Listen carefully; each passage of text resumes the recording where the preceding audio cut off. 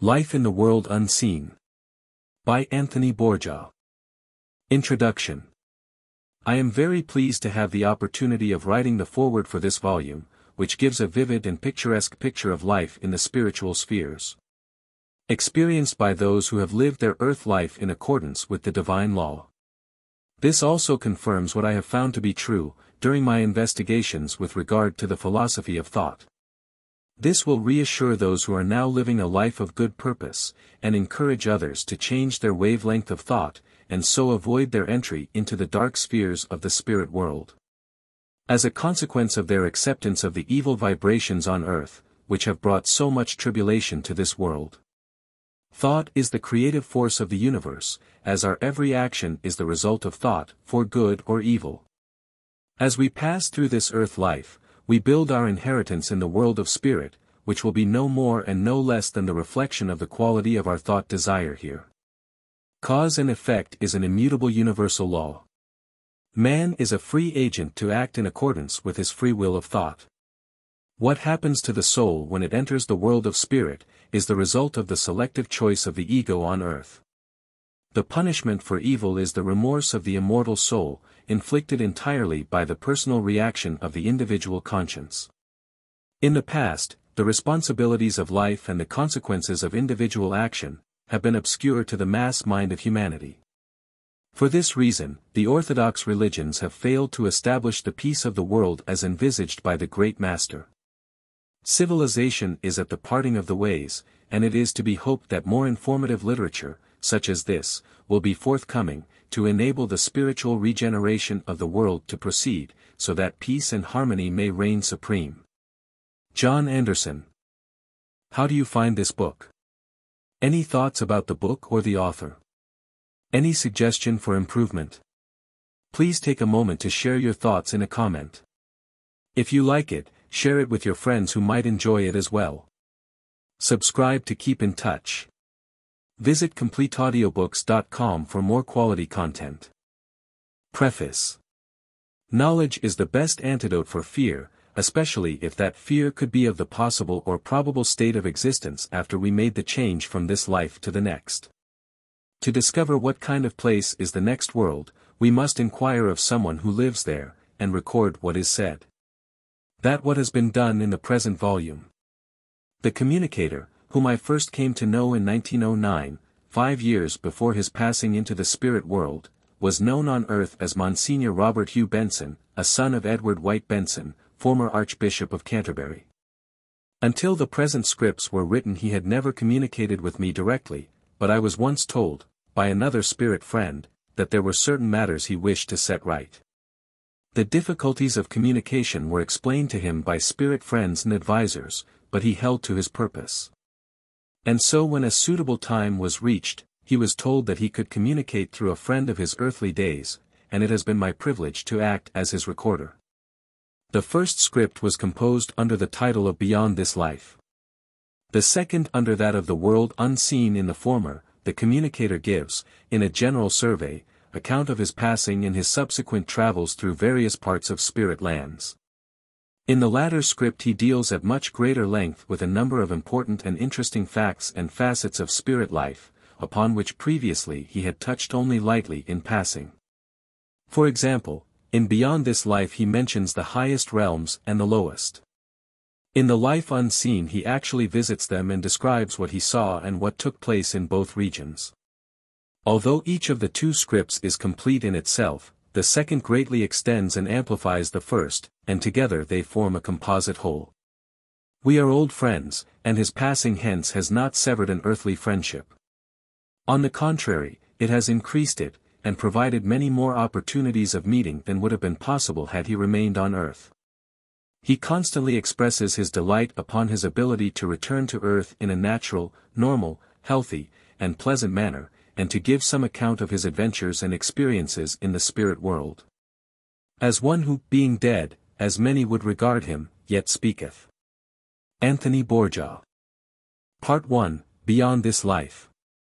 My Earth Life. Who I am really matters not. Who I was matters still less. We do not carry our earthly positions with us into the spirit world. My earthly importance I left behind me. My spiritual worth is what counts now, and that, my good friend, is far below what it should be and what it can be. Thus much as to who I am.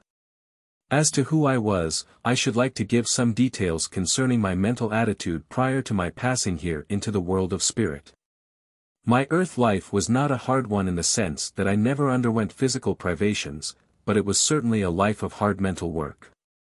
In my early years I was drawn towards the church because the mysticism of the church attracted my own mystical sense. The mysteries of religion, through their outward expression of lights and vestments and ceremonies, seemed to satisfy my spiritual appetite in a way that nothing else could. There was much, of course, that I did not understand, and since coming into spirit I have found that those things do not matter. They were religious problems raised by the minds of men, and they have no significance whatever in the great scheme of life. But at the time, like so many others, I believed in a wholesale fashion, without a glimmering of understanding, or very little. I taught and preached according to the orthodox textbooks, and so I established a reputation for myself. When I contemplated a future state of existence I thought, and that vaguely, of what the Church had taught me on the subject, which was infinitesimally small and most incorrect. I did not realize the closeness of the two worlds, ours and yours, although I had ample demonstration of it. What occult experiences I had were brought about, so I thought, by some extension of natural laws, and they were rather to be considered as incidental than of regular occurrence, given to the few rather than to the many. The fact that I was a priest did not preclude me from visitations of what the church preferred to look upon as devils, although I never once, I must confess, saw anything remotely resembling what I could consider as such. I did not grasp the fact that I was what is called, on the earth plane, a sensitive, psychic, one gifted with the power of seeing, though in limited degree. This incursion of a psychic faculty into my priestly life found to be considerably disturbing since it conflicted with my orthodoxy. I sought advice in the matter from my colleagues, but they knew less than I knew, and they could only think of praying for me that these devils might be removed from me. Their prayers availed me nothing, that was to be expected as I now see. Had my experiences been upon a high spiritual plane then is the chance that I should have been regarded in the light of a very holy man. But they were not so, they were just such experiences as occur to the ordinary earthly sensitive. As happening to a priest of the Holy Church they were looked upon as temptations of the devil. As happenings to one of the laity they would have been regarded as dealings with the devil, or as some form of mental aberration. What my colleagues did not understand was that this power was a gift, a precious gift, as I understand now, and that it was personal to myself, as it is to all those who possess it. And to pray to have it removed is as senseless as to pray that one's ability to play the piano or paint a picture might be removed. It was not only senseless, it was unquestionably wrong, since such a gift of being able to see beyond the veil was given to be exercised for the good of mankind. I can at least rejoice that I never prayed for release from these powers. Pray I did, but for more light on the matter. The great barrier to any further investigation of these faculties was the Church's attitude towards them, which was, and is, unrelenting, unequivocal, narrow, and ignorant. However long were any investigations or in whatever direction, the Church's final judgment was always the same, and its pronouncements unvarying, such things have their origin in the devil. And I was bound by the laws of that Church, administering its sacraments and delivering its teachings, while the spirit world was knocking upon the door of my very existence, and trying to show me, for myself to see. What I had so often contemplated our future life. Many of my experiences of psychic happenings I incorporated into my books, giving the narratives such a twist as would impart to them an orthodox religious flavor. The truth was there, but the meaning and purpose were distorted. In a larger work I felt that I had to uphold the Church against the assaults of those who believed in the spiritual survival of bodily death, and that it was possible for the spirit world to communicate with the earth world. And in that larger work I ascribed to the devil, against my better judgment, what I really knew to be nothing other than the working of natural laws, beyond and entirely independent of any orthodox religion, and certainly of no evil origin. To have followed my own inclinations would have entailed a complete upheaval in my life, a renunciation of orthodoxy, and most probably a great material sacrifice, since I had established a second reputation as a writer. What I had already written would then have become worthless in the eyes of my readers, and I should have been regarded as a heretic or a madman. The greatest opportunity of my earthly life I thus let pass. How great was that opportunity, and how great were my loss and regret, I knew when I had passed into this world whose inhabitants I had already seen so many times and on so many different occasions. The truth was within my grasp, and I let it fall. I adhered to the church. Its teachings had obtained too great a hold upon me. I saw thousands believing as I did, and I took courage from that, as I could not think that they could all be wrong. I tried to separate my religious life from my psychic experiences, and to treat them as having no connection with one another. It was difficult, but I managed to steer a course that gave me the least mental disturbance, and so I continued to the end, when at last I stood upon the threshold of that world of which I had already had a glimpse. Of what befell me when I ceased to be an inhabitant of the earth and passed into the great spirit world, I hope now to give you some details. Passing to spirit life. The actual process of dissolution is not necessarily a painful one. I had during my earth life witnessed many souls passing over the border into spirit. I had had the chance of observing with the physical eyes the struggles that take place as the spirit seeks to free itself forever from the flesh. With my psychic vision I had also seen the spirit leave, but nowhere was I able to find out, that is, from orthodox sources, what exactly takes place at the moment of separation. Nor was I able to gather any information upon the sensations experienced by the passing soul. The writers of religious textbooks tell us nothing of such things for one very simple reason, they do not know. The physical body many times appeared to be suffering acutely, either from actual pain or through labored or restricted breathing. To this extent such passing had all the appearance of being extremely painful. Was this really so, was a question I had often asked myself. Whatever was the true answer I could never really believe that the actual physical process of dying was a painful one, notwithstanding that it appeared so. The answer to my question I knew I would have one day, and I always hoped that at least my passing would not be violent, whatever else it might be. My hopes were fulfilled. My end was not violent, but it was labored, as were so many that I had witnessed. I had a presentiment that my days on earth were drawing to a close only a short while before my passing. There was a heaviness of the mind, something akin to drowsiness, as I lay in my bed. Many times I had a feeling of floating away and of gently returning. Doubtless during such periods those who were concerned with my physical welfare were under the impression that, if I had not actually passed, I was sinking rapidly.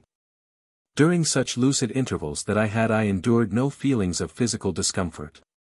I could see and hear what was going on around me, and I could sense the mental distress that my condition was occasioning. And yet I had the sensation of the most extraordinary exhilaration of the mind. I knew for certain that my time had come to pass on, and I was full of eagerness to be gone. I had no fear, no misgivings, no doubts, no regrets, so far, at thus leaving the earth world. My regrets were to come later, but of these I shall speak in due course.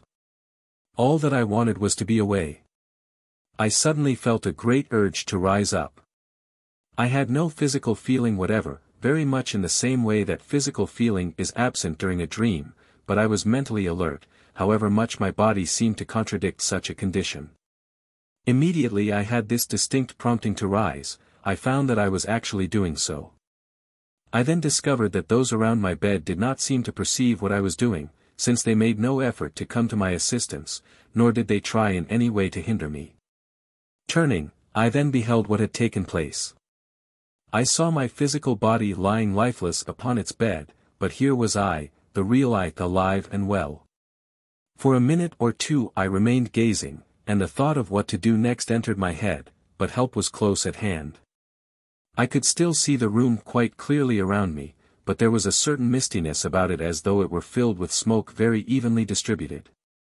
I looked down at myself wondering what I was wearing in the way of clothes, for I had obviously risen from a bed of sickness and was therefore in no condition to move very far from my surroundings. I was extremely surprised to find that I had on my usual attire, such as I wore when moving freely and in good health about my own house. My surprise was only momentary since, I thought to myself, what other clothes should I expect to be wearing? Surely not some sort of diaphanous robe.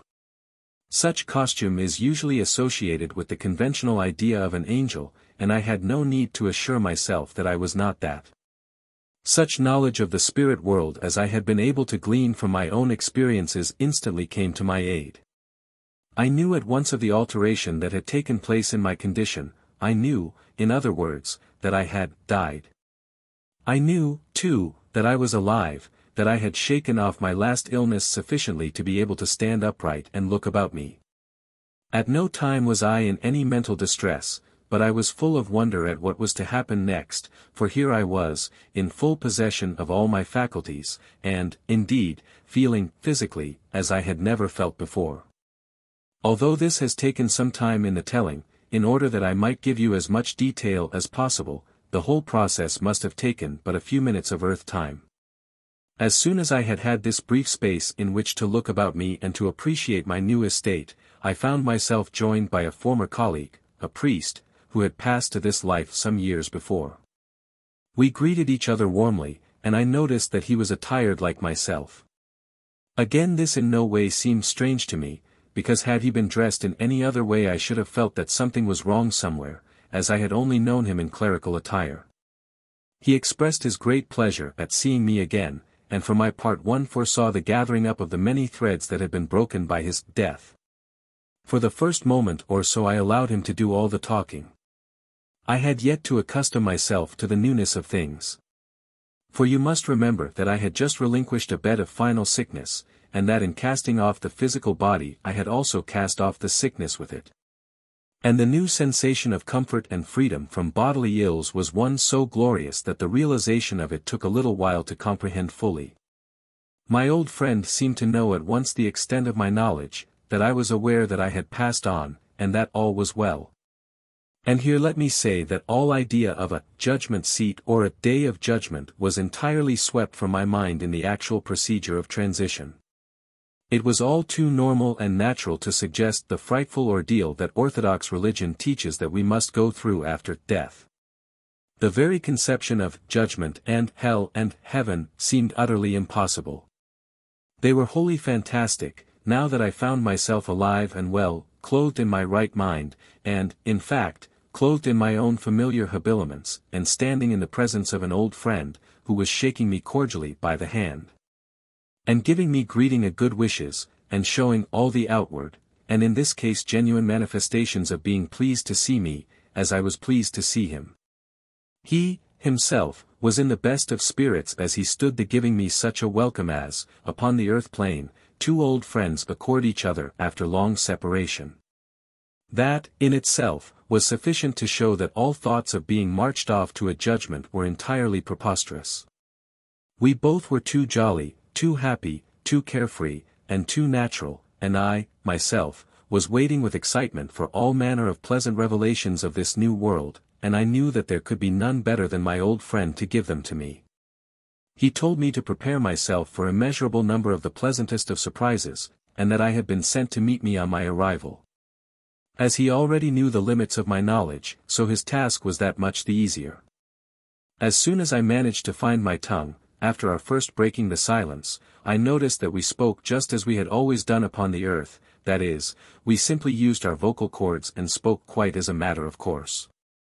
It required no thinking about, and indeed I did not think about it.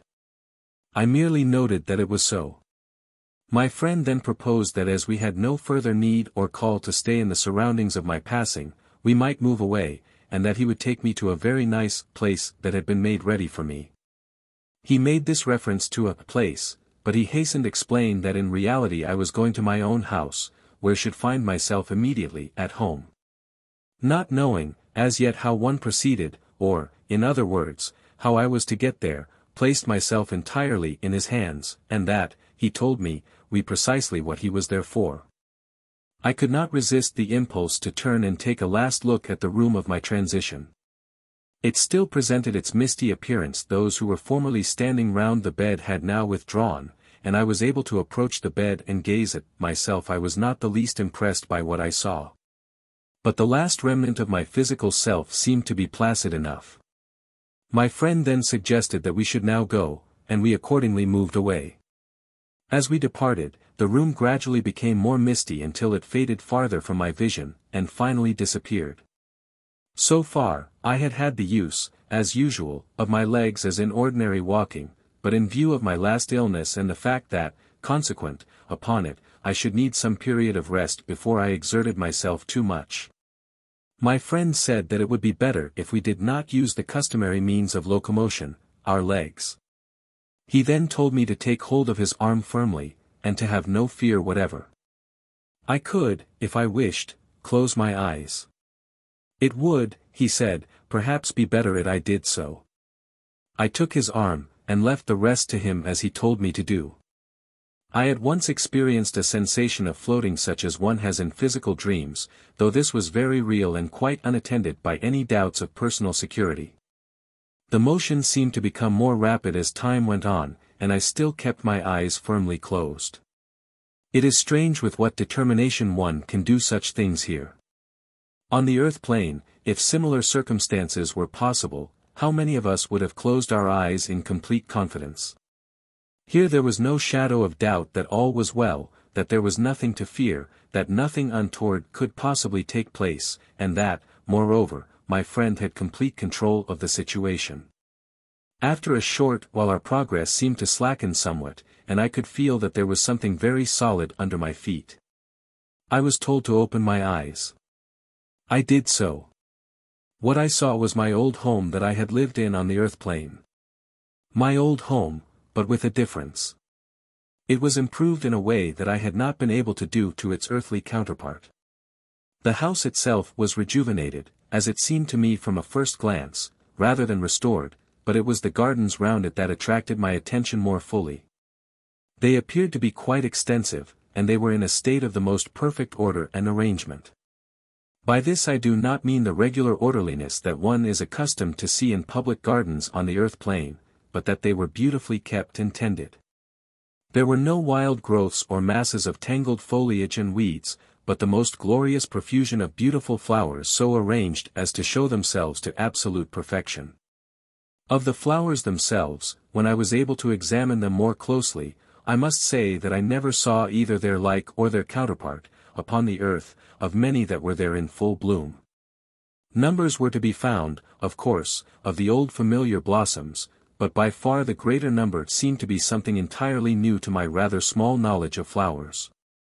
It was not merely the flowers themselves and their unbelievable range of superb colorings that caught my attention, but the vital atmosphere of eternal life that they threw out, as it were, in every direction. And as one approached any particular group of flowers, or even a single bloom, there seemed to pour out great streams of energizing power which uplifted the soul spiritually and gave it strength. While the heavenly perfumes they exhaled were such as no soul clothed in its mantle of flesh has ever experienced. All these flowers were living and breathing, and they were, so my friend informed me, incorruptible. There was another astonishing feature I noticed when I drew near to them, and that was the sound of music that enveloped them, making such soft harmonies as corresponded exactly and perfectly with the gorgeous colors of the flowers themselves. I am not, I am afraid, sufficiently learned, musically, to be able to give you a sound technical explanation of this beautiful phenomenon, but I shall hope to bring to you one with knowledge of the subject. Who will be able to go into this more fully? Suffice it for the moment, then, to say that these musical sounds were in precise consonance with all that I had so far seen, which was very little, and that everywhere there was perfect harmony. Already I was conscious of the revitalizing effect of this heavenly garden to such an extent that I was anxious to see more of it. And so, in company with my old friend, upon whom I was here relying for information and guidance, I walked the garden paths, trod upon the exquisite grass, whose resilience and softness were almost comparable to walking on air. And tried to make myself realize that all this superlative beauty was part of my own home. There were many splendid trees to be seen, none of which was malformed, such as one is accustomed to see on earth, yet there was no suggestion of strict uniformity of pattern. It was simply that each tree was growing under perfect conditions, free from the storms of wind that bend and twist the young branches, and free from the inroads of insect life and many other causes of the misshapenness of earthly trees. As with the flowers, so with the trees. They live forever incorruptible, clothed always in their full array of leaves of every shade of green, and forever pouring out life to all those who approach near them. I had observed that there did not appear to be what we should commonly call shade beneath the trees, and yet there did not appear to be any glaring sun. It seemed to be that there was a radiance of light that penetrated into every corner, and yet there was no hint of flatness. My friend told me that all light proceeded directly from the giver of all light, and that this light was divine life itself, and that it bathed and illumined the whole of the spirit world where lived those who had eyes spiritually to see. I noticed, too, that a comfortable warmth pervaded every inch of space, a warmth perfectly even and as perfectly sustained. They had a stillness, yet there were gentle perfume-laden breezes, truest zephyrs, that in no way altered the delightful balminess the temperature. And here let me say to those who do not care much for perfumes of any sort, do not be disappointed when you read these words, and feel that it could never be heaven to you if there were something there you do not like. Wait, I say, until you witness these things, and I know that then you will feel very differently about them. I have gone into all these things in a rather detailed fashion because I am sure there are so many people who have wondered about them. I was struck by the fact that there were no signs of walls or hedges or fences, indeed, nothing, so far as I could see, to mark where my garden began or ended. I was told that such things boundaries were not needed, because each person knew instinctively, but beyond doubt, just where his own garden ended. There was therefore no encroaching upon another's grounds, although were open to any who wished to traverse them or linger within them. I was wholeheartedly welcome to go wherever I wished without fear of intruding upon another's privacy. I was told I should find that that was the rule here, and that I would have no different feelings with respect to others walking in my own garden. I exactly described my sentiments at that moment, for I wished, then and there, that all who cared would come into the garden and its beauties. I had no notions whatever of ownership personally, although I knew that it was my own, to have and to hold. And that is precisely the attitude of all here, ownership and partnership at one and the same time. Seeing the beautiful state of preservation and care in which all garden was kept, I inquired of my friend as to the genius who looked after it so assiduously and with such splendid results. Before answering my question he suggested that as I had but so very recently arrived in the spirit land, he considered it advisable I should rest, or that at least I should not overdo my sighting. He proposed, therefore, that we should find a pleasant spot he used the words in a comparative sense, because all was more pleasant everywhere, that we should seat ourselves. And then would expound one or two of the many problems that had presented themselves to me in the brief time since I had passed a spirit. Accordingly, we walked along until we found such a pleasant place beneath the branches of a magnificent tree, whence we overlooked a great tract of the countryside, whose rich verdure undulated before us and stretched far away into the distance. The whole prospect was bathed in glorious celestial sunshine, and I could perceive many houses of varying descriptions picturesquely situated, like my own, among trees and gardens. We threw ourselves down upon the soft turf, and I stretched myself out luxuriously, feeling as though I were lying upon a bed of the finest lawn. My friend asked me if I was tired. I had no ordinary sensation of earthly fatigue, but yet I felt somewhat the necessity for a bodily relaxation. He told me that my last illness was the cause of such a desire, and that if I wished I could pass into a state of complete sleep. At the moment, however, I did not feel the absolute need for that, and I told him that for the present I would much prefer to hear him talk. And so he began. Whatsoever a man soweth, he said, that shall he reap. Those few words describe exactly the great eternal process by which all that you see, actually here before you, is brought about. All the trees, the flowers, the woods, the houses that are also the happy homes of happy people, everything is the visible result of whatsoever a man soweth. This land, wherein you and I are now living, is the land of the great harvest, the seeds of which were planted upon the earth plane. All who live here have won for themselves the precise abode they have passed to by their deeds upon the earth. I was already beginning to perceive many things, the principal one of which, and that which touched me most closely, being the totally wrong attitude adopted by religion in relation to the world of spirit. The very fact that I was lying there where I was, constituted a complete refutation of so much that I taught and upheld during my priestly life upon earth. I could see volumes of orthodox teachings, creeds, and doctrines melting away because they are of no account, because they are not true. And because they have no application whatever to the eternal world of spirit and to the great creator and upholder of it. I could see clearly now what I had seen but hazily before, that orthodoxy is man-made, but that the universe is God-given. My friend went on to tell me that I should find living within the homes, that we could see from where we were lying, all sorts and conditions of people, people whose religious views when they were on the earth were equally varied. But one of the great facts of spirit life is that souls are exactly the same the instant after passing into spirit life as they were the instant before. Deathbed repentances are of no avail, since the majority of them are but cowardice born of fear of what is about to happen, a fear of the theologically built eternal hell that is such a useful weapon in the ecclesiastical armory. And one that perhaps has caused more suffering in its time than many other erroneous doctrines. Creeds, therefore, do not form any part of the world of spirit, but because people take with them all their characteristics into the spirit world. The fervid adherents to any particular religious body will continue to practice their religion in the spirit world until such time as their minds become spiritually enlightened.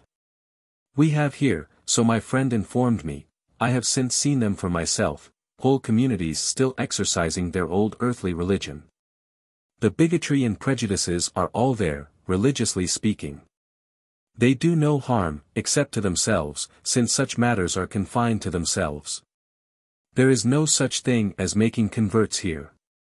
Such being the case, then, I suppose that our own religion was fully represented here. Indeed, it was. The same ceremonies, the same ritual, the same old beliefs, all are being carried on with the same misplaced zeal, in churches erected for the purpose. The members of these communities know that they have passed on, and they think that part of their heavenly reward is to continue with their man-made forms of worship. So they will continue until such time as a spiritual awakening takes place. Pressure is never brought to bear upon these souls, their mental resurrection must come from within themselves. When it does come they will taste for the first time the real meaning of freedom. My friend promised that if I wished we could visit some of these religious bodies later, but, he suggested, that as there was plenty of time it would be better if first of all I became quite accustomed to the new life.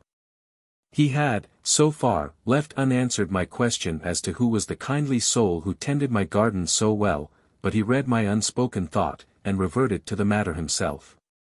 Both the house and the garden, he told me, were the harvest I had reaped for myself during my earth life. Having earned the right to possess them, I had built them with the aid of generous souls who spend their life in the spirit world performing such deeds of kindness and service to others. Not only was it their work, but it was their pleasure at the same time. Frequently this work is undertaken and carried out by those who, on earth, were expert in such things, and who also had a love for it. Here they can continue with their occupation under conditions that only the world of spirit can supply. Such tasks bring their own spiritual rewards, although the thought of reward is never in the minds of those who perform them. The desire of being of service to others is always uppermost. The man who had helped to bring this beautiful garden into being was a lover of gardens upon the earth plane, and, as I could see for myself, he was also an expert. But once the garden was created there was not the incessant toil that is necessary for its upkeep, as with large gardens upon earth. It is the constant decay, the stresses of storm and wind, and the several other causes that demand the labor on earth. Here there is no decay and all that grows does so under the same conditions as we exist. I was told that the garden would need practically no attention, as we usually understand the term, and that our friend the gardener would still keep it under his care if I so wished it. Far from merely wishing it, I expressed the hope that he certainly would do so. I voiced my deep gratitude for his wonderful work, and I hoped that I might be able to meet him and convey to him my sincere appreciation and thanks. My friend explained that that was quite a simple matter, and that the reason why I had not already met him was the fact of my very recent arrival, and that he would not intrude until I had made myself quite at home. My mind again turned to my occupation while on earth, the conducting of daily service and all the other duties of a minister of the church. Since such an occupation, as far as I was concerned, was now needless, I was puzzled to know what the immediate future had in store for me. I was again reminded that there was plenty of time in which to ponder the subject. And my friend suggested that I should rest myself and then accompany him upon some tours of inspection, there was so much to see and so much that I should find more than astonishing. There were also numbers of friends who were waiting to meet me again after our long separation. He curbed my eagerness to begin by saying that I must rest first, and for which purpose, what better place than my own home. I followed his advice, therefore, and we made our way towards the house. First Experiences I have already mentioned that when I was first introduced to my spirit home, I observed that it was the same as my earth home, but with a difference. As I entered the doorway I saw at once the several changes that had been brought about. These changes were mostly of a structural nature and were exactly of the description of those that I had always wished I could have carried out to my earthly house, but which for architectural and other reasons I had never been able to have done. Here, earthly needs had no place, so that I found my spirit home, in general disposition, exactly as I had ever wished it to, be. The essential requisites indispensably associated with an earthly homestead were, of course, completely superfluous here, for example, the severely mundane matter of providing the body with food. That is one instance of the difference. And so with others it is easy enough to call to mind.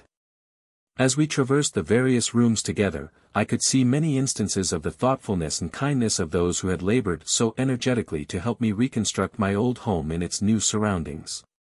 While standing within its walls I was fully aware of its permanence as compared with what I had left behind me.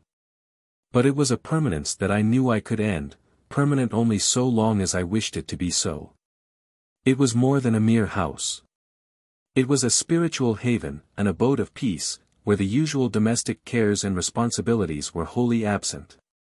The furniture that it contained consisted largely of that which I had provided for its earthly original, not because it was particularly beautiful, but because I had found it useful and comfortable, and adequately suited my few requirements. Most of the small articles of adornment were to be seen displayed in their customary places, and altogether the whole house presented the unmistakable appearance of occupancy. I had truly come home. In the room that had formerly been my study I noticed some well-filled bookshelves.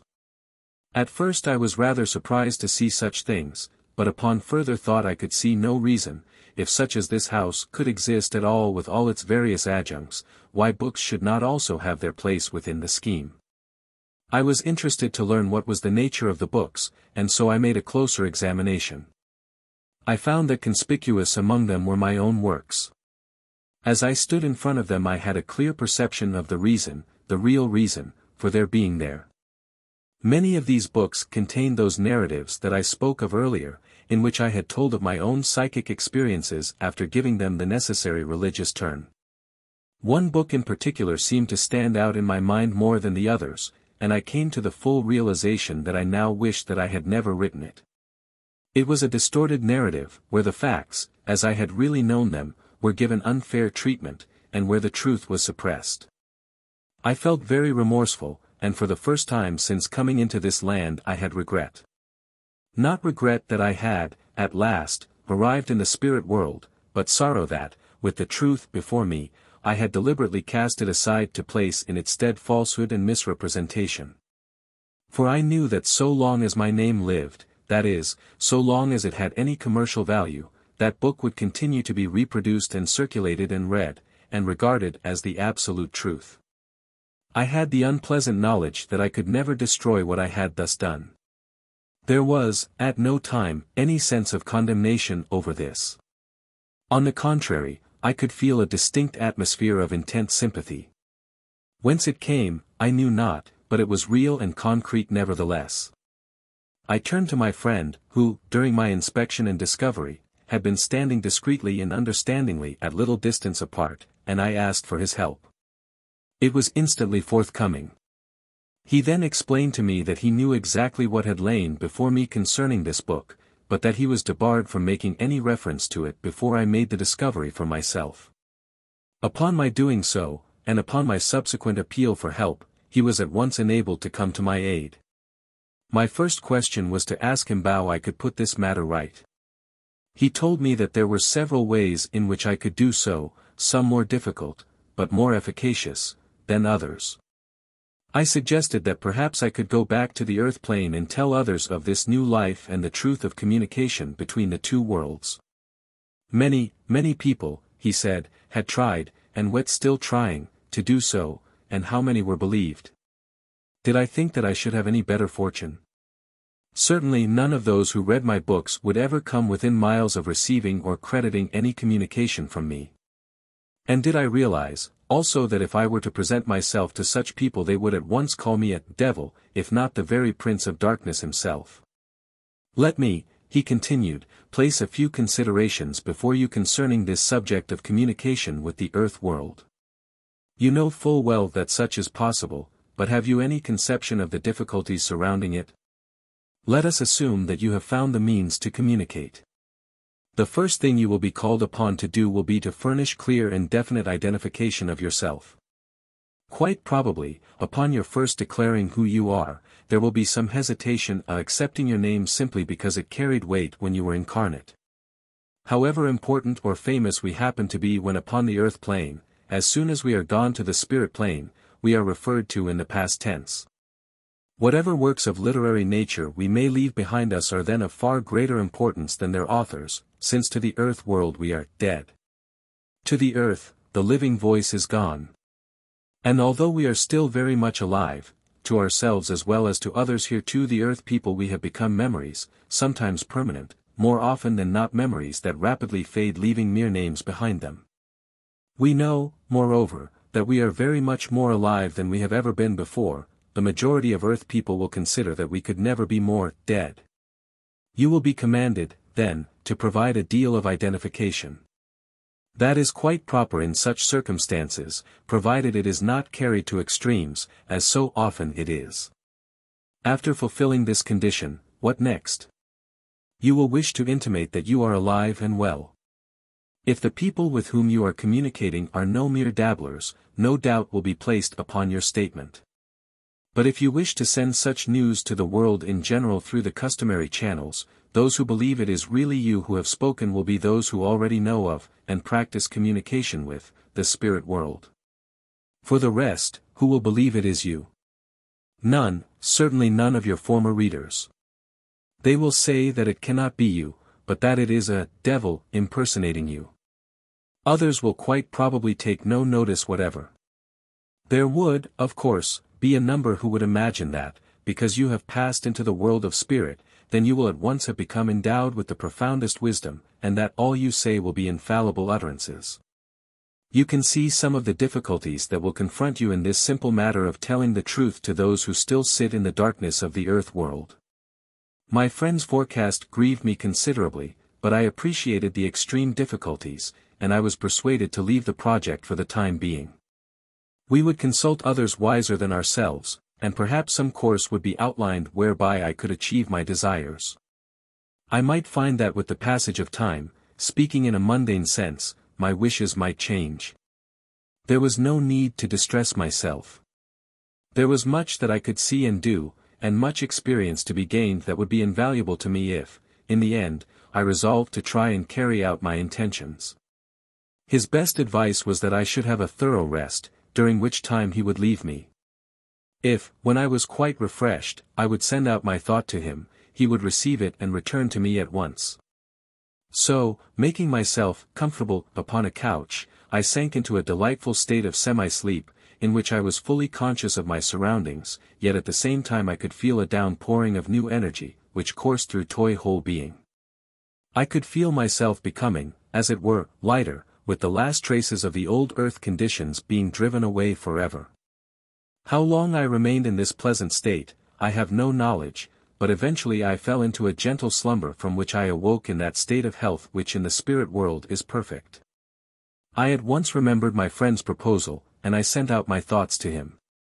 Within the space of a few seconds of earth time he was walking in through the door. His response was so bewilderingly rapid that my surprise sent him into merry laughter. He explained that in reality it was quite simple. The spirit world is a world of thought, to think is to act, and thought is instantaneous.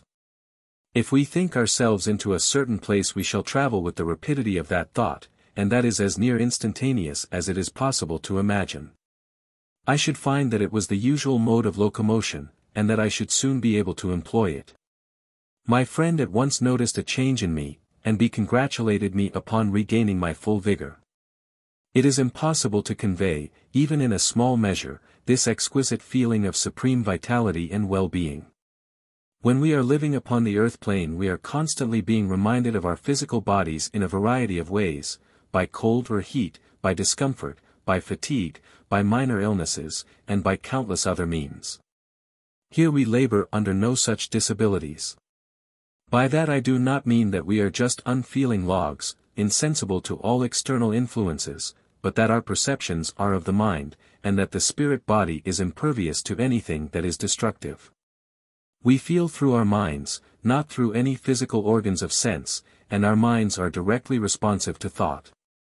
If we should feel coldness in some particular and definite circumstances, we undergo that sensation with our minds, and our spirit bodies in no way suffer. We are never continuously reminded of them. In the realm of which I am now speaking, all is exactly attuned to its inhabitants, its temperature, its landscape, its many dwellings, the waters of the rivers and streams, and, most important of all, the inhabitants one with another. There is therefore nothing that can possibly create any unhappiness, unpleasantness, or discomfort. We can completely forget our bodies and allow our minds to have free play, and through our minds we can enjoy the thousands of delights that the same minds have helped to build up. At times we may feel saddened, and at times we are amused, by those who, still upon the earth, ridicule and pour scorn and contempt upon our descriptions of the spirit lands. What do these poor minds know? Nothing. And what would these same minds substitute for the realities of the spirit world? They do not know. They would take away from us our beautiful countryside, our flowers and trees, our rivers and lakes, our houses, our friends, our work, and our pleasures and recreations. For what? What conception can these dull minds have of a world of spirit? By their own stupid admissions, no conception whatever. They would turn us into wraiths, without substance, without intelligence, and merely surviving in some dim, shadowy, vaporous state, dissevered from everything that is human. In my perfect health and abounding vitality. And living among all the beauties of this world of strict reality a mere hint of which I have only so far given you, I am forcibly impressed by the magnitude of ignorance shown by particular minds upon earth. The time had come, I felt, when I would like to see something of this wonderful land, and so, in company with my friend, we set forth on what was, for me, a voyage of discovery. Those of you who have traveled the earth for the sake of seeing new lands will understand how I felt at the outset. To obtain a wider view, we walked to some higher ground, whence a clear panorama unfolded before the eyes. Before us the countryside reached out in a seemingly unending prospect. In another direction I could clearly perceive what had all the appearance of a city of stately buildings, for it must be remembered that all people here do not possess a uniformity of tastes, and that even as on earth. Many prefer the city to the country, and vice versa, while again some like both. I was very keenly interested to see what a spirit city could be like. It seemed easy enough to visualize the country here, but cities seemed so essentially the work of man in a material world. On the other hand, I could advance no logical reason why the spirit world should not also build cities. My companion was greatly amused by my enthusiasm, which, he declared, was equal to a schoolboy's. It was not his first acquaintance with it, however, most people when they first arrive are taken in the same way. And it affords our friends a never-ending pleasure to show us round. I could see a church in the distance built on the usual lines externally, and it was proposed that we might go in that direction, and include other things on the way. And so we set off. We followed a path that led for part of the way beside a brook, whose clear water sparkled in the light of the heavenly sun. As the water pursued its course it gave forth many musical notes that constantly changed and weaved themselves into a medley of the most dulcet sounds. We drew to the edge that I might look at it closer.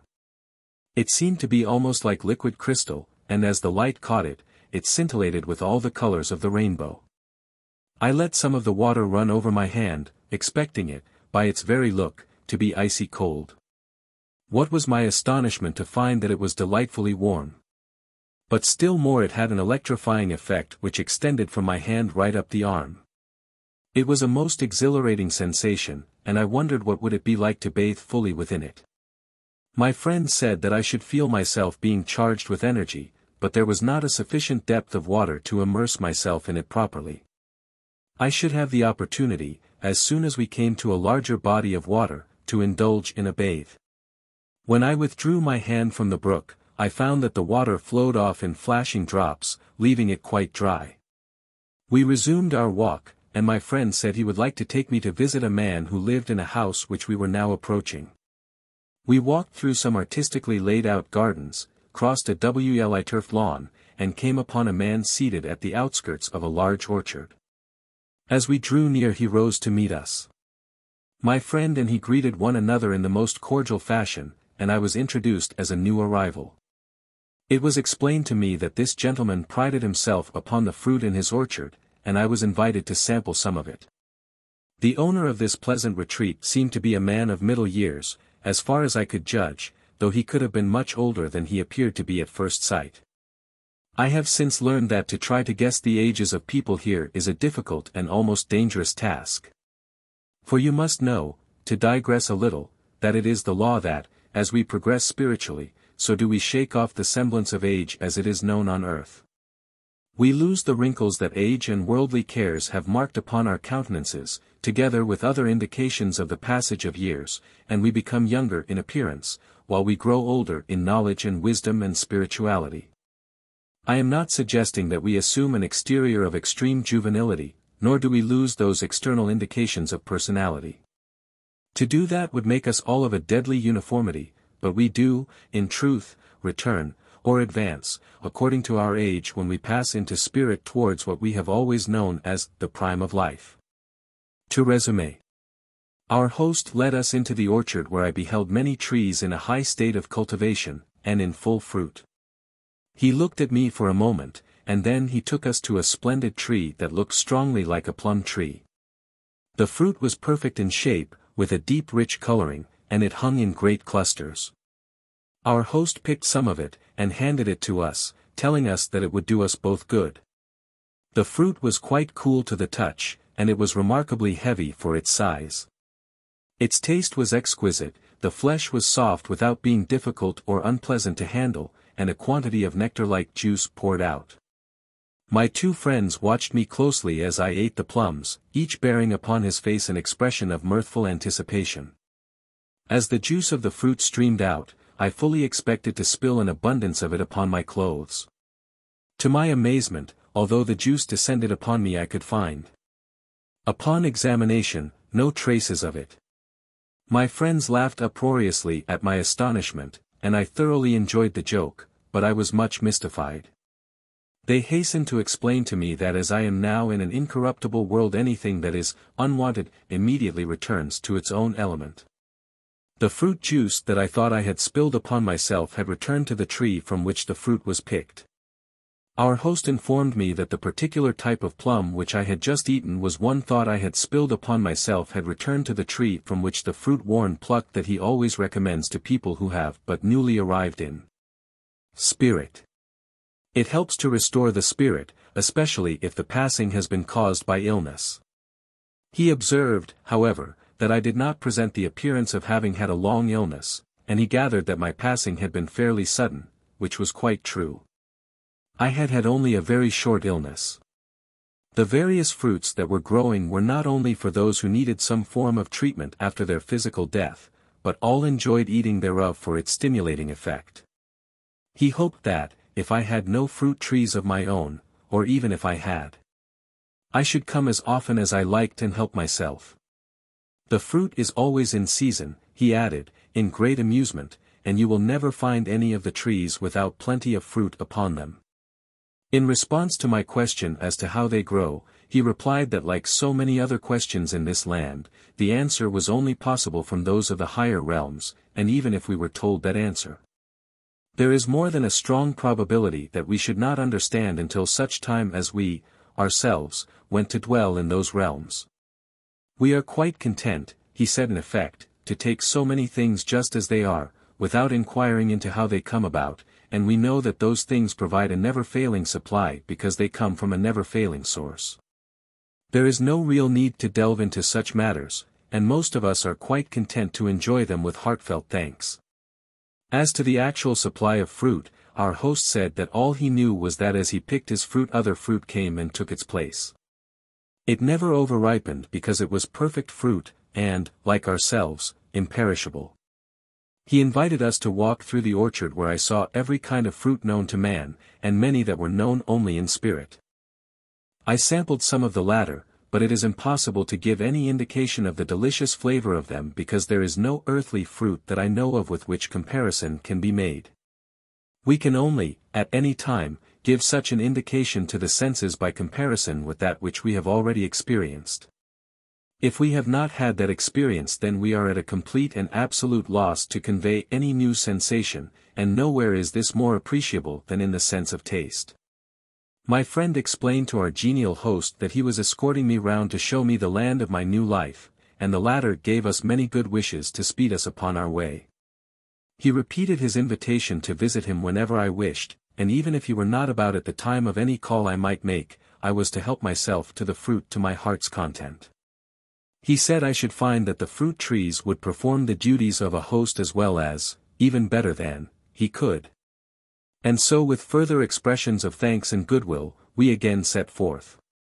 We returned to our former path beside the brook, and continued our walk in the direction of the church. After we had proceeded for a little way, I noticed that the brook began to broaden out until it expanded into the dimensions of a fair-sized lake. We could see many groups of happy people gathered at the side of the water, some of whom were bathing. The lake was bounded by an encirclement of trees, and there were flowers in abundance arranged in such a way that although a certain orderliness was observable, yet there was no hint of distinct ownership. They belonged to all in equal right, and I observed most particularly that no attempt was made by anyone to pick, or root up, or otherwise disturb them. One or two people were to be seen with both their hands placed round some of the blooms in almost a caressing manner, an action which seemed to me so unusual that I asked my friend for enlightenment on the matter. He replied by taking me over to a young girl who was thus curiously occupied. I was rather diffident of so intruding, but I was told to wait and see. My friend bent down beside her, and she turned her head and gave him a friendly word and smile of welcome. I concluded that they were old friends, but such was not the case. In fact, he told me afterwards that he had never seen her before, and he explained that here in spirit we need no formal introductions, we constitute one large united gathering in the matter of ordinary social intercourse. After we have been here a little while, and become accustomed to our new environment and mode of living, we find that we never intrude since we can read at once the mind of a person who wishes for a period of seclusion. And when we see people out in the open, in garden or countryside, we are always welcome to approach and hold friendly converse with them. This young lady was, like myself, a newcomer, and she told us how some friends had shown her the method of gathering from the flowers all that the flowers had so lavishly to give.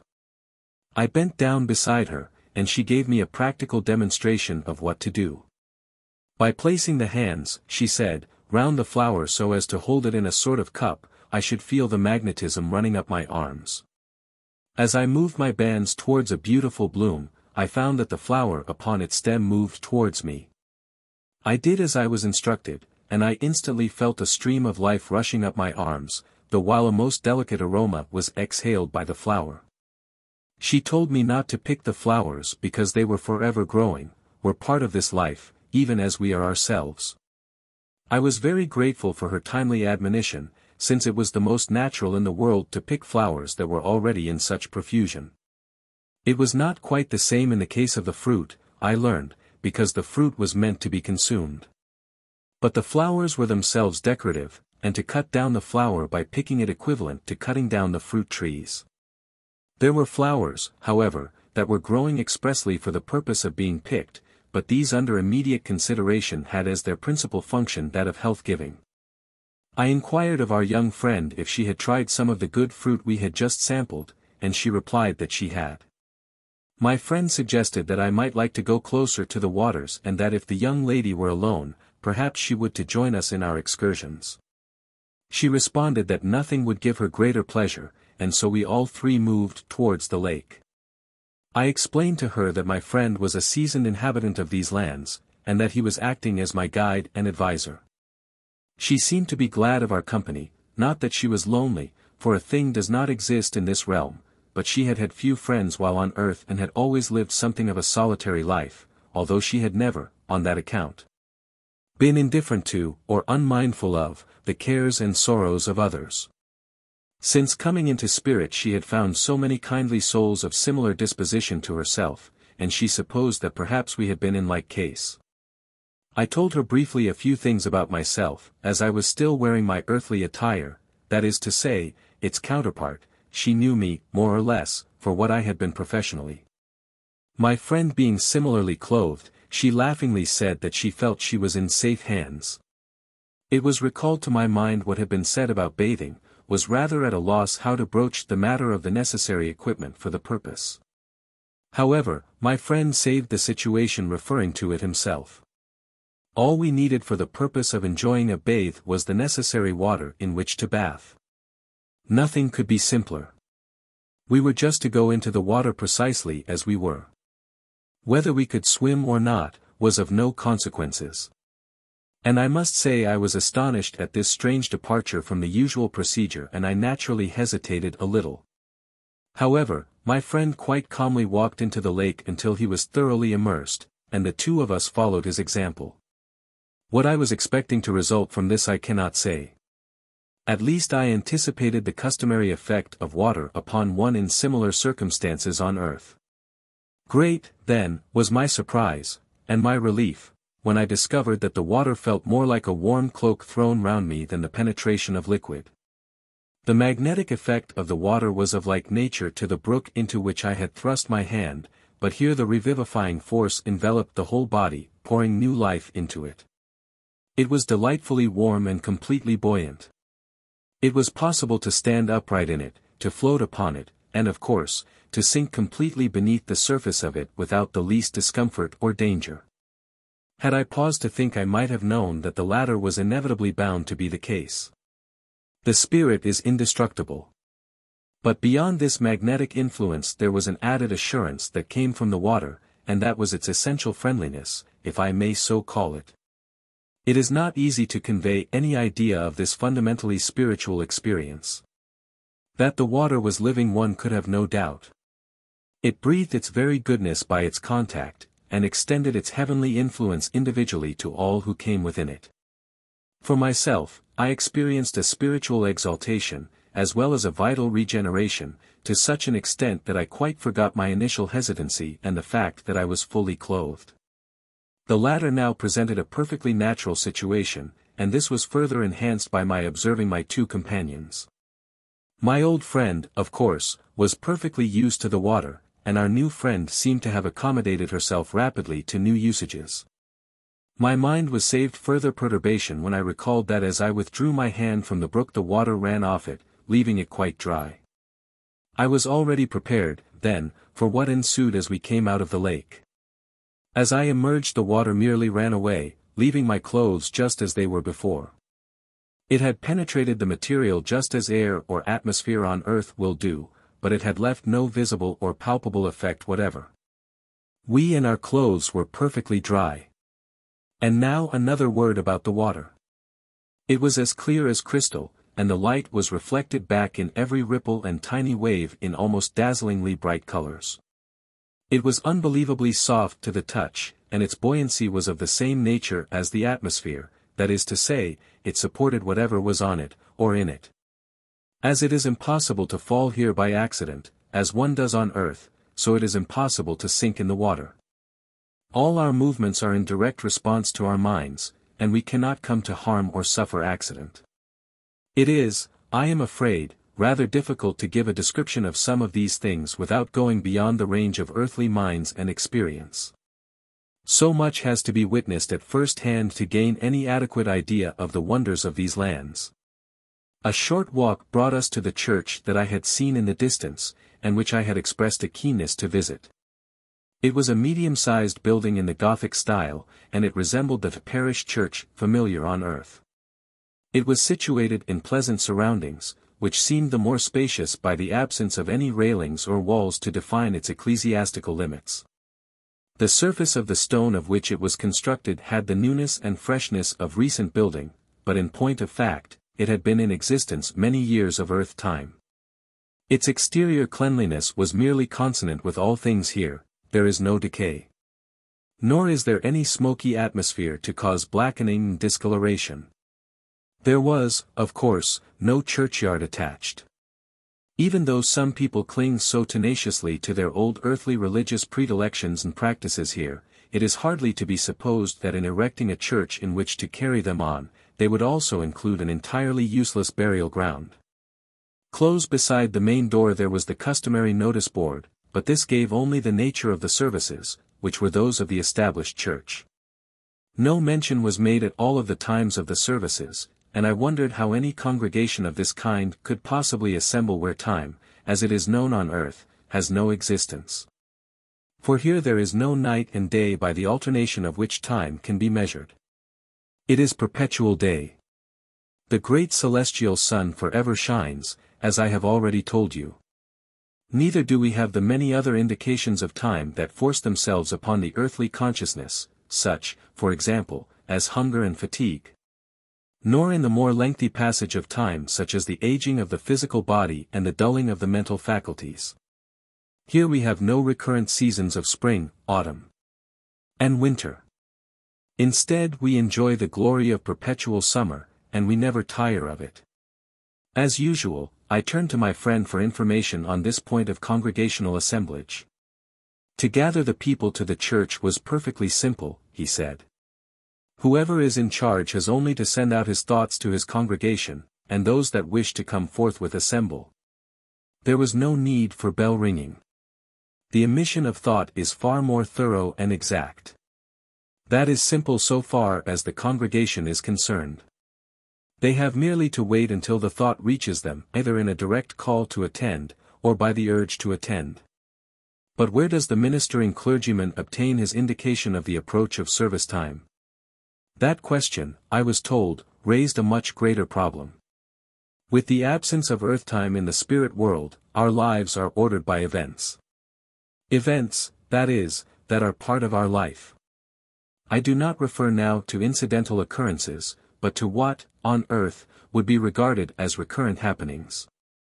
We have many such events here, as I hope to show you as we proceed, and in doing so you will see how we know that the performance of certain acts, individually or collectively, are clearly brought to our minds.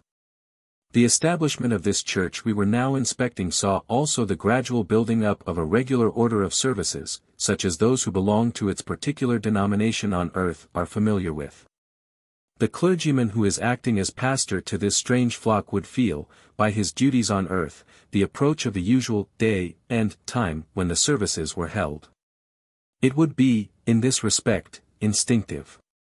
It would, moreover, grow stronger with practice, until this mental perception would assume absolute regularity, as it is considered on the earth plane. With this firmly established, the congregation have but to await the call from their minister. The notice board gave a list of the usual services commonly seen outside an earthly church of the same denomination. One or two items were noticeably absent, however, such as the provision for marriages and baptisms. The former omission I could understand, the latter could only imply that baptism was unnecessary, since only the baptized would be in heaven, where presumably they deemed this church to be situated. We went within, and found ourselves in a very lovely building, conventional in design, and containing little that is not to be seen in any such church upon the earth plane. There were some beautiful stained glass windows portraying scenes in the lives of the saints, through which the light poured evenly from all sides of the church at the same time. Producing a strange effect in the air from the colors of the window glass. Provision for heating the building was, of course, quite superfluous. There was a fine organ at one end, and the main altar, built of stone, was richly carved. Beyond this, there was a certain plainness which in no way detracted from its general beauty as a piece of architecture. Everywhere was there evidence of a lavish care being expended upon it, which, considering where this church was existing, is not surprising, when it is remembered under what dispensation such a building can exist at all. We sat down for a little while, finding a calm and peaceful air about the whole place, and then, we decided that we had seen all there was to be seen, and we made our way out into the open. Home of Rest. As we walked along, at least two of us pondered upon what we seen, and its implications. Our young friend, who told us her name was Ruth, put a number of questions to us, but withheld any attempt to answer, since I was but a newcomer myself, in favor of my friend, whose name, Edwin, I have omitted to give so far. Ruth, it appeared, had never been an active churchgoer, whilst on earth, but she was a kindly soul, as it was plain to see, and it plain to see, also. That her abstention from church-going had no difference to her ultimate destination as viewed by the earth her service to others had done more for her spiritual welfare all the outward display of congregational religion. Which so is but outward display. Like myself, she was very surprised and, here in spirit, the complete paraphernalia of orthodox of orthodox religion. Edwin told her that she had only seen one example of it so far, and there were plenty of others. Having seen this, however, had seen them all, more or less. Each denomination, of course, holds to its own particular creed and formularies, such as it had on earth, with a few minor differences, as we had just seen. Such spiritual somnolence is no novelty in spirit. The earth world is to blame. Religious contentions and controversies are at the bottom of all the ignorance and lack of knowledge that so many people bring with them into the spirit world.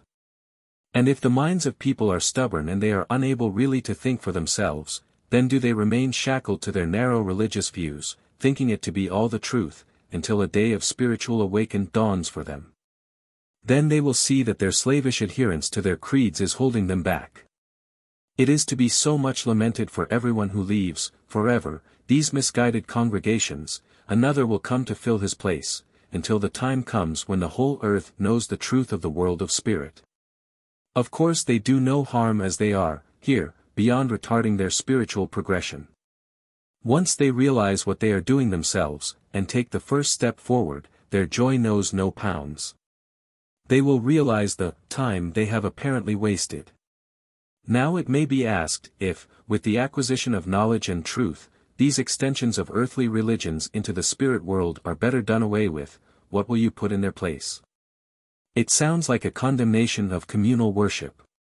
By no means.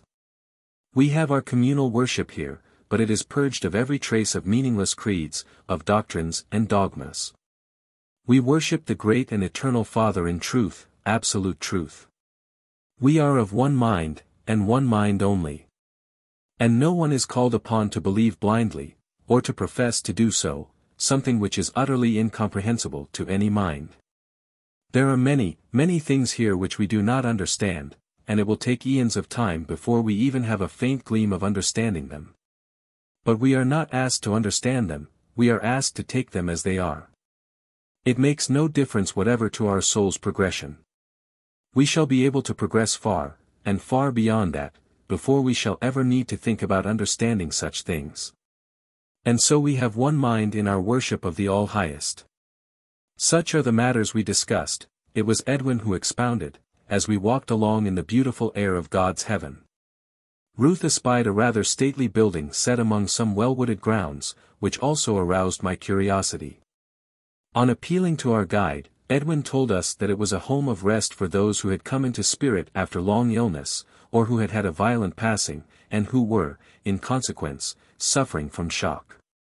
We wondered if it would be possible to peep inside, without appearing to be curiosity seekers. He assured us that it would be quite in order to do so, as he had given his services there, and was therefore persona grata. Added to which was the fact that he knew we had that necessary sympathy which would banish any thought of inquisitiveness. As we drew near I could see that the building was in no sense a hospital, in outward semblance, whatever its functions might be. It was built in the classical style, two or three stories high, and it was entirely open upon all sides. That is to say, it contained no windows as we know them on earth. It was white in color as far as the materials of its composition were concerned, but immediately above it there was to be seen a great shaft of blue light descending upon, and enveloping, the whole building with its radiance.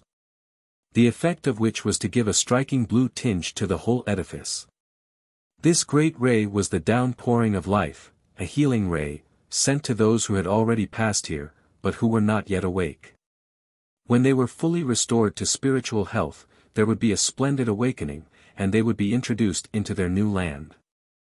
I noticed that there was quite a number of people seated upon the grass in the grounds, or walking about. They were relatives of those who were undergoing treatment within the Hall of Rest, and whose awakening was imminent. Although, doubtless, they could have been summoned upon the instant when necessary, yet, following their old earthly instinct, they preferred wait close at hand for the happy moment.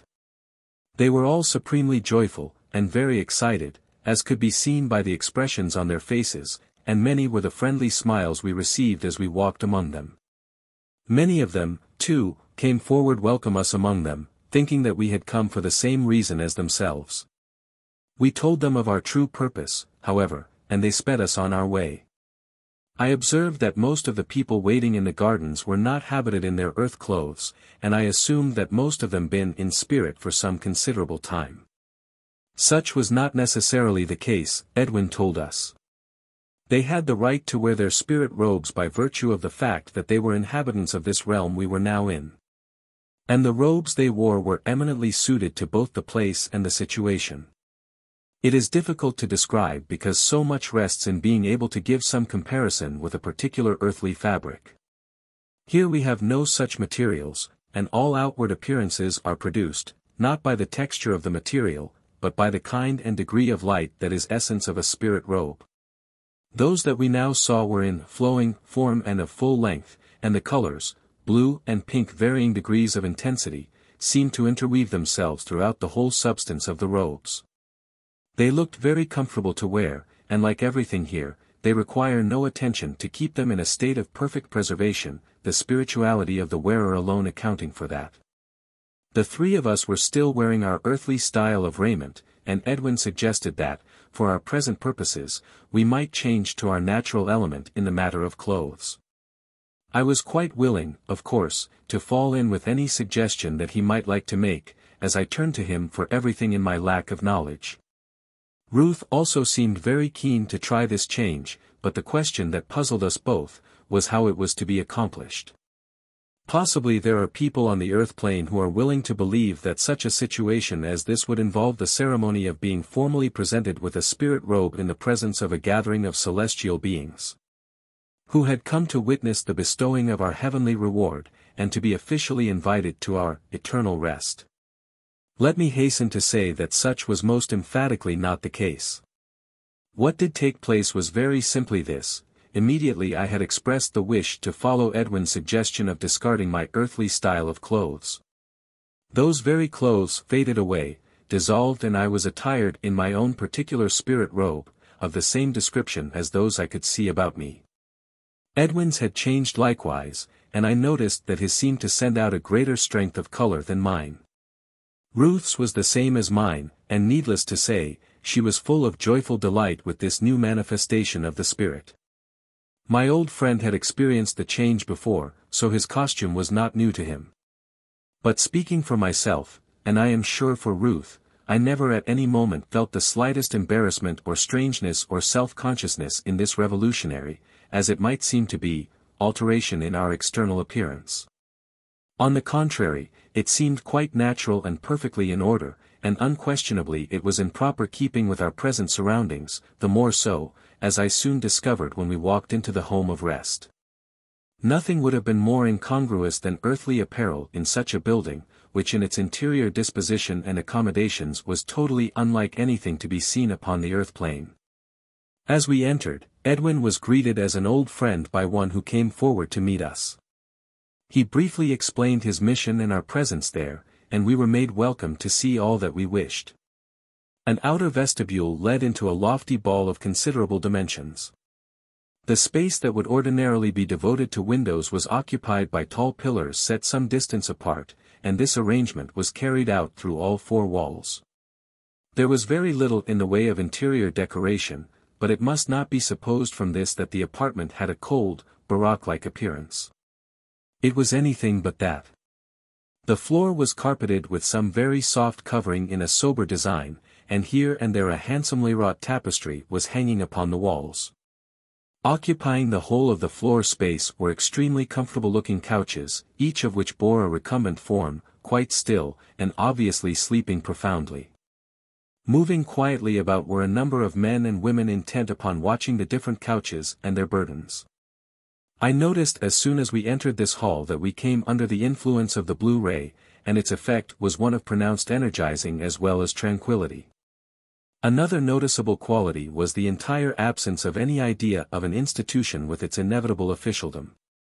There was no question of patronage, nor did I feel the least shade of being among strangers.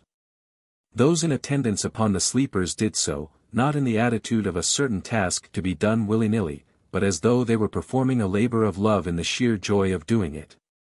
Such, indeed, was precisely the case. The glad awakening of these sleeping souls was an ever-recurrent joy to them, no less than to the people who had come to witness it. I learned that all the patients in this particular ball had gone through lingering illnesses before passing over.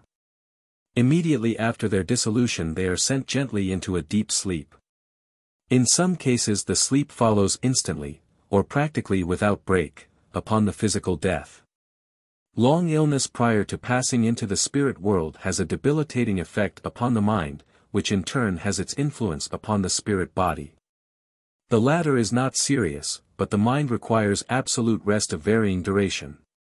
Each case is treated individually, and eventually responds perfectly to its treatment.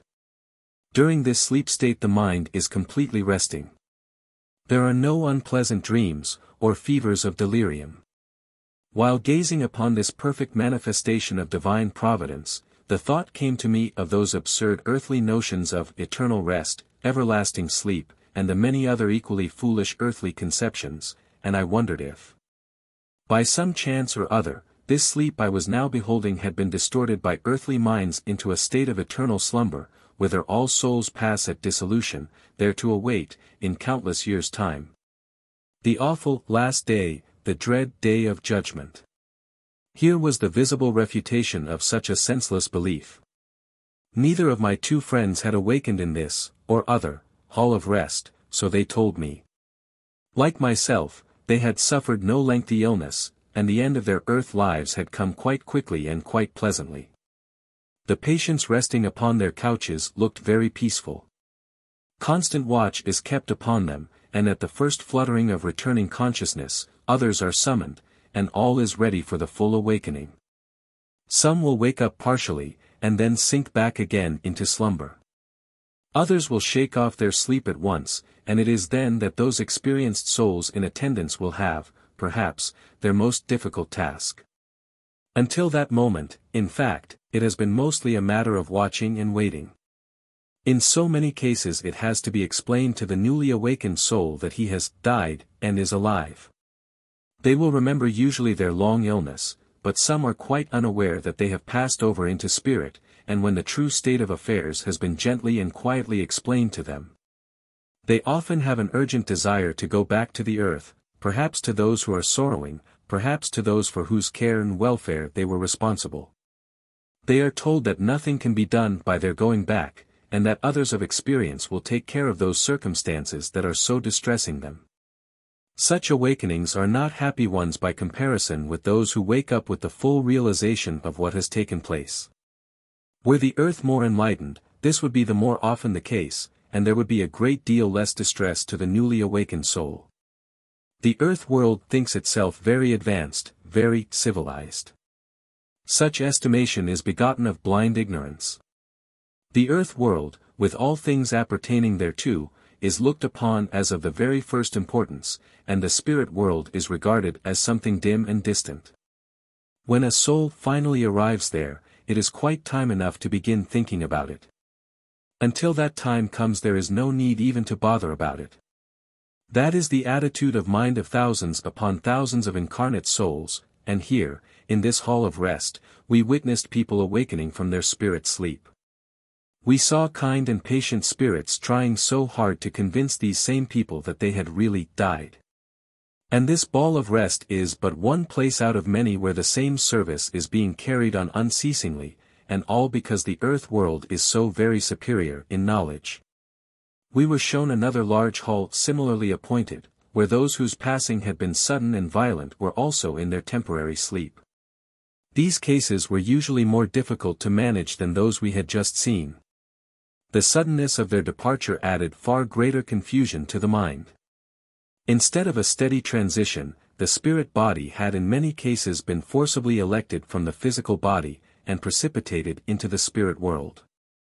The passing over had been so sudden that there seemed to them to be no break in their lives. Such people are taken in hand quickly by bands of souls who devote all their time and the whole of their energies to such work. And in the ball of rest we could now see the results of their labors. Had so many of these souls had but a small knowledge of spirit matters, these awakenings would have been so much the happier.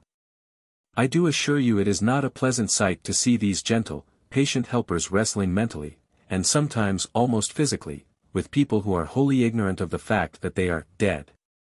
It is a most saddening sight, which I can vouch for from first-hand evidence, for have I not seen it? And who is to blame for this state of affairs? Most of these souls blame themselves when they have been here long enough to appreciate their new condition, or alternatively, they blame the world they have but recently left for tolerating such blindness and stupidity. Edwin hinted that perhaps we had seen all that we wished, and truth to tell, both Ruth and I were not sorry to leave. For it must be recalled that we were both comparatively new arrivals, and we had not yet sufficient experience to be able to withstand sights that were in themselves distressing. So we passed out into the open again, and we took a path that skirted a large orchard of fruit trees, similar to, though much more extensive than, that wherein I had had my first taste of celestial fruit. It was close at hand for the use of the newly awakened, and, of course, for anyone else who wished to partake of the stimulating fruit. It occurred to me that Edwin was expending a good deal of his time upon Pa, perhaps at the expense of his own work. But he told us that what he was now doing, was, in many respects, his usual work, not only to help people to become accustomed to their new surroundings, but to help those who were just beginning to shake off their old religious ideas and break away from the stifling of their minds as members of Orthodox communities here. I was glad to know this, because it meant that he would continue to be our Cicerone. Now that we were again in the open, the question arose, should we continue to wear our spirit dress, or should we go back to our old attire? As far as Ruth was concerned, she would not hear of any changing back. She declared her perfect satisfaction with what she was wearing, and demanded of us to know what possible earthly costume could ever improve upon it. In the face of such a powerful argument, we were bound to submit. But what of Edwin and me? My friend had only reverted to his earthly cassock to keep me company and to help me feel at home. And so I decided that I would stay as I now was, in my spirit apparel. As we walked along we fell to chatting about the various earthly notions touching the personal appearance of spirit people. Ruth mentioned wings, in connection with angelic beings, and we were all at once agreed that such an idea was nothing less than preposterous. Could any means of locomotion be more clumsy or ponderous, or thoroughly impracticable? We suppose that artists of ancient days must have been largely responsible for this wide departure from actuality. One presumes they thought that some means of personal locomotion was essential for spirit people, and that the ordinary mundane method of using one's legs was far too earthly to be admitted, even as a remote possibility, into the heavenly realms.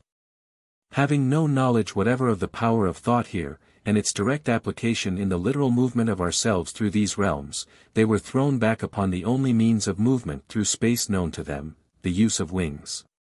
One wonders if there are still Earth people who really believe that we are only partly removed from some form of large bird. Among the thinking, modern science has managed to dispel some of the absurd conceptions so long prevalent. We had not gone very far when Edwin bethought him that we might like to make our way to the city which we could see plainly not too far away. I say, not too far away, but that should not be misunderstood into meaning that distance here is of any account. It certainly is not. I mean that the city lay sufficiently close for us to visit it without making any deviation from our general direction. Ruth and I agreed at once that we should like to proceed there forthwith, as a city of the spirit world must be something of a new revelation to us in itself. Then the question came to our minds, should we walk, or should we employ a faster method? We both felt that we should like to try exactly what the dower of thought can do, but as before, in other circumstances, we were both devoid of any knowledge of how to put these forces into action. Edwin told us that once we had performed this very simple process of thinking, we should have no difficulty whatever in the future. In the first place, it was necessary to have confidence, and in the second, our concentration of thought must not be a half-hearted affair. To borrow an earthly illusion, we wish ourselves there, wherever it may be, and there we shall find ourselves. For the first few occasions it may be required to make something of a conscious effort. Afterwards we can move ourselves whithersoever we wish, one might almost say, without thinking. To recall earthly methods, when you wish to sit down, or walk, or perform any one of the many earthly actions that are so familiar, you are not conscious of making any very definite effort of thought in order to bring about your desires. The thought very rapidly passes through your mind that you wish to sit down, and you sit down. But you have given no heed to the many muscular movements, and so on, involved in the simple action. They have become as second nature. And so it is precisely the same with us here. We just think that we wish to be in a certain place, and we are there. I must, of course, qualify that statement by saying that all places are not open to us here. There are many realms where we are not able to enter except in very special circumstances, or only if our state of progression permits. That, however, does not affect the method of locomotion here. It merely restricts us in certain well-defined directions. Being severely practical, I mentioned to Edwin that as we wished, all three of us, to be together, then must we not all wish to be at the same place, and must we not have some very definite locality in mind upon which to fasten our thoughts? He replied that there were several factors to be borne in mind in this particular instance. One factor was that it was our initial essay in thought locomotion, and that he would, more or less, take charge of us. We should automatically remain in close contact with each other, since we had voiced the wish and intention of doing so. These two facts together were sufficient to afford us a safe and sure arrival in company at our desired destination. When we became quite proficient in these methods we should have no difficulty in this connection. It must be remembered that thought is as instantaneous as it is possible to imagine, and there is no possibility of our losing ourselves in illimitable space. I had had my first example of traveling through space in this way immediately after my passing, but then I had moved comparatively slowly with my eyes firmly closed. Edwin then suggested that it would give us some pleasant amusement if we were to try an experiment for ourselves. He assured us that we could not, in any circumstances, come to any harm whatever. He proposed that Ruth and I should project ourselves to a small clump of trees lying about a quarter of a mile away, as measured by the earth. We all three sat on the grass, and we gazed at our objective. He suggested that if we felt at all nervous that we might hold each other's hands. Ruth and I were to go alone, while he would remain on the grass. We were just to think that we wished to be beside yonder trees. We looked at one another with a great deal of merriment, both of us wondering what would happen next, and neither of us taking the initiative. We were pondering thus, when Edwin said, Off you go. His remark must have supplied the requisite stimulus, for I took Ruth's hand, and the next thing we knew we found ourselves standing beneath the trees. We looked at one another, if not in amazement, then in something that was very much like it. Casting our eyes whence we had just come, we saw Edwin waving his hand to us. Then a strange thing happened. We both beheld immediately before our faces what seemed to be a flash of light. It was not blinding, nor did it startle us in any way. It simply caught our attention just as the earthly sun would do when coming from behind a cloud. It illumined the small space before our eyes as we stood there. We remained quite still, full of expectancy for what might transpire. Then clearly, beyond any vestige of doubt, we beard, whether with the ear or with the mind, I could not then say, the voice of Edwin asking us if we had enjoyed our brief journey, and to go along back to him in exactly the same way as we had left him. We both made some remark upon what we had heard, trying to decide if it were really Edwin we had beard speaking. Scarcely had we mentioned our perplexity at this latest demonstration of the Spirit, when Edwin's voice spoke again, assuring us that he had heard us as we cogitated upon the matter. So surprised and altogether delighted were we with this fresh manifestation of the power of thought, following so swiftly upon the other, that we determined to return to Edwin upon the instant, and demand a full explanation. We repeated the procedure, and there we were, once more, seated one each side of my old friend, who was laughing joyously at our wonderment. He was prepared for the onslaught that came, for we bombarded him with questions, and he told us that B had purposely kept this surprise for us. Here, he said, was another instance of the concreteness of thought. If we can move ourselves by the power of thought, then it follows that we should also be able to send our thoughts by themselves, unhindered by all ideas of distance. When we focus our thoughts upon some person in the spirit world, whether they be in the form of a definite message, or whether they are solely of an affectionate nature, those thoughts will reach their destination without fail. And they will be taken up by the percipient. That is what happens in the spirit world. How it happens, I am not prepared to say. That is another of the many things we take as we find, and rejoice therein. We had, so far, used our organs of speech in conversing with each other. It was quite natural, and we hardly gave the matter any thought. It had not occurred either to Ruth or myself that some means of communication at a distance must be available here. We were no longer limited by earthly conditions, yet so far we had not observed anything that would take the place of the usual mode of intercommunication upon the earth. This very absence should, perhaps, have told us to expect the unexpected. Although we can thus send our thoughts, it must not be assumed that our minds are as an open book for all to read. By no means. We can, if we so will, deliberately keep our thoughts to ourselves, but if we should think idly, as it were.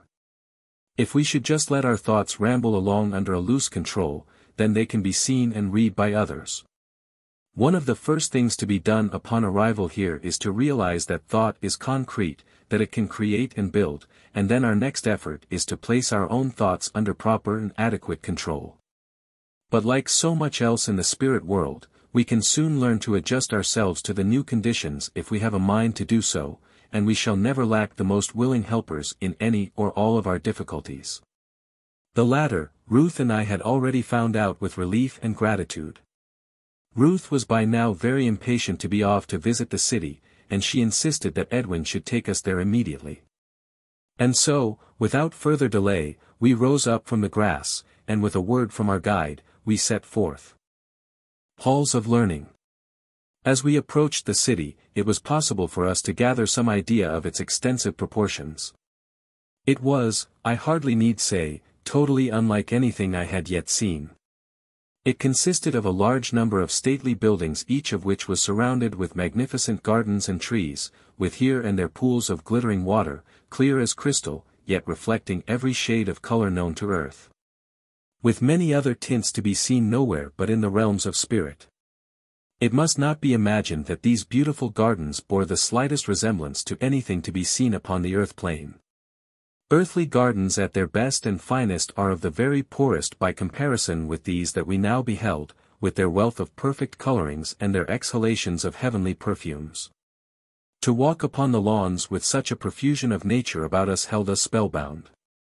I had imagined that the beauty of the countryside, wherein I had had all my experience of spirit lands so tar, could hardly be excelled anywhere. My mind had reverted to the narrow streets and crowded pavements of the earth, the buildings huddled together because space is so valuable and costly, the heavy, tainted air, made worse by streams of traffic. I had thought of hurry and turmoil, and all the restlessness of commercial life and the excitement of passing pleasure. I had no conception of a city of eternal beauty, as far removed from an earthly city as the light of day is from black night. Here were fine broad thoroughfares of emerald green lawns in perfect cultivation, radiating, like the spokes of a wheel, from a central building which, as we could see, was the hub of the whole city. There was a great shaft of pure light descending upon the dome of this building, and we felt instinctively, without Edwin having to tell us, that in this temple we could together send up our thanks to the great source of all. And that there we should find one other than the glory of God in truth. The buildings were not of any great height as we should measure it compare with earthly structures, but they were for the most art extremely broad. It is impossible to tell of what materials they air composed because they were essentially spiritual fabrics.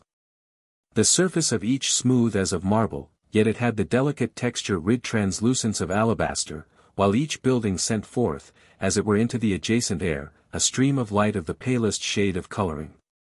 Some of the buildings were carved with designs of foliage and flowers, and others were left almost unadorned, as far any smaller devices were concerned, relying upon their semi-classic nature for relief. And over all was the light of heaven shining evenly and uninterruptedly, so that nowhere were there dark places. This city was devoted to the pursuit of learning, to the study and practice of the arts, and to the pleasures of all in this realm. It was elusive to none, but free for all to enjoy with equal right. Here was possible to carry on so many of those pleasant and fruitful occupations that had been commenced on the earth plane. Here, too, many souls could indulge in some agreeable diversion which I.D. been denied them, for a variety of reasons, whilst they were incarnate. The first hall that Edwin took us into was concerned with the art painting. This hall was of very great size and contained a long gallery, on the walls of which were hanging every great masterpiece known to man.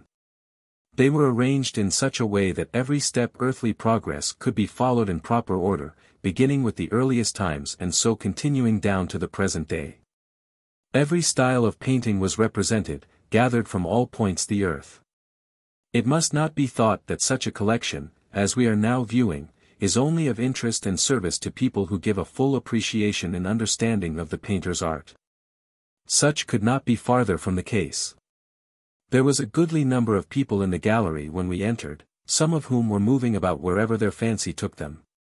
But there were many groups listening to the words of able teachers, who were demonstrating the various phases in the story of art as exemplified upon the walls, and they were at the same time giving such a clear and interesting exposition that none could fail to understand. A number of these pictures I recognized as I had seen their originals in the Earth's galleries. Ruth and I were astonished when Edwin told us that what we had seen in those galleries were not the originals at all. We were now seeing the originals for the first time. What we had seen was an earthly counterpart, which was perishable from the usual causes, for example, from fire or the general disintegration through the passage of time. But here we were viewing the direct results of the thoughts of the painter, created in the etheric before he actually transferred those thoughts to his earthly canvas. It could be plainly observed, in many cases, where the earthly picture fell short of that which the painter had in his mind. He had endeavored to reproduce his exact conception, but through physical limitations this exact conception had eluded him. In some instances it had been the pigments that had been at fault when, in the early times, the artist had been unable to procure or evolve the particular shade of color he wanted. But though he lacked physically, his mind had known precisely what he wished to do. He had built it up in the spirit, the results of which we were now able to see, while he had failed to do so on the material canvas. That was one major difference that I noticed in the pictures, by comparison with what I had seen on the earth plane. Another great point of dissimilarity, and the most important, was the fact that here all these pictures were alive. It is impossible to convey any idea of this paramount difference. These spirit pictures must be seen here to understand it. I can only just suggest an idea. These pictures, then, whether landscape or portrait, were never flat. That is, they did not seem to have been painted upon a flat canvas. They possessed, on the other hand, all the completeness of relief. The subject stood forth almost as though it were a model, a model whereof one could take hold of all the elements that went to the making up of the subject of the picture. One felt that the shadows were real shadows cast by real objects. The colors glowed with life, even among the very early works before much progress had been made. A problem came into my mind, for a solution of which I naturally turned to Edwin. It was this, as it would be undesirable, perhaps, as well as impracticable, to hang in these galleries every painting that emanated from the earth plane. Any idea of preferential treatment based upon the judgment of others did not seem quite consonant with spirit law, in so far as I was acquainted with it.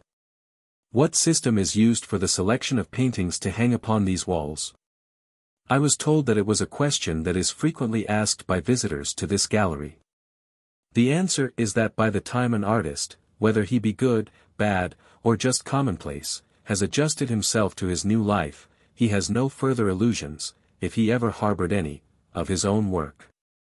Usually an extreme diffidence sets in, fostered by the immensity in the superlative beauty of this realm. So that in the end the problem becomes one of scarcity rather than superabundance. When we gazed at the portraits of so many men and women whose names had worldwide fame, whether they lived in distant times or in the present day, it gave Ruth and me a strange feeling to think that we were now inhabitants of the same world as they, and that they, like ourselves, were very much alive, and not mere historic figures in the chronicles of the earth world. In other parts of this same building were rooms wherein students of art could learn all that there is to be learnt. The joy of these students is great in their freedom from their earthly restrictions and bodily limitations. Here instruction is easy, and the acquisition and application of knowledge equally facile to those who wish to learn.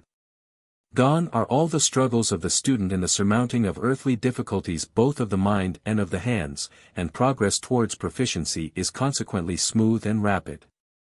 The happiness of all the students whom we saw, itself spread happiness to all who beheld it. For there is no limit to their endeavors when that bugbear of earthly life, fleeting time, and all the petty vexations of the mundane existence have been abandoned forever.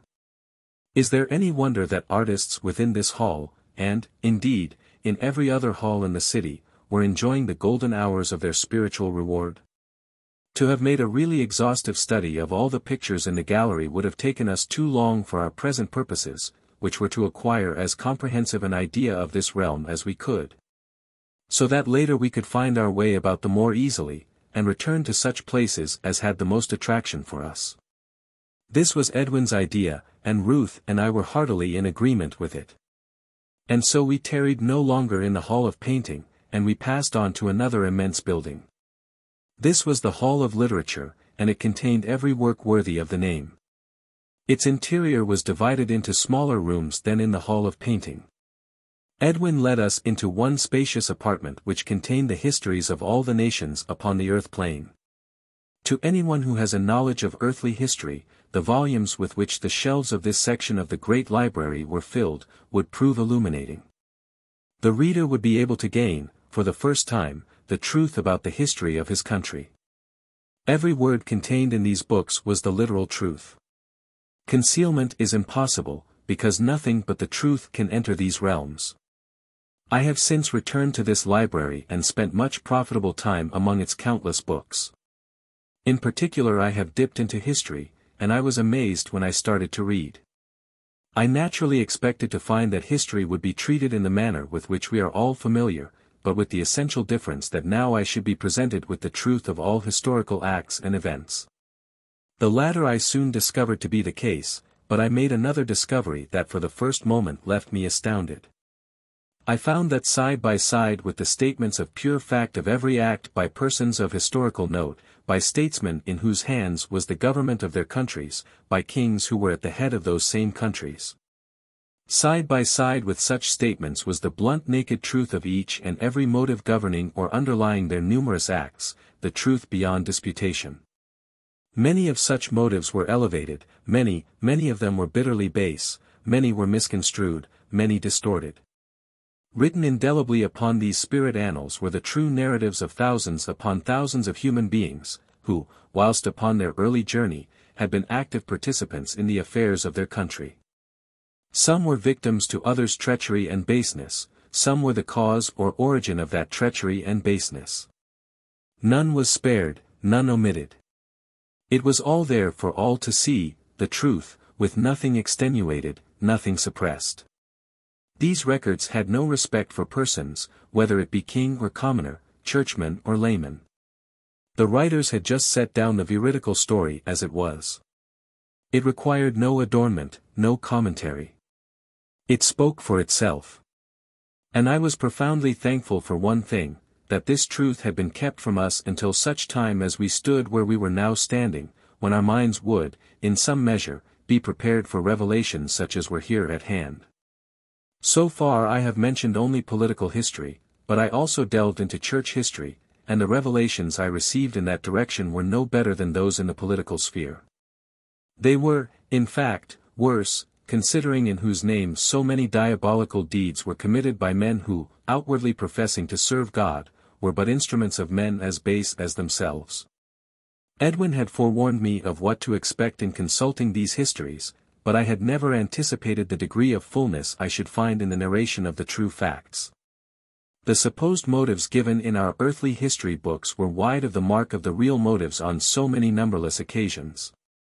Although these books bore witness against the perpetrators of so many dark deeds in the earth world's history, they also bore witness to many deeds both great and noble.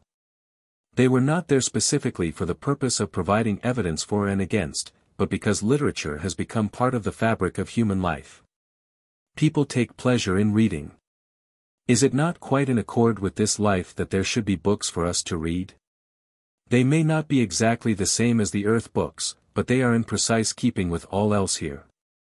And it is found that the pursuit of knowledge is far greater here than upon the earth plane, since the necessity of turning our minds to the pressing needs and exigencies of incarnate life no longer exists here.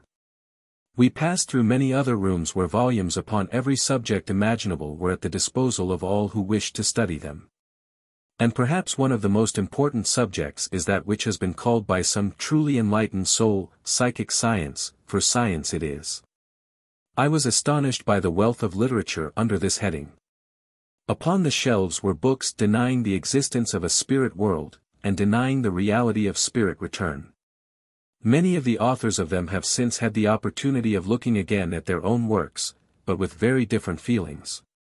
They had become, in themselves, living witnesses against the contents of their own books. We were very much struck by the beautiful bindings in which the books were encased, the material upon which they were inscribed, and the style of inscription.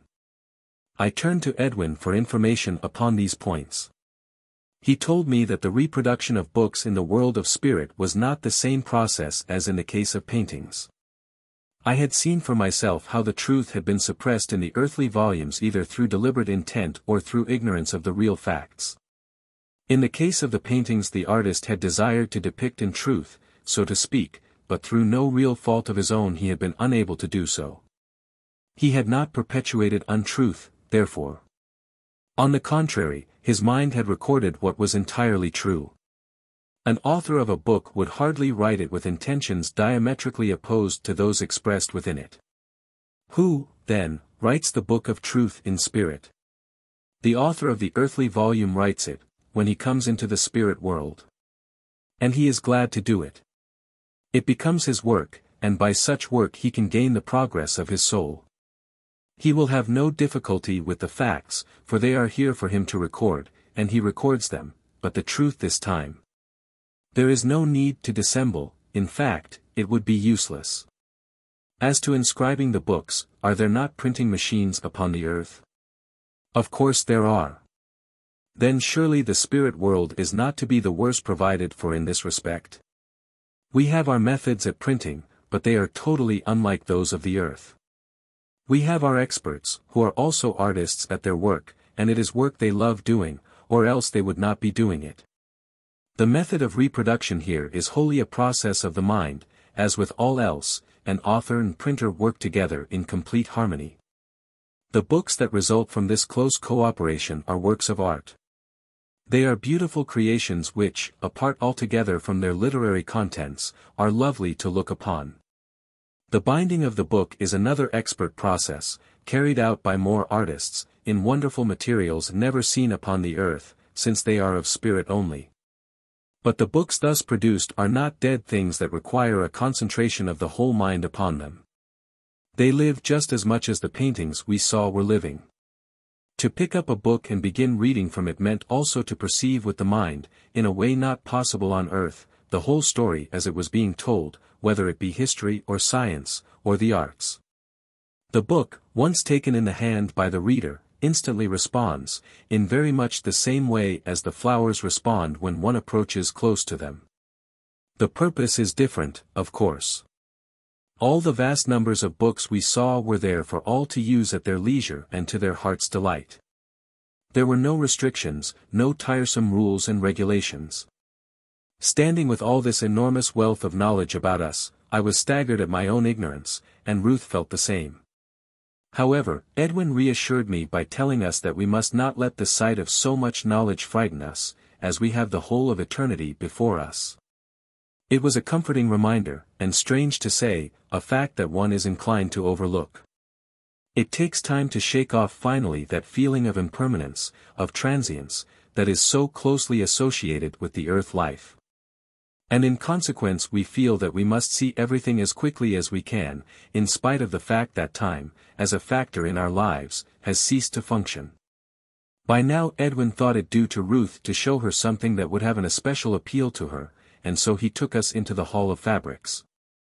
This was equally spacious, but the rooms were of greater dimensions than those of the two halls we had just viewed. Here were contained the scores upon scores of beautiful materials and cloths woven throughout the centuries, and of which practically nothing remains upon the earth plane. It was possible to see here specimens of the materials that we read about in histories and chronicles in the descriptions of state ceremonies and festive occasions. And whatever may be said for the change of style and taste that has taken place throughout the ages, the earth world has lost a vast deal of its color in exchange for a dull drabness. The colorings in many of the old materials were simply superb, while the magnificently wrought designs revealed to us the art that has been lost to earth. Though perishable to the earth, they are imperishable to the spirit world. After making due allowance for the etherealization of these fabrics by their being in the spirit world, there remained in our minds a sufficiently vivid conception of what these rich fabrics must have looked like in their earthly element. Here again, it was possible to observe the gradual progress made in the designing and making of earthly materials, and it must be admitted, as far as I was able to judge. That progress proceeded up to a point when a retrograde movement was noticeable. I am, of course, speaking in a general sense.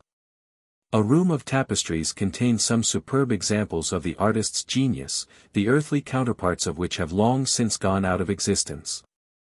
Annexed to this apartment were smaller rooms where many happy, industrious souls were studying and practicing the art of tapestry weaving, with other equally happy souls ever at their side to help and instruct. This was not a tedious work of pupil and teacher, but the enjoyment of pure pleasure, which both could terminate for other things at any time they so wished. Ruth said that she would dearly love to join one of the groups engaged upon a large tapestry, and she was told that she could do so whenever she wished, and that she would be welcomed with all the joy in the world into this community of friends. However, she would, for the present, remain with us upon our expeditions. It may be thought that what we had seen as yet were nothing more than celestial museums, containing, it is true, magnificent specimens not to be seen upon earth, but museums, nevertheless. Now earthly museums are rather cheerless places. They have an aroma of mustiness and chemical preservatives, since their exhibits have to be protected from deterioration and decay. And they have to be protected from man, too, by uninspiring glass cases. But here there are no restrictions. All things within these halls are free and open for all to see and hold in the two hands. There is no mustiness, but the beauty of the objects themselves sends out many subtle perfumes, while the light of heaven streams in from all quarters to enhance the glories of man's handicrafts. No, these are no museums, very far from it. They are temples, rather, in which we spirit people are conscious of the eternal thanks that we owe to the Great Father for giving us such unbounded happiness in a land of which so many upon earth deny the reality. They would sweep all this away, for what? They know not. There are many, many beauties upon the earth plane, but we in spirit must have none. Perhaps that is another reason why such deep sympathy is felt for us when we pass into spirit, because we have left behind us forever all that is beautiful, to pass into a state of emptiness a celestial vacuum. All that is beautiful, then, becomes exclusive to the earth world. Man's intelligence is of no further use once he has passed to here, because here there is nothing upon which to exercise it. Just emptiness. No wonder that the realities and the immense fullness of the spirit world come as such a shock of revelation to those who were anticipating an eternity of celestial nothingness. It is essential to understand that every occupation and every task performed by the inhabitants of this and higher realms is willingly, for the pure wish of doing so, and never from attitude of having to do it whether they like it or not. There is no such thing as being compelled to undertake a task.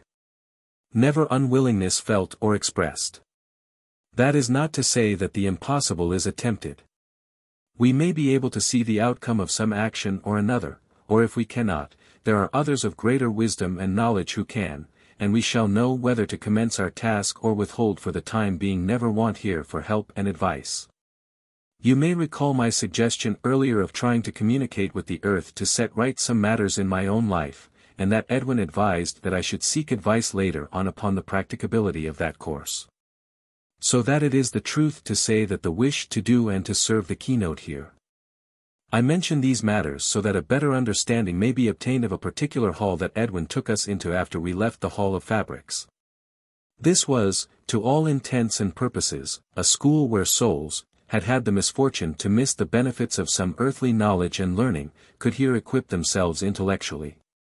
Knowledge and learning, education or erudition do not connote spiritual worth, and the inability to read and write do not imply the absence of it. But when a soul has passed into this life, when he sees the great, broad spiritual thoroughfare opening before him with its opportunities both manifold and multiform, he sees also that knowledge can help him on his spiritual way. He may not be able to read.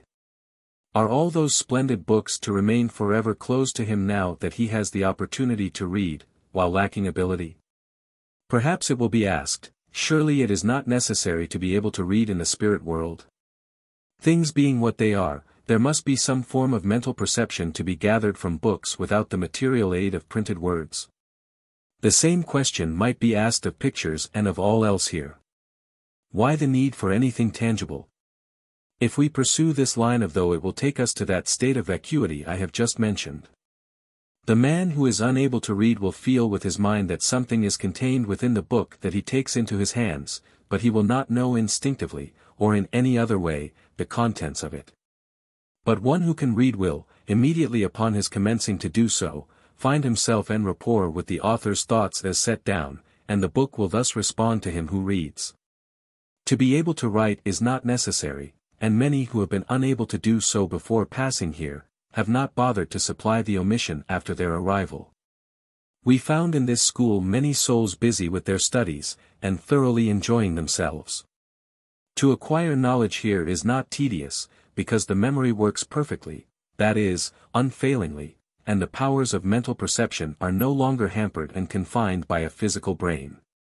Our faculties for understanding are sharpened, and intellectual expansion is sure and steady. The school was the home of realized ambitions to most of the students within it. I chatted with a number of them, and each told me that what he was studying now, he had longed to study on earth, but had been denied the opportunity for reasons that are all too familiar. Some had found that commercial activities had left no time, or that the struggle for a living had absorbed all the means to do so. The school was very comfortably arranged, there was, of course, no hint of regimentation. Each student followed his own course of study independently of anyone else. He seated himself comfortably, or he went into the lovely gardens without. He began when he wanted, and he finished when he wanted, and the more he dipped into his studies the more the more interested and fascinated he became. I can speak from personal experience of the latter, since here is much that I have studied in the great library since my first introduction to it. As we left the school, Edwin suggested that we might like to sit in the grass beneath some fine trees and rest ourselves. That was simply his way, a perfectly natural one, of expressing it. We do not suffer bodily fatigue, but at the same time we do not continue endlessly at the same occupation, that would mean monotony, and there is no monotony here such as we used to endure on earth. But Edwin knew from experience the different emotions that take place in the minds of newly arrived souls into spirit lands, and so he halted for the time being our further explorations. Some questions answered. Edwin told us that a very large majority of people are no sooner arrived in spirit than a burning enthusiasm overtakes them as the spirit world reveals itself to them in the new life. And they immediately want to rush back to the earth and tell the world all about it. He had already explained to me some of the difficulties in my own suggestion of returning. Another very natural tendency was to ask numberless questions upon this life in general, and he remarked that in this both Ruth and I had exercised quite an unusual restraint. Certainly I had refrained from asking too many questions, but then, Edwin had explained as much as we should be able to understand as we proceeded. I confessed, though, now that he broached the matter, that there were many things about which I should very much like to know. Ruth said she had the same feelings, and that doubtless many of our queries coincided. The difficulty was where to begin. We had allowed our journeying to bring forth their own problems for Edwin's solution, but there were other considerations of a general nature which arose from the contemplation of spirit lands as a whole. One of the first that arose to my mind as we sat on the grass, with heavenly flowers round about us, was the extent of this realm in which we were now living. It reached as far as the eye could see, and that was a great deal farther than we could ever see upon the earth plane on the finest and clearest day in the summer. This in itself was too wonderful for words, but it also gave an indication of the immensity of this particular realm. And we had only seen the tiniest fraction of it so far. We still thought in terms of earthly distances. Was there any boundary to this realm? Did it stretch still farther beyond the range of our vision? If there were any termination, what was beyond? Could we go and see for ourselves? Certainly there was a boundary to this realm, Edwin explained to us. And we could go and see it for ourselves whenever we wished. Beyond this were other and still more realms. Each soul as it passed into spirit passed into that realm for which it had fitted itself when upon the earth, into that realm and no other. Edwin had in the beginning described this land as, the land of the great harvest a harvest that is sown on earth. We could judge for ourselves, then, whether we considered that harvest a good one or a poor one. We should find that there were others infinitely better, and others infinitely worse. In plain words, there are other realms immeasurably more beautiful than that in which we were now happily living. Realms of surpassing beauty into which we cannot penetrate until such time as we have earned the right to enter either as visitors or as inhabitants.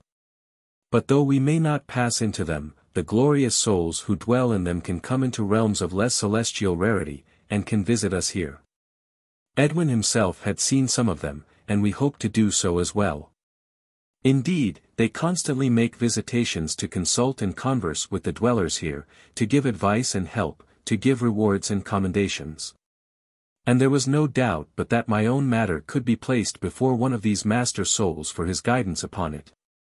At certain times, too, these transcendent beings make special visitations when the whole realm is celebrating a great occasion, such, for example, as the two major earth festivals of Christmas and Easter. Ruth and I were very astonished at the latter, because we thought them both to be so essentially of the earth. But it was the manner of celebrating them, and not the festivals themselves, which was particular to the earth.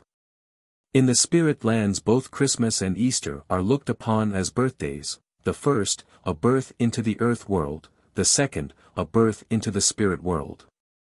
In this realm the two celebrations synchronize with those upon the earth, since there is then a greater spiritual link between the two worlds than would be the case if the festivals were held independently of season. It is not so, however, in the higher realms, where laws of a different nature are in operation. On the earth plane the anniversary of Christmas has remained fixed for many centuries on a certain date. The exact day of the first Christmas has been lost, and it is impossible now to ascertain with any precision, by earthly means, when it occurred.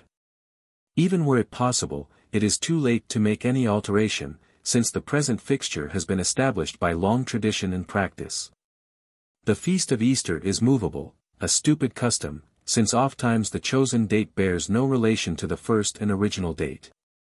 There is some hope that a change will be made, and the feast stabilized. In no sense are we subservient to the earth in these matters, but at the same time a foolish obstinacy would lead us nowhere. Therefore it is that we cooperate with the earth plane in our united rejoicings. The higher realms have their own very good reasons for what may seem to be a departure from a recognized order. Such reasons do not concern us until we ourselves pass to those higher states. Beyond those two great festivals we do not have much else in common with the earth world in the matter of feasts. The most of the latter are merely ecclesiastical feasts which have no significance in the broadest sense, since so many are the outcomes of religious doctrines which have no application in the spirit. The Feast of Epiphany, for example, is founded upon colorful story, and was in ancient times celebrated by the people in a secular fashion as well as a religious. It is now solely and of very little moment here. The Feast of Pentecost is another instance of the Church's blindness. The Holy Spirit, to us the Church's phrase, has been, is, and always will be descend all those who are worthy to receive it. Not upon one specific occasion, but always. Both Ruth and I were very interested to learn how Christmas was celebrated in these realms, since, on the earth, beyond a few church services, the Feast of the Nativity has developed secular affair. The main feature being that of prodigious eating and drinking. Edwin told us that in spirit we can experience the same degree of happiness as is the case on earth where that happiness is the outcome or expression of kindness where our merrymaking is blended with the knowledge or the remembrance of whose day we are celebrating. Those of us who wish, and there are many such, can decorate our houses and dwelling places with evergreens, as we were accustomed to do on earth. By evergreens I mean those particular trees and shrubs that are so called on earth. Here everything is eternally evergreen. We join together company, and if it is felt that the time would not be right without having something to eat, then, is there not a superabundance of that most perfect fruit, that I have told you about, to delight the hearts of the most fastidious? But I have only told of the more personal side of this feast, it is at this time that we have visitants of the higher realms to see us, perfect beings, among whom is he whose earthly birth we are celebrating. And these beauteous souls have but to pass upon their way to fill us with such an ecstasy of spiritual exaltation as to remain with us for long after their return to their high estate. At Easter time we have similar visitations, but there is a far greater degree of rejoicing, because to us the birth into the spirit world must, by the very nature of things, be of far great significance. Indeed, when once we have left the earth plane we are inclined to forget our earthly birthday, since the greater contains the lesser. It is only our earthly connections, if we have any, that will serve to remind us. I have enlarged upon this subject somewhat to try to show that we are not living in a state of fervid religious emotion for all eternity. We are human, though so many people still on the earth plane would have us to be otherwise.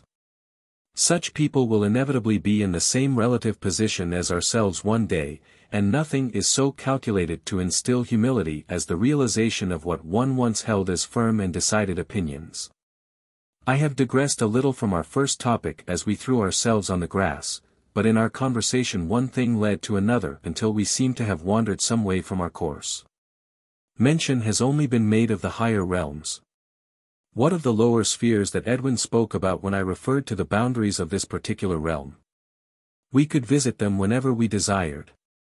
We can always proceed to a realm lower than our own, while we cannot always mount higher. But it was by no means advisable to wander into the lower spheres except under expert guidance or before proper tuition had been given. Before informing us more fully upon this subject, Edwin advised us to see more of our own pleasant land first. And now as to what constitutes the precise boundaries of this realm. We are accustomed to a knowledge of the rotundity of the earth and to seeing with our eyes the distant horizon.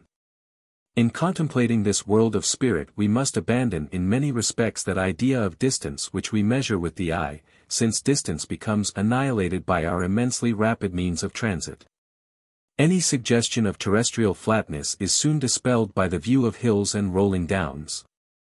Again, the atmosphere is crystal clear and our sight is not limited by the instrument of a physical body. We are not confined to keeping our feet on the ground. If we can move ourselves laterally over these lands by the power of our thought, we can also move ourselves vertically, Edwin told us. And I must say that this had never occurred to Ruth and me as yet. We were still in some ways limited by our earthly notions and habits of thought. If we could sink beneath the waters without harm, but rather with enjoyment, then, of course, we must be able to mount into the air with the same safety and enjoyment. Ruth did not express any very keen desire to do so, just yet. She preferred to wait, she said, until she had become more thoroughly acclimatized. I wholeheartedly shared her sentiments in the matter, which caused our good friend the greatest amusement. In alluding to these few features I have done so because the earth world has always looked upon the spirit world as being relatively up or down. These are really considerations of a highly scientific nature, and I am not competent to enlarge upon them. Moreover, as an inhabitant of these lands my whole outlook, both mental and spiritual, has had to undergo sweeping and fundamental changes, in spite of the fact that I had some small knowledge before I passed over. It is really of little moment to I the precise location of the spirit world with its many realm spheres. Where is the boundary between the earth world and the spirit world? Upon the instant of my passing, of which, you will remember, I was fully conscious, when I arose from my bed in response to a very definite urge, at that moment I was in the spirit world the two worlds, then, must interpenetrate one another. But as I moved away under the support and able guidance of Edwin, I conscious of moving in no definite direction. I might have been traveling up, or down, or along. Movement, there certainly Edwin later informed me that I had passed through the lower spheres, and unpleasant ones, but that through the authority of his mission of coming to help me into my realm. We were both fully protected from any and every description of unpleasant influences. We were, in effect, completely invisible to all but those of our realm and higher. The transition from one realm to another is gradual as far as outward appearance is concerned, as well as in other respects, so that it would be difficult to assign to any particular locality designation of boundary. That is exactly how the boundary our own realm are situated. They seem to melt almost imperceptibly into one another. Edwin now proposed that by way of practical illustration should go and see one of these boundaries that had perplexed us so much. We again placed ourselves under Edwin's expert guidance, and we moved off. At once we found ourselves upon a very wide expanse of grassland, but we both noticed that the turf felt less soft beneath our feet. It was, in fact, becoming hard as we walked along. The beautiful emerald green was fast vanishing, and the grass taking on a dull yellow appearance, very similar to earthly grass that has been scorched by the sun and has lacked water. We saw no flowers, no trees, no dwellings, and everywhere seemed to be bleak and barren. There was no sign of human life, and life seemed to be rapidly disappearing from beneath our feet, as by now the grass had altogether ceased altogether, and we were upon hard ground. We noticed, too, that the temperature had fallen considerably. Gone was all that beautiful, genial warmth. There was a coldness and damp in the air which seemed to cling to our beings, and cast a chill our very souls. Poor Ruth clung to Edwin's arm, and I am ashamed to say that I did the same, and was very glad to do, Ruth then visibly shivered, and stopped abruptly, imploring us not to go any farther. Edwin threw his arms around both our shoulders, and told us that we had no need to be the least afraid, as he had the power to protect us fully. However, he could see the state of deep depression, as well as oppression, that had fallen upon us, and so he turned us gently round, placed his arms about our waists, and we once more found ourselves sitting beneath our own lovely trees. With the glorious flowers close beside us, and our own warm air once more closing upon us with its heavenly balm. It is perhaps superfluous to add that Ruth and I were both glad to be back again in the city. We had been only on the threshold of the lower spheres, but we had gone far enough to gather more than an inkling of what lay beyond. I knew that it would be some time yet before I would penetrate there, and I could now clearly perceive the wisdom of Edwin's admonitions. As we were on the subject of these spiritual boundaries, and in spite of the fact that we had temporarily ceased our explorations, I could not refrain from asking Edwin about the frontiers of the higher realms. I knew that there could not possibly be anything unpleasant about these, and so I hinted that, by way of contrast and to offset our recent chilling experience in the other direction. We might perhaps visit the border through which our celestial visitants pass. Edwin said that there was no objection whatever, and so once again we started off. Again we found ourselves upon grassland, but with a striking difference. The turf upon which we were walking was infinitely softer than that of the interior of the realm. The green of the verdure was even brighter than we had thought possible. The flowers were growing in still greater profusion, and the intensity of color, of perfume, and of health-giving power transcended anything we had encountered. The very air seemed to be imbued with rainbow tints. There were few dwellings at the spot where we were immediately standing, but behind us were to be seen some of the most stately and beautiful houses I have ever seen. In these houses, so our friend told us, lived wondrous souls who, though nominally belonging to our own realm, were by virtue of their spiritual progression and particular gifts and work, in close contact with the higher realms. Into which they had full authority and the requisite power to pass upon their various occasions. Edwin promised that we should return to this place after we had seen as much of the city as we wished, and that we could discuss, in one of the houses, my future work, as well as Ruth's. He had taken Ruth under his wing, and for her part she expressed her gratitude for his kindness in doing so. It had several times crossed my mind what form of spiritual work I could engage myself upon, as soon as I had become sufficiently familiar with the new life and the new land. Just as we had been heavy with chill and oppression at the borderline of the dark spheres, so were we now warmed and filled with such an elation that we were almost silent in wonderment as we moved along, bathed in radiance. We felt such a spiritual exhilaration that Edwin's description of the visitations of personages from the higher realms at once came to my mind, and almost knew what to expect when I should be fortunate enough witness such a visitation. Standing here, one had the overwhelming desire to strive for that progression that would entitle one inhabit one of the lovely houses. And to qualify for the honor of serving one of the dwellers in this higher sphere at whose gateway we were standing. We walked a little way forward, but we could proceed no farther. There were no visible barriers, but we felt that we could not breathe if we went onward. The whole atmosphere was becoming so much the more rarefied the farther we penetrate that in the end we were bound to retrace our steps on to our own ground.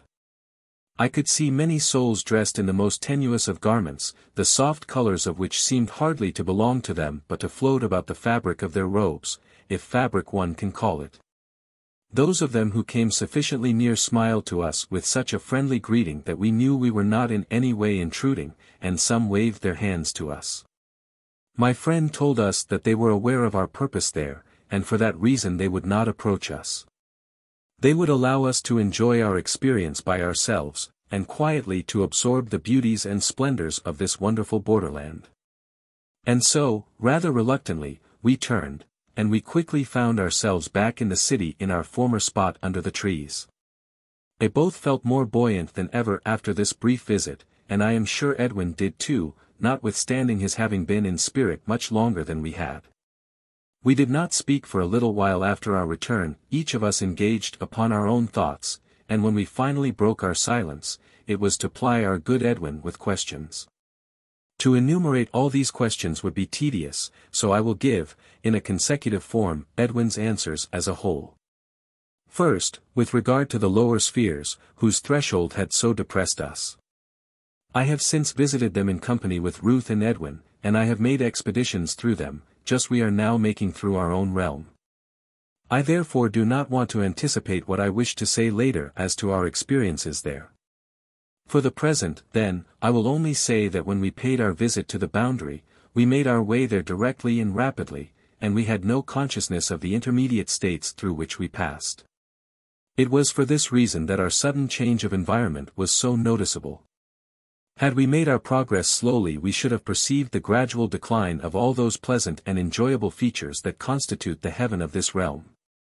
And those who dwelt within this area of decline are in the same relative position to ourselves in respect of movement, they would be inhibited from passing higher just as we were on the borders of that higher realm.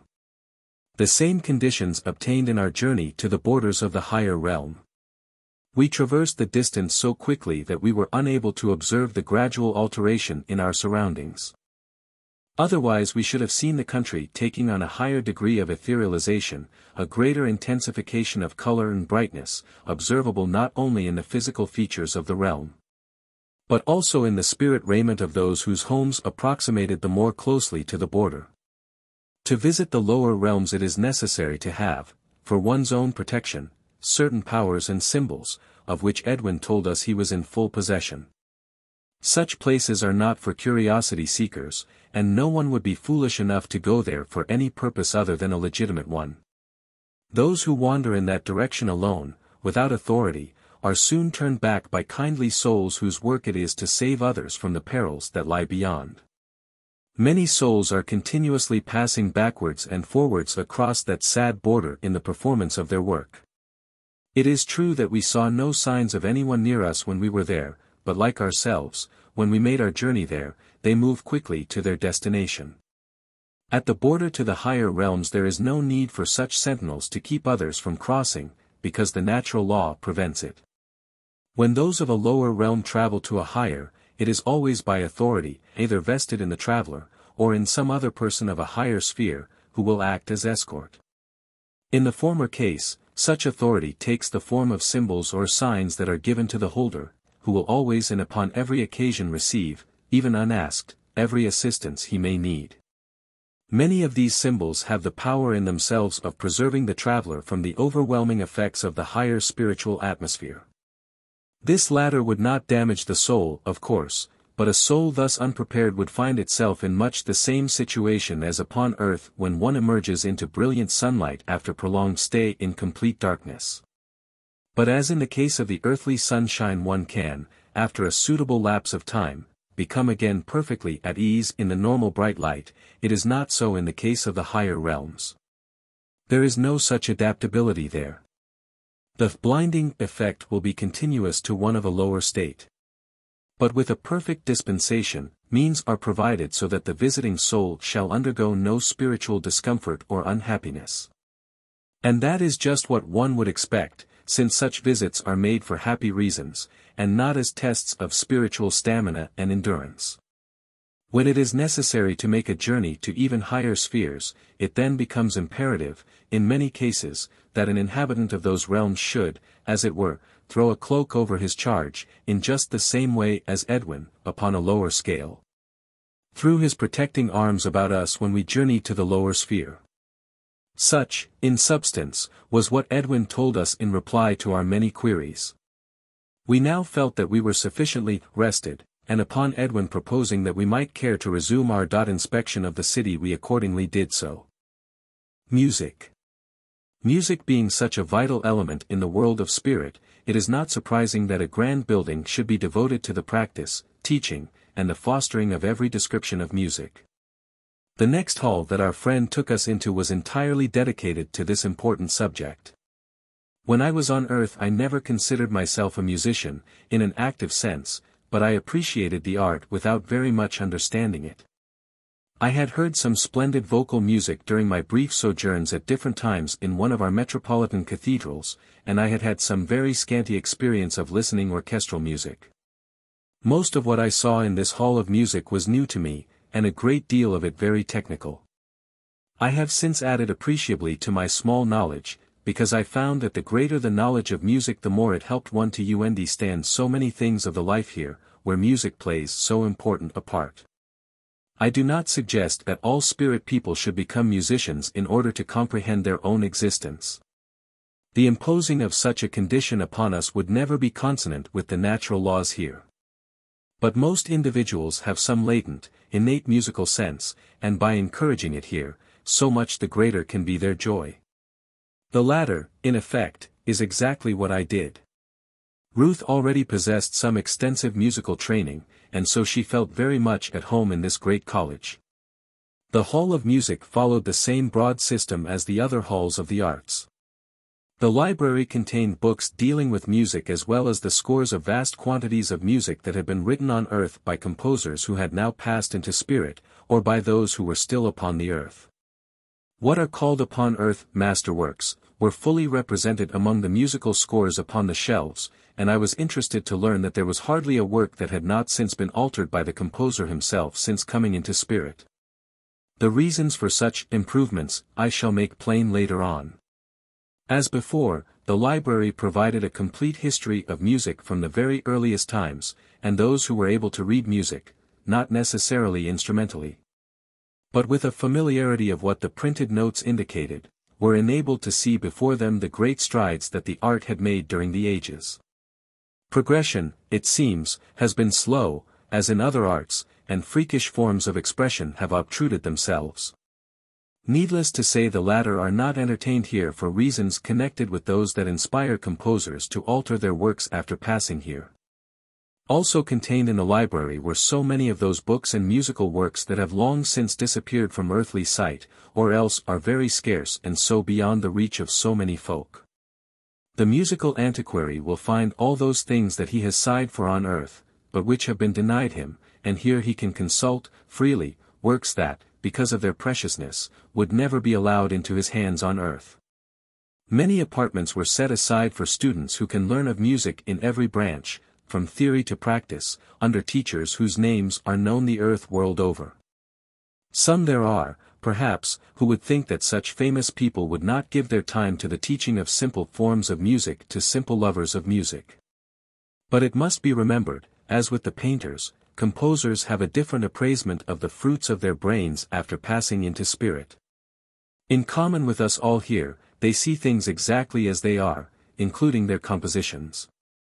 They find, too, that the music of the spirit world is very different in outward results from music performed on earth. Hence they discover that their musical knowledge must undergo sweeping changes in many cases before they can begin to express themselves musically. In music, it can be said that the spirit world starts where the earth world leaves off. There are laws of music here which have no application to the earth whatever, because the earth is neither sufficiently progressed on the one hand, and on the other because the spirit world is of spirit, while the earth world is of matter. It is doubtful if the earth plane will ever become ethereal enough to hear many of the forms of spirit music in the higher realms. Innovations have been tried, so I have been told, on the earth plane, but the result is not only barbaric, but childish as well. Earthly ears are not attuned to music that is essentially of the spirit realms. By some strange chance earth people have essayed to produce such music on the earth plane. It will never do, until the years of those still incarnate have undergone a fundamental alteration. The many types of musical instruments so familiar on earth were to be seen in the College of Music, where students could be taught to play upon them. And here again, where dexterity of the hands is so essential the task of gaining proficiency is never arduous or wearisome, and it is, moreover, so much more rapid than upon the earth. As students acquire a mastery over their instrument they can join one of the many orchestras that exist here, or they can limit their performance to their many friends. It is not by any means surprising that many prefer the former because they can help to produce, in concert with their fellow musicians, the tangible effects of music upon a larger scale when so many more can enjoy such effects. We were extremely interested in the many instruments that have no counterpart upon the earth plane. They are, for the most part, specially adapted to the forms of music that are exclusive to the spirit world, and they are for that reason very much more elaborate. Such instruments are only played with others of their kind for their distinctive music. For that which is common to the earth, the customary instrument is sufficient. It is natural that this building should be possessed of a concert hall. This was a very large hall capable of seating comfortably many thousands. It was circular in shape, with seats rising in an unbroken tier from the floor. There is, of course, no real necessity for such a hall to be under cover, but the practice merely follows others in this realm, our own dwelling houses, for example. We do not really need those, but we like them, we have grown used to them while upon earth, they are perfectly natural to life, and so we have them. We had observed that the Hall of Music stood in grounds far more extensive than those we had already seen, and the reason was soon made clear to us. At the rear of the hall was the great center of concert performances. It consisted of a vast amphitheater like a great bowl sunk beneath the level of the ground, but it was so large that its real depth was not readily apparent. The seats that were farthest away from the performers were exactly upon ground level. Immediately surrounding these seats were masses of the most beautiful flowers of every possible hue, with a grassy space beyond. While the whole area of this outdoor temple of music was encompassed by a magnificent plantation of tall and graceful trees. Although the seating arrangements were upon such an expansive scale, much more so than would be at all practicable upon earth, yet there was no sense of being too far from the performers, even in the farthest seats. It will be recalled that our vision is not so restricted in spirit as upon earth. Edwin suggested to us that we might like to hear a concert of the spirit world, and then he made a strange proposal. It was that we should not take our places in the seats of the theater, but that we should take up a position at some distance. The reason, he said, would be manifest as soon as the music began. As a concert was due to start very shortly, we followed his mysterious suggestion, and seated ourselves on the grass at some considerable distance from the actual amphitheater. I wondered whether we should be able to hear very much so far away, but our friend assured us that we should. And, indeed, we were joined by numbers of other people, at that very moment, who, doubtless, had come for the same purpose as ourselves. The whole place, which was empty when Edwin had first brought us in, now contained many people, some strolling about, and others, like us, seated contentedly on the grass. We were in a delightful spot, with the trees and flowers and pleasant people all about us, and never have I experienced such a feeling of real, genuine enjoyment as came upon me at this moment. I was in perfect health and perfect happiness, seated with two of the most delightful companions, Edwin and Ruth, unrestricted by time or weather, or even the bare thought of them. Unhampered by every limitation that is common to our old incarnate life. Edwin told us to walk over to the theater and look down over the seats once again. We did so, and to our astonishment we found that the whole vast hall was packed with people, where there was not a soul to be seen but a short time before. The musicians were in their places awaiting the entrance of their conductor, and this great audience had arrived as if by magic, or so it seemed. As it was apparent that the concert was about to begin, we returned to Edwin at once. In answer to our question as to how the audience had arrived so suddenly and unperceived, he reminded me of the method of bringing together the congregation of the church that we had visited in the first days of our travels. In the case of this concert, the organizers had merely to send out their thoughts to people at large who were particularly interested in such performances, and they forthwith assembled. As soon as Ruth and I had shown our interest and desires in these concerts, we should establish a link, and we should find these thoughts reaching us whenever they were emitted.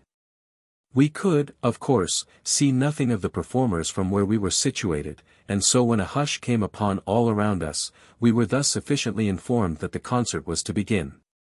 The orchestra was composed of some 200 musicians, who were playing upon instruments that are well known to earth, so that I was able to appreciate what I heard.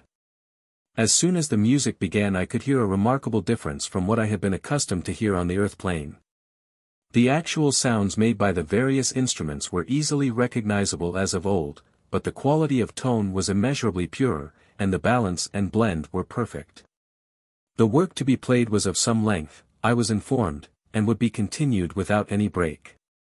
The opening movement was of a subdued nature as regards its volume of sound, and we noticed that the instant the music commenced a bright light seemed to rise up from the direction of the orchestra until it floated, in a flat surface level with the topmost seats, where it remained as an iridescent cover to the whole amphitheater.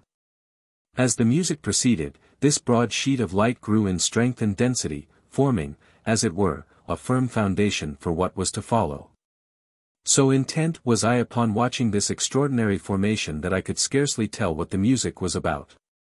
I was conscious of its sound, but that was really all. Presently, at equal spaces round the circumference of the theatre, four towers of light shot up into the sky in long tapering pinnacles of luminosity. They remained poised for a moment, and then slowly descended, becoming broader in girth as they did so, until they assumed the outward appearance of four circular towers, each surmounted with a dome, perfectly proportioned. In the meanwhile, the central area of light had thickened still more, and was beginning to rise slowly in the shape of an immense dome covering the whole theater. This continued to ascend steadily until it seemed to reach a very much greater height than the four towers, while the most delicate colors were diffused throughout the whole of the etheric structure. I could understand now why Edwin had suggested that we should sit outside the theater proper, and I could follow, also, why composers should feel impelled to alter their earthly works after they have arrived in spirit. The musical sounds sent up by the orchestra were creating, up above their heads, this immense musical thought form, and the shape and perfection of this form rested entirely upon the purity of the musical sounds, the purity of the harmonies.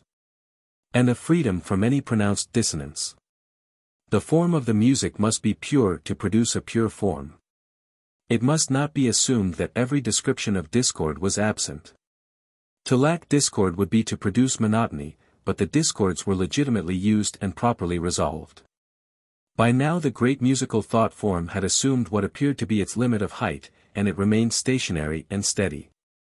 The music was still being played, and in response to it the whole coloring of the dome changed, first to one shade, then to another. And many times to a delicate blend of a number of shades according to the variation in theme or movement of the music. It is difficult to give any adequate idea of the beauty of this wonderful musical structure. The amphitheater being built below the surface of the ground, nothing was visible of audience, of performers, or of the building itself, and the dome of light and color had all the appearance of resting on the same firm ground as were we ourselves. This has taken but a brief while in the telling, but the musical thought form occupied such time in formation as would be taken by a full-length concert on the earth plane. We had, during this period, watched the gradual building of the outward and visible effect of music. Unlike the earth where music can only be heard, there we had both heard and seen it. And not only were we inspired by the sounds of the orchestral playing, but the beauty of the immense form it created had its spiritual influence upon all who beheld it, or came within its sphere. We could feel this although we were seated without the theater. The audience within were basking in its splendor and enjoying still greater benefit from the effulgence of its elevating rays. On the next occasion we should take our places in the huge auditorium. The music at last came to a grand finale, and so ended. The rainbow colors continued to interweave themselves. We wondered how long this musical structure would survive, and we were told that it would fade away in roughly the same time as would be taken by an earthly rainbow, comparatively a few minutes. We had listened to a major work, but if a series of shorter pieces were played, the effect and lasting power would be the same, but the shapes would vary in form and size. Were the form of greater duration, a new form would conflict with the last, and the result to the eye would be the same as two different and unconnected pieces of music, when played together, would be to the ear. The expert musician can plan his compositions by his knowledge, of what forms the various harmonic and melodic sounds will produce. He can, in effect, build magnificent edifices upon his manuscript of music, knowing full well exactly what the result will be when the music is played or sung. By careful adjustment of his themes and his harmonies, the length of the work, and its various marks of expression, he can build a majestic form as grand as Gothic cathedral. This is, in itself, a delightful part of the music art in spirit, and it is regarded as musical architecture. The student will not only study music acoustically, but he will learn to build it architecturally, and the latter is one of the most absorbing and fascinating studies. What we had witnessed had been produced upon a scale of some magnitude the individual instrumentalist or singer can evolve on a greatly reduced scale his own musical thought forms. In fact, it would be impossible to emit any form of musical sound deliberately without the formation of such a form. It may not take definite shape such as we saw, that comes from more experience, but it would induce the interplay of numerous colors and blending of colors. In the spirit world all music is color, and all color is music. The one is never existent without the other. That is why the flowers give forth such pleasant tones when they are approached, as it will be remembered of my early experience with flowers. The water that sparkles and flashes colors is also creating musical sounds of purity and beauty. But it must not be imagined that with all this galaxy of color in the spirit world there is also pandemonium of music going on unremittingly. The eye is not wearied by the fullness of color here. Why should our ears be wearied by the sweet sound the colors send forth?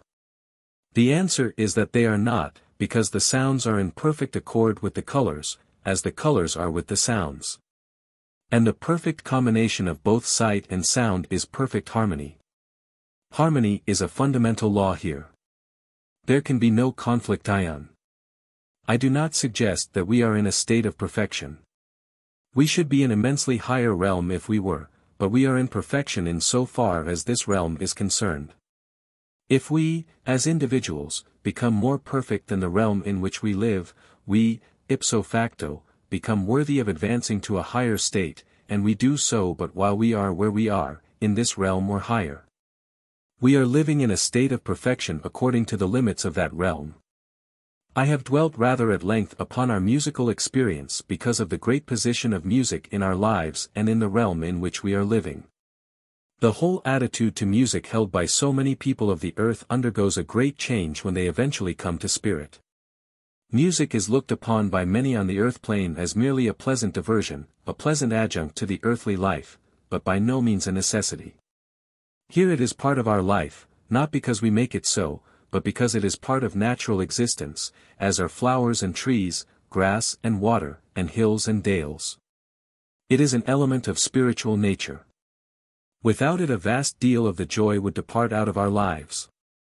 We do not need to become master musicians to appreciate the wealth of music that surrounds us in color and sound, but as in so many other features of this life, we accept and enjoy to the full. And in the enjoyment of our heritage we can afford to smile at those who persist in believing that we live in a world of emptiness. A world of emptiness. What a shock so many people have upon their coming into the spirit world, and how immensely glad and relieved they are to find that it turns out quite pleasant after all, that it is not a terrifying place. That it is not one stupendous temple of hymn singing religion, and that they are able to feel at home in the land of their new life. When this joyful realization has come to them, some of them are reminded that they looked upon the various descriptions of this life, that have come from us from time to time, as, rather material. And how pleased they are to discover that it is so. What is it, if it is not material? The musicians that we heard playing were playing upon very real, solid instruments from very real music. The conductor was a very real person, conducting his orchestra with a very material baton. But the beautiful musical thought form was not so very material as were its surroundings or the means to create it, in just the same relative way as an earthly rainbow, and the sun and moisture that cause it. At the risk of making myself very tedious I have reverted more than once to this strange fallacy that the world I am living in, here in spirit, is vague and shadowy. It is strange that some minds strive always to banish from the world of spirit every tree and flower, and the other thousand and one delights. There is something of conceit in this, that makes such things exclusive to the earth world. At the same time, if any soul thinks that such things have no business to exist in the spirit world, he is at liberty to abstain from both the sight and enjoyment of them by betaking himself to some barren spot where his susceptibilities will not be offended by such earthly objects as trees and flowers and water, and even human beings. And there he can give himself up to a state of beatific contemplation, surrounded by the heavenly nothingness that he thinks should be heaven proper. No soul is forced into an unwilling task here, nor into surroundings that considers uncongenial. I venture to assert that it will not be long before such a soul emerges from his retreat and joins his fellows the enjoyment of all the delights of God's heaven. There is just one fault among one or two others, that the earth world possesses, the overwhelming superiority, in its own mind, over every other world, but principally over the spirit world. We can afford to be amused, though our amusement turns to sadness when we see the distress of souls upon their arrival here, when they realize that they are, at last, faced with eternal truth beyond question or doubt. It is then that humility so often sets in. But never reproach. The reproaching comes from within each soul itself. And what, perhaps, it will be asked, has all this to do with musical experiences? Just this, that after every new experience I have thought the same thoughts, and very nearly spoken the words to both Ruth and Edwin. Ruth has always echoed my words. Edwin has always been in agreement with me though, of course, what we were seeing was not new to him by any means. But he still marveled at all things here, as indeed do we whether we have but just arrived, or whether we have been over here many years of earth time. As we walked along after the concert, Edwin pointed out to the dwelling places of many of the teachers in the various halls of learning, who preferred to live close to the seats of their work. They were, for the most part, unpretentious houses, and it would have been comparatively easy to guess the occupation of owner, so we were told, from the various evidences within of their work.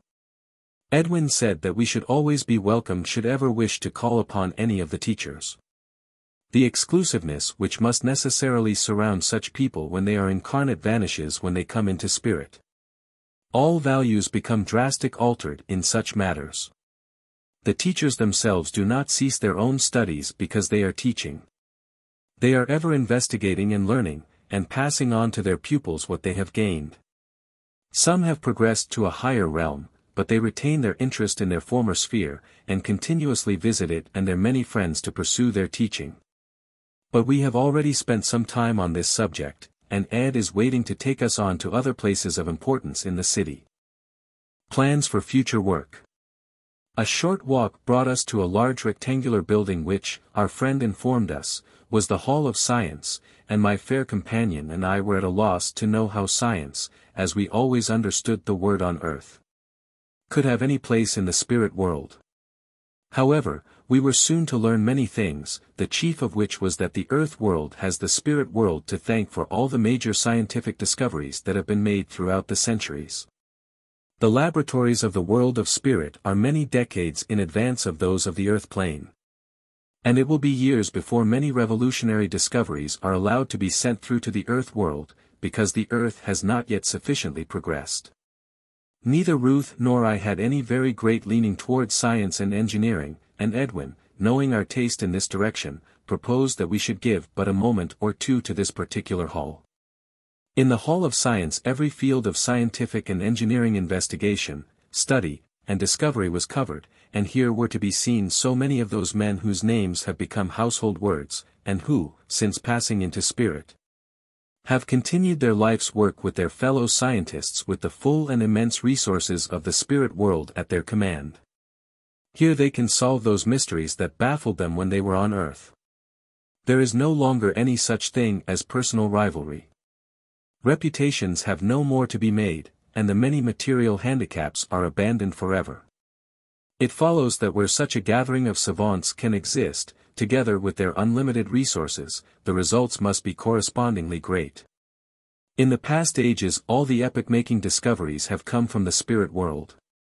Of himself, incarnate man can do very little.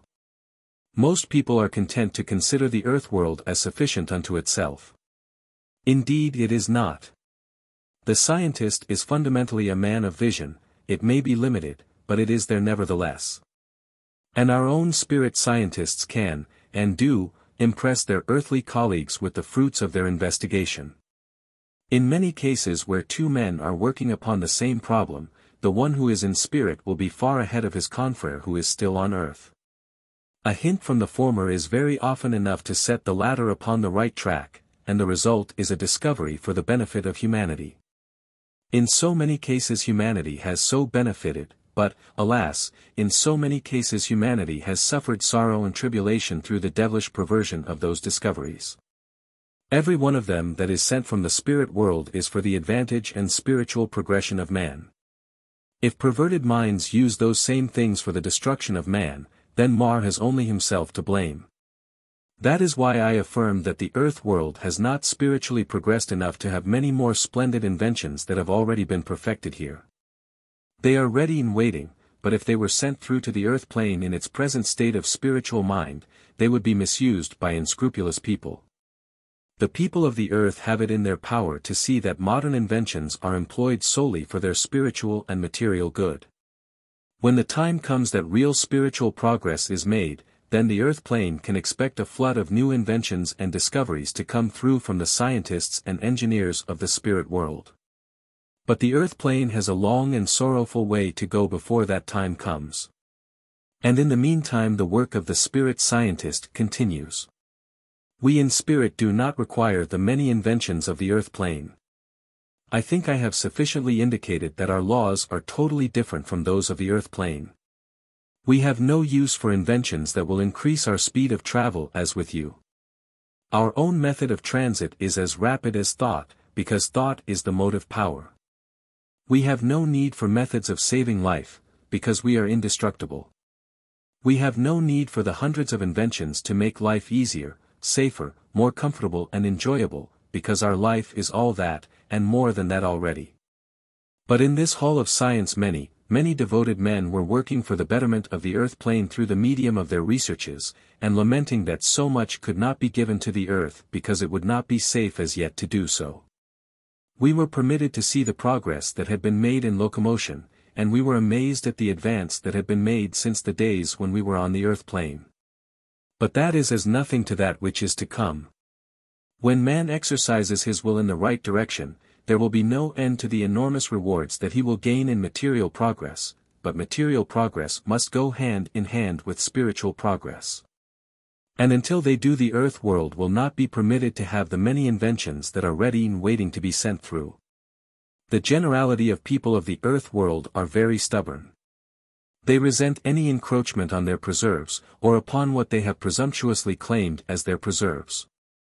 It was never intended that when the results of our scientists' researches are communicated to the earth they were to be seized upon by the few to the exclusion of all others.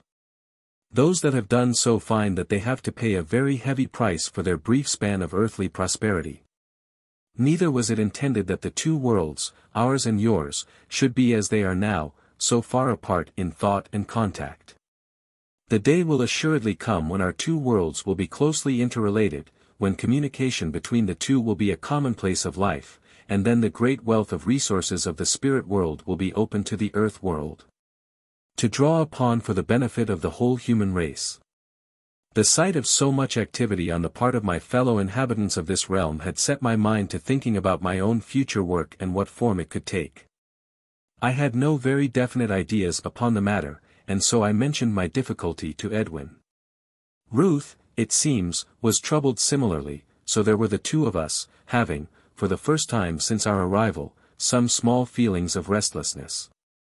Our old friend was not the least surprised, he would have been more surprised, he said, if we had felt otherwise. It was a sensation common to all, sooner or later, the urge to be doing something useful for the good of others. It was not that we were tired of seeing our own land, but that we had rather a self-conscious feeling. Edwin assured us that we could continue to go upon our explorations indefinitely if we so wished, and that none would criticize or comment upon our actions. It would thus be treated as a matter of our own concern. However, we both felt that we should like to settle the question of our future work, and we appealed accordingly for the guidance of our good friend. Edwin suggested at once that we repair to the borders of the higher realms, where, it will be recalled, he said earlier we should be able to go into this matter. And so we left the Hall of Science, and once more we found ourselves on the outskirts of our realm. We were taken to a very beautiful house, which from its appearance and situation was clearly of a higher degree than those farther inland. The atmosphere was more rarefied, and as far as I could observe we were approximately upon the same spot as on our first visit to the boundary. Edwin led us into the house with all the freedom in the world, and bade us welcome. As soon as we entered I knew instinctively that he was giving us welcome to his own home.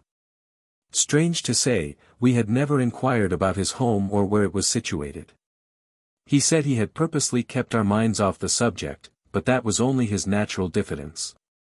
Ruth was enchanted with everything she saw, and scolded him for not telling us all about it much sooner. The house was built of stone throughout, and although to the eye it might have appeared somewhat bare, yet friendliness emanated from every corner, rooms were not large, but of medium size, and suitable all Edwin's purposes. There were plenty of comfortable chairs, many well-lined bookshelves. But it was the general feeling calm and peace that pervaded the whole dwelling that struck us most forcibly. Edwin bade us be seated and make ourselves at home. Then no need for us to hurry, and we could discuss our problem at an extenso. At the outset I frankly admitted that I had no particular ideas upon what I could do. While on earth I had been fortunate enough to be able to follow my own inclinations, and I had consequently, a busy life. But my work was finished, at least in one respect, when my earthly life ended. Edwin then proposed that perhaps I would like to join him in his work, which principally concerned with taking in hand newly arrived souls whose religious beliefs were the same as we had held upon earth, but who, unlike ourselves, were unable as yet to realize the truth of the change they had made, and of the unreality of so much there of religion. Much as I liked my friend's proposal, I did not feel competent enough to undertake such work, but Edwin waved aside my objection. I should, he said, work with him, at first at any rate. We had become used to the task I could continue independently if I so wished. Speaking from experience, Edwin said that two or more people, and here he glanced at Ruth, could very often give far greater help to an individual soul than could one work entirely alone. The weight of numbers seemed to have a greater power of conviction upon one who was particularly stubborn in holding on to his old earthly religious ideas. Since Edwin felt that I would be of real service to him, I was very pleased to accept his offer to join forces with him. And here Ruth brought herself forward as another candidate for service under him, subject, of course, to his approval. Not only was the latter instantly forthcoming, but her offer was gratefully accepted. There was much, said he, that a young woman could do, and the three of us, work in such complete harmony and amity, should be able to do some useful work together. I was more than glad that Ruth was to join us, since it meant that our happy party would not be broken up. There was, however, another matter that was in my mind, it concerned that one particular book that I wished I had written when I was on earth. I was not rendered unhappy by thought of this still persisting, but I wanted to be free of it, although, no doubt, my new work would eventually bring me that complete peace of mind. I felt that I would like to deal with the matter in a more direct way. Edwin knew what I was hinting at, and he recalled to me what he had already said about the difficulties of communication with the earth world. But he had also mentioned that we might seek guidance from higher up. If I still wished to try my hand at communication then we might appeal for that guidance and advice now, and thus we could settle the whole question of my future work. Edwin then left us and retired into another room. I had hardly been chatting with Ruth for a moment about our new occupation when our old friend returned bringing with him a very striking-looking man who, I knew at once, had come from a higher sphere in answer to Edwin's call. He did not appear to be one of our own countrymen, and my observation was correct, since he was an Egyptian, as Edwin told us later on. He spoke our own tongue perfectly. Edwin introduced us, and explained my wishes and the possible difficulties of their fulfillment. Our visitor was possessed of a very strong personality, and he gave one the strong impression of calmness and placidity. He would, one imagined, always remain perfectly unruffled. We all seated ourselves comfortably, and Edwin acquainted him with the extent of my knowledge concerning communication with the earth world. The Egyptian placed some considerations before me. If, said our visitor, I was fully determined that by returning to the earth plane to speak I should retrieve the situation that was giving me cause to regret, then he would do everything to assist me to achieve my purpose. It would not be possible to do what I wanted, though, for some years to come. But in the meantime I was to accept his definite assurance that I should eventually be able to communicate, and he made me a promise to that effect. If I would have patience, all should be as I wished. I was to leave the whole matter in the hands of those who had the ordering of these things, and all would be well. The time, to use an earthly term, would soon pass, and the occurrence of certain events, meanwhile, would make the path clear and would provide the requisite opportunity. It must be remembered that what I was asking was not merely to return to the earth plane to endeavor to record the fact that I still lived. What I wanted was to try to undo something that I wished I had never done. And it was a task, I could see, that could not be accomplished in a moment. What I had written I could never unwrite, but I could ease my mind by telling the truth, as I now know it, to those who were still on the earth plane. The kindly Egyptian then rose and we shook hands. He congratulated us on the way we had accustomed ourselves to our conditions of life, wished us joy of our new work whenever should start, and finally gave me a repeated promise that my own particular wishes should have their certain fulfillment. I tried to express my gratitude for all his help, but he would not hear of it and with a wave of the hand he was gone. We remained for a discussing our plans, I was looking forward keenly to starting our work. It must not be thought that we were part of a campaign to convert people, in the religious sense in which that word is used on earth. Far from it. We do not interfere with people's beliefs nor their viewpoints. We only give our services when they ask for in such matters, or when we see that by giving them we can effect some useful purpose. Neither do we spend our time walking about evangelizing people, but when the call comes for help we answer it instantly. But there comes a time when spiritual will make itself felt, and that is the turning point in the life many a soul who has been confined and restricted by wrong views whether religious or otherwise. Religion is not responsible for all mistaken ideas. There is a surprising number of people who do not realize they have passed from the earth in the death of the physical body. Resolutely they will not believe that they are what the earth calls, dead. They are dimly aware that some sort of change taken has taken place, but what that change is they are not prepared to say some, after a little explanation, and even demonstration grasp what has actually happened. Others are stubborn, and will be convinced only after prolonged reasoning. In the latter case we are ofttimes obliged to leave such a soul for a while to allow quiet contemplation to work its way. We know we shall be sought out the instant that soul feels the power of our reasoning. In respects it is tiring work, though I use the word tiring strictly limited sense of the spirit world. Ruth and I were both more than grateful to Edwin for his generous help in our affairs, and I was particularly so, both to him and the Egyptian, for the excellent prospect of communicating with the earth world. In view of our decisions to cooperate with Edwin in his work he made the suggestion that as we had seen a little, but only a very little, of our own realm, we might profitably make a visit to the dark realms. Ruth and I both concurred, adding that we had by now sufficient self-confidence withstand anything of an unpleasant nature that might before us.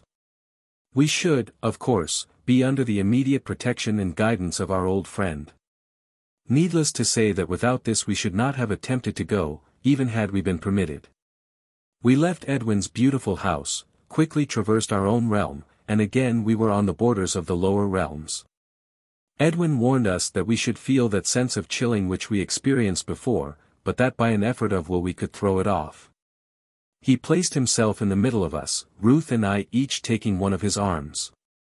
He turned and looked at us, and was apparently satisfied with what he saw. I glanced at Ruth and I noticed that her robe, as had Edwin's, had taken on a dull color, approaching almost gray. Looking at myself I discovered that my own dress had undergone a similar change.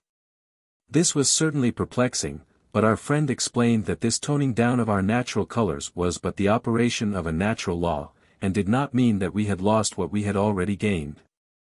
The practical application of such a law meant that we should not be conspicuous in uncongenial surroundings, nor should we carry the light of our realm into those dark places to blind the vision of those who dwelt there. We were walking along a great tract of barren country. The ground was hard underfoot, the green of trees and grass was gone. The sky was dull and leaden, and the temperature had dropped very considerably, but we could feel an internal warmth that counteracted it. Before us we could see nothing but a great bank of mist that gathered in density as we advanced, until finally we were within it. It swirled round in heavy, damp clouds, and it seemed almost like a dead weight as it pressed upon us. Suddenly a figure loomed out of the mist and came towards us. He was the first person we had met as yet, and recognizing Edwin, he gave him a friendly greeting. Edwin introduced us and told him of our intentions. He said he would like to join us, as perhaps he could be of some help to us, and we readily accepted his kind offer.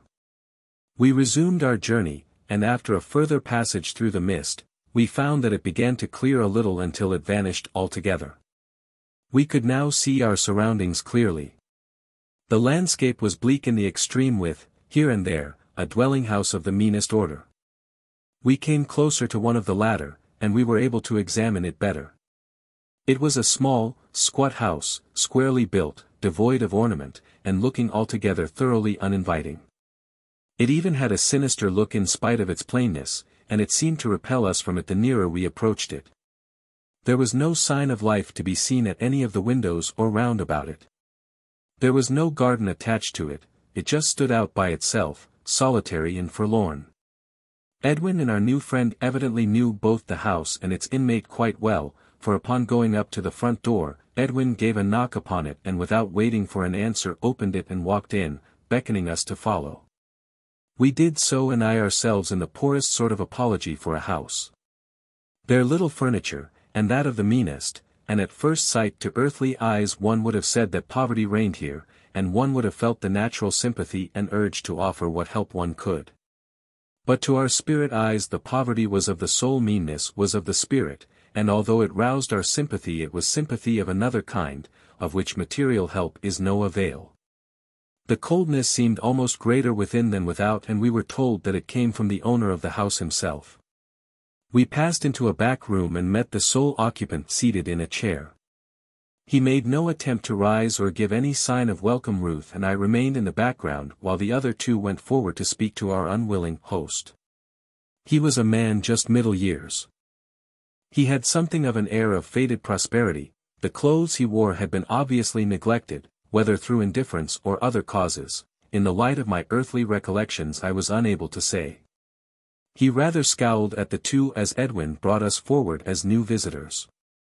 It was a moment or two before he spoke, and then he railed at us rather incoherent, but we were able to gather that he deemed himself to be suffering under an injustice. Edwin told him in plain terms that he was talking nonsense, because injustice does not exist in the spirit world.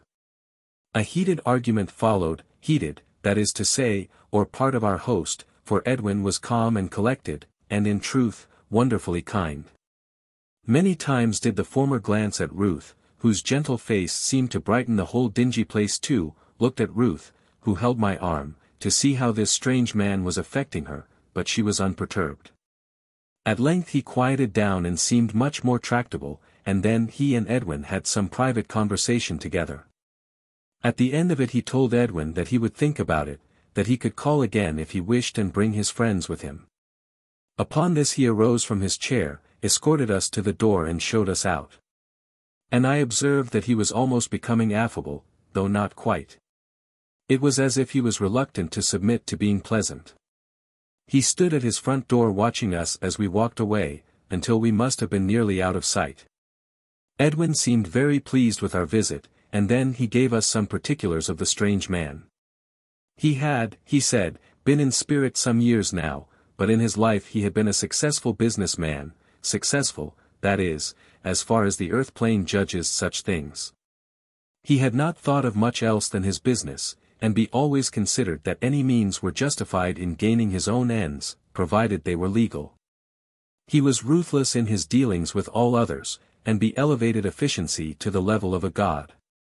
In his home all things, and people, were subservient to him. He gave generously to charity where there was likely to accrue the greatest advantage and credit. He supported his own religion and church with vigor, regularity, and fervor. He felt that he was an ornament to the church, and he was much esteemed by all those connected with it. He added some new portions to the edifice at his own expense, and a chapel was named after him as the donor. But from what Edwin had been able to glean from his story, he had scarcely committed one decent, unselfish action in the whole of his life. His motive was always self-aggrandizement, and B had achieved his purpose on earth at the absolute expense of his life in the spirit world. And now his grievance was that after having lived such an exemplary life, in his own estimation, he should be condemned to live in such comparative squalor. He refused to see that he had condemned himself to it, and that there was none other to blame but himself. He complained that the church had misled him all along, since his munificence had been received in such fashion that he believed his gifts to the church would weigh heavily in his favor in the hereafter. Again he could not see that it is motive that counts, and that a happy state in the spirit world cannot be bought for hard cash. A small service willingly and generously performed for a fellow mortal builds a greater edifice in spirit to the glory of God than do large sums of money expended upon ecclesiastical bricks and mortar erected to the glory of man, with full emphasis upon the donor. This man's present mood was anger, which was all the greater because he had never been denied anything whilst upon the earth. He had never been accustomed to such degrading circumstances as those at present. His difficulties were increased by the fact that he did not know quite whom to blame. Expecting a high reward, he had been cast into the depths. He had made no real friends. There seemed to be no one, of his own social position, he said, who could advise him in the matter. Edwin had tried to reason with him, but he was in an unreasoning frame of mind, and had been so for some long time. He had had few visitors because he repelled them, and although Edwin had made many visits to him, the result was always the same, a stolid adherence to his sense of injustice. Upon Edwin's latest call, in company with Ruth and myself and with the friend whom we had met on the way, there were distinct symptoms of a coming change. They were not manifest first, but as our visit drew to a close he had shown signs of relenting from his stubborn attitude. And Edwin was sure that it due as much to Ruth's softening presence as to his own powers reasoning with him. He felt sure, too, that were we to return him on our way back, we should find him in a different frame of mind altogether. He would be unwilling to admit too soon that the fault was his entirely, but perseverance will work wonders. Ruth was naturally pleased that she had been able to be of service so quickly, though she disavowed any claim to have done anything but merely stand there as an observer. Edwin, however at once pointed out to her that while she disclaimed any action and external order, she had shown a real sympathy and sorrow this unhappy man. That explained his frequent glances at her. He had felt that commiseration, and it had done him good although he was unaware of the cause of it. And here Ruth begs me to add that her very small share would have been of little in this man's recovery had it not been for Edwin's long unceasing work on his behalf. This was our first encounter with unfortunates of the lower spheres, and I have been somewhat protracted in giving details of it. It was, in many respects, straightforward by comparison what we met later, and in recounting it I have done so because it was an introduction to our future work. For the present, however, it was not intended that we should do anything but make observations of the dark realms. The four of us resumed our journey. There were no paths to follow, and the ground was becoming decidedly rocky in formation. The light was rapidly diminishing from a sky that was heavy and black. There was not a soul, not a house, nor any sign of life to be seen. The whole district seemed colorless and empty, and we might have been wandering in another world. We could dimly ahead of us, after the passage of some time, something which had the appearance of dwellings, and we moved there in direction. The terrain was now rocks and nothing else, and here we could see people seated with their heads down, seem almost lifeless, but in reality in the depths of gloom and despair, they took no notice of us whatever as we passed them. And soon we drew level with the dwellings we had viewed distantly. The dark realms. At close view it became clear that these dwellings were nothing more than mere hovels. They were distressing to gaze upon, but it was infinitely more distressing to contemplate that these were the fruits of men's lives upon earth. We did not enter any of the shacks, it was repulsive enough outside, and we could have served no useful purpose at present by going in. Edwin therefore gave us a few details instead. Some of the inhabitants, he said, had lived here, or hereabouts, year after year, as time is reckoned upon earth. They themselves had no sense of time, and their existence had been one interminable continuity of darkness through no one's fault but their own. Many had been the good souls who had penetrated into these Stygian realms to try to effect a rescue out of the darkness. Some had been successful, others had not. Success depends not so much upon the rescuer as upon the rescued. If the latter shows no glimmer of light in his mind, no desire to take a step forward on the spiritual road, then nothing, literally nothing, can be done. The urge must come from within the fallen soul himself. And how low some of them had fallen. Never must it be supposed that those who, in the earth's judgment, had failed spiritually, are fallen low. Many such have not failed at all, but are, in point of fact, worthy souls whose fine reward awaits them here. But on the other hand, there are those whose earthly lives have been spiritually hideous though outwardly sublime, whose religious profession designated by a Roman collar, has been taken for granted as being synonymous with spirituality of soul. Such people have been mocking God throughout their sanctimonious lives on earth where they lived with an empty show of holiness and goodness. Here they stand revealed for what they are. But the God they have mocked for so long does not punish. They punish themselves.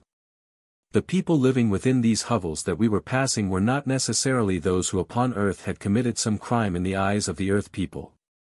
There were many people who, without doing any harm, had never, never done any good to a single mortal upon earth. People who had lived entirely unto themselves, without a thought for others. Such souls constantly harped upon the theme that they had done no harm to anyone. But they had harmed themselves. As the higher spheres had created all the beauties of those realms, so had the denizen of those lower spheres built up the appalling conditions of their spirit life.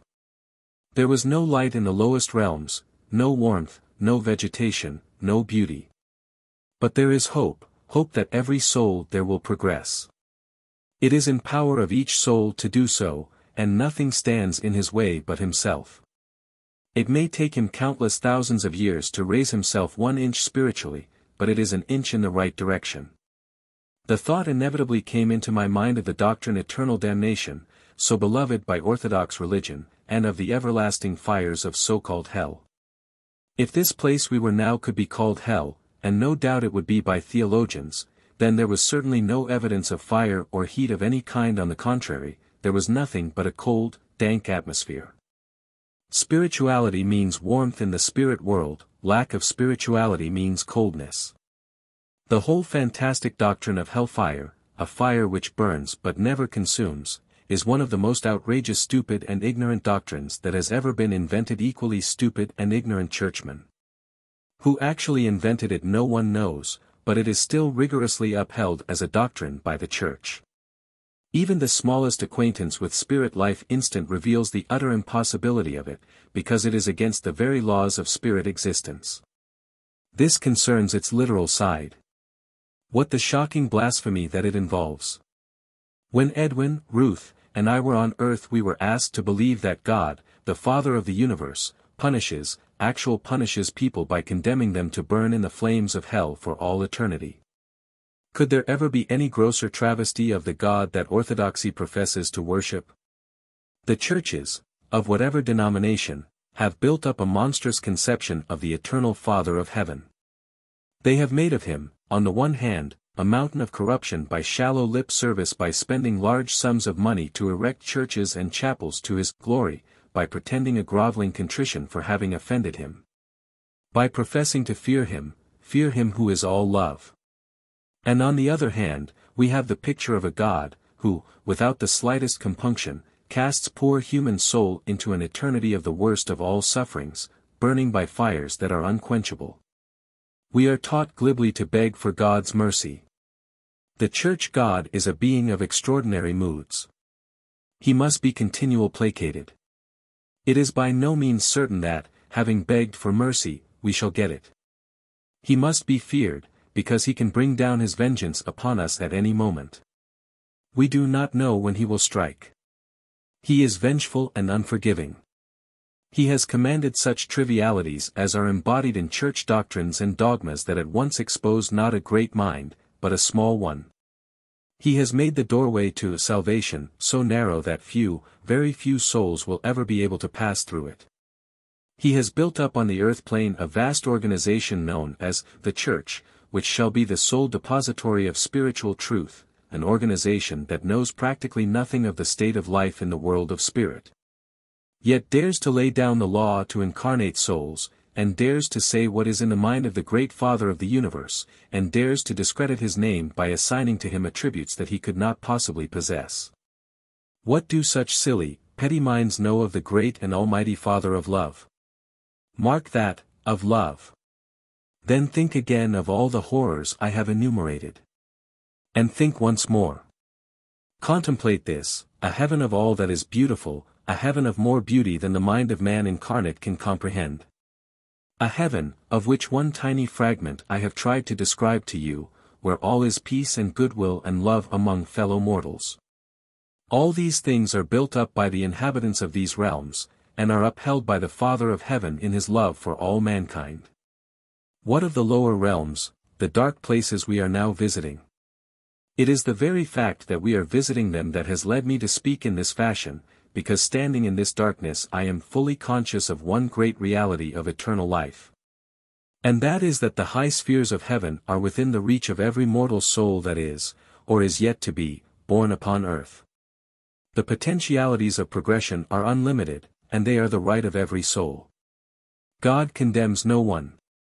Man condemns himself, but he does not condemn himself eternally, it rests with himself as to when he shall move forward spiritually. Every spirit hates the lower realms for the unhappiness that is there, and for no other reason. And for that reason great organizations exist to help every single soul who is living in them to rise out of them into the light. And that work will continue through countless ages until every soul is brought out from these hideous places, and at last all is as the Father of the universe intended it to be. This, I am afraid, has been a long digression, so let us return to our travels. You will recall my mention of the many heavenly perfumes and scents that come from the flowers and that float upon the air. Here in these dark places the very opposite was the case.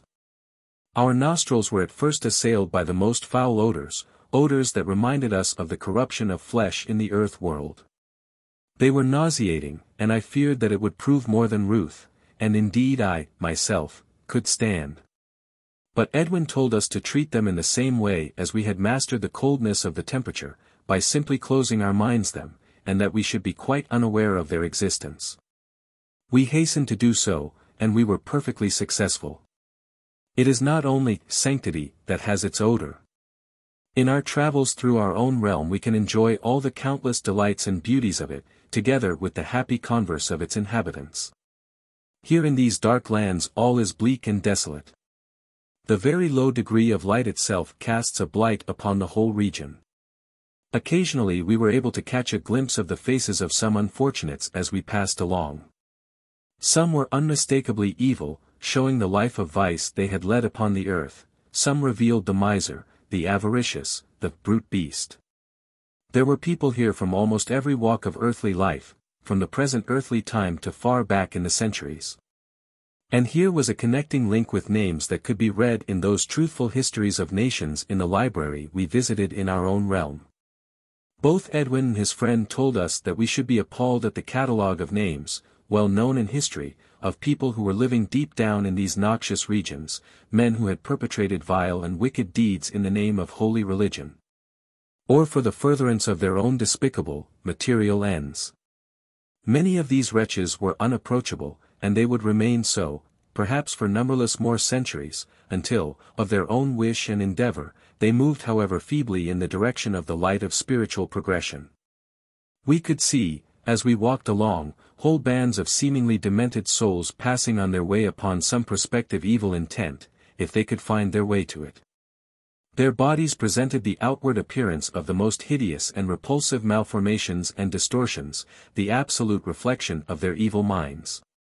Many of them seemed old in years, but I was told that although such souls had been there perhaps for many centuries it was not the passage of time that had so dealt with their faces, but their wicked minds. In the higher spheres the beauty of mind rejuvenates the features, sweeps away the signs of earthly cares and troubles and sorrows. And presents to the eye that state of physical development which is at that period of our earthly lives which we used to call, the prime of life.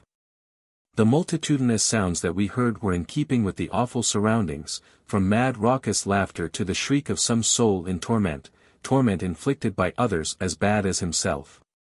Once or twice we were spoken to by some courageous souls who were down there upon their task of helping these afflicted mortals. They were glad to see us and to talk to us. In the darkness we could see them and they could see us, but we were all of us invisible to the rest, since we were provided with the same protection for the dark lands. In our case Edwin was taking care of us collectively as new corners, but those whose work lies in rescue had each his own means of protection.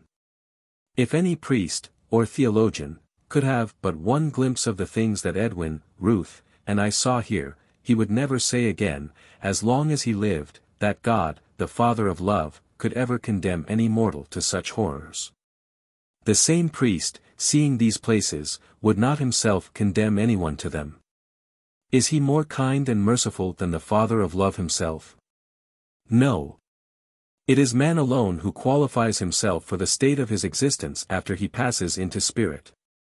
The more we saw of the dark lands the more I realized how fantastic is the teaching of the Orthodox Church to which I belonged when on earth, that the place which is referred to as eternal hell is ruled over by a prince of darkness.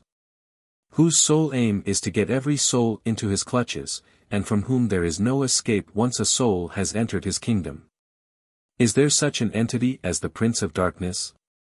There might conceivably be one soul infinitely worse than all the others, perhaps it will be said, and such as he could be considered as the very king of evil. Edwin told us that there was no evidence whatever of such a personage. There were those from the upper spheres who had traversed every inch of the lower realms, and they had discovered no such being.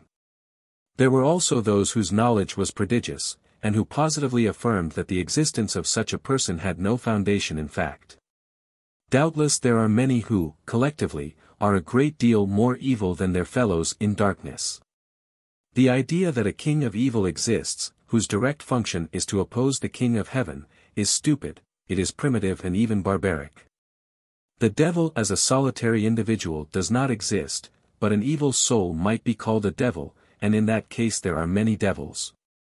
It is this fraternity, according to the teachings of one Orthodox Church, that constitutes the sole element of spirit return. We can afford to laugh at the absurdities of such teachings. It is no novelty for some wondrous and illustrious spirit to be called a devil. We still retain our sense of humor, and it causes us very great amusement, sometimes, to hear some stupid priest, spiritually blind, professing to know about things of the spirit of which, in reality, he is totally and completely ignorant. The spirit people have broad backs, and they can support the weight of such fallacious rubbish without experiencing anything but pity for such poor souls. It is not my intention to go into further details of these dark spheres. At least, not at present. The Church's method of frightening people is not the method of the spirit world. Rather would we dwell upon the beauties of the spirit world, and try to show something of the glories that await every soul when his earthly life is ended. It remains with every single soul individually whether this beautiful land shall be his lot sooner, or whether it shall be later. We held a short consultation together, and decided that we should now like to return to our own realm. And so we made away our back to the land of mist, passed quickly through, and once again we were in our own heavenly country with the warm, balmy air enveloping us. Our new friend of the dark realms then left us after we had expressed our thanks for his kindly services. I then bethought me that it was high time I went to have a peep at my house, and so I asked Ruth and Edwin to join me, as I had no wish to be alone or separated from their pleasant company Ruth had not yet seen my home. But she had often wondered so she said, what it would be like. And I thought that a little of the fruit from the garden would be most acceptable after our visit, short though it was, to the lower realms. Everything in the house was in perfect order, as I left it to go upon our travels, as though there were someone permanently looking after it. Ruth expressed her complete approval of all she saw, and congratulated me upon my choice of a home.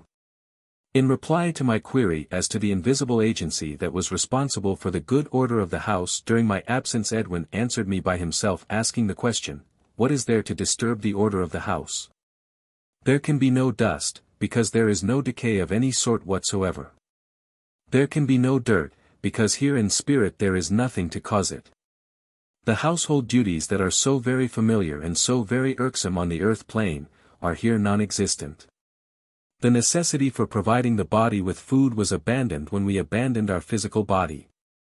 The adornments of the home, such as the hangings and upholstery do not ever need renewal, because they do not perish that they endure until we wish to dispense with them for something else. And so what remains that might require attention? We have then, but to walk out of our houses, leaving all doors and windows open, our houses have no locks upon them. And we can return when we wish, to find that everything is as we left it. We might find some difference, some improvement. We might discover, for instance, that some friend had called while we were away, and had left some gift for us, some beautiful flowers, perhaps, or some other token of kindness. Otherwise we shall find that our house bids us welcome itself, and renews our feeling of being at home. Ruth had wandered all over the house by herself, we have no stupid formalities here, and I had asked her to make the whole house her own whenever she wished, and to do whatever she liked.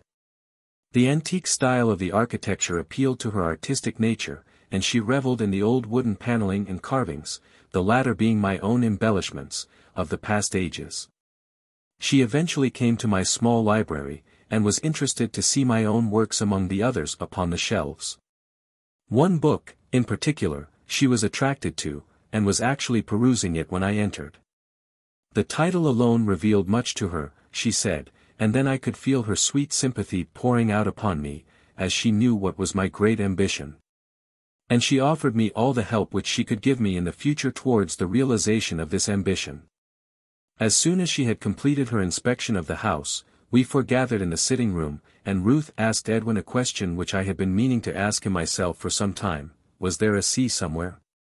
If there were lakes and streams, then, perhaps there was an ocean.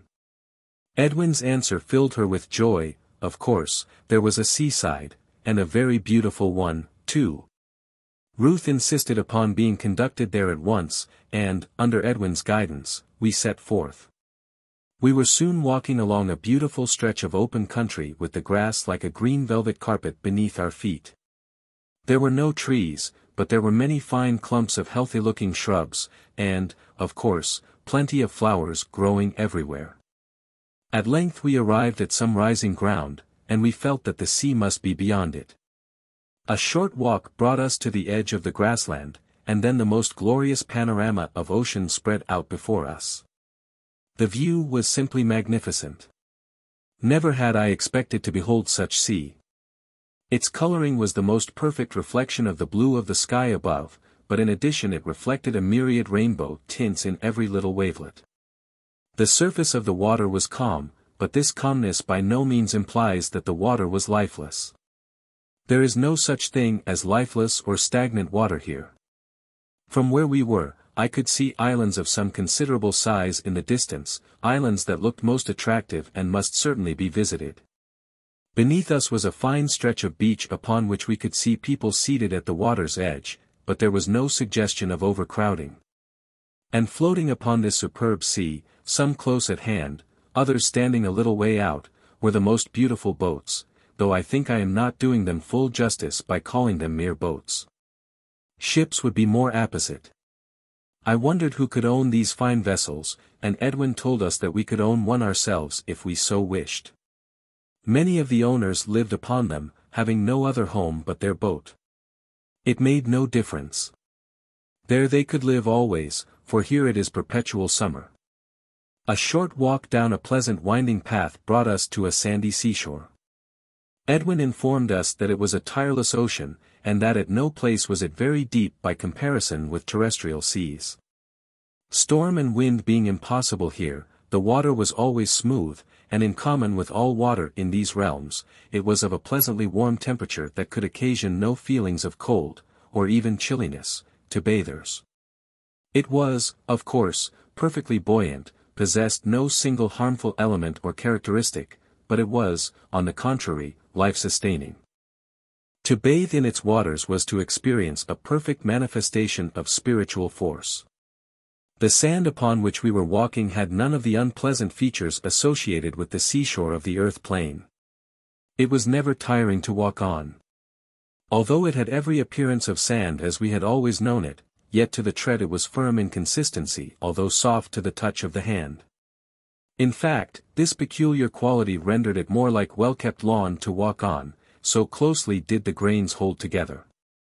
We took some handfuls of the sand, and allowed it to run through our fingers, and great was our surprise to find that it lacked every trace of grittiness, but seemed to the touch more akin to some smooth soft powder. Yet examined closely, it was undeniably solid. It was one of the strangest phenomena we had met so far. Edwin said that that was because we had, in this particular instance, carried out a more minute examination of what we were beholding than we had done hitherto in other things. He added that if I chose to make a close scrutiny of all that we saw, whether at the ground we walked on, the substance of which our house were made, or the thousand and one other objects that go make up the world of spirit.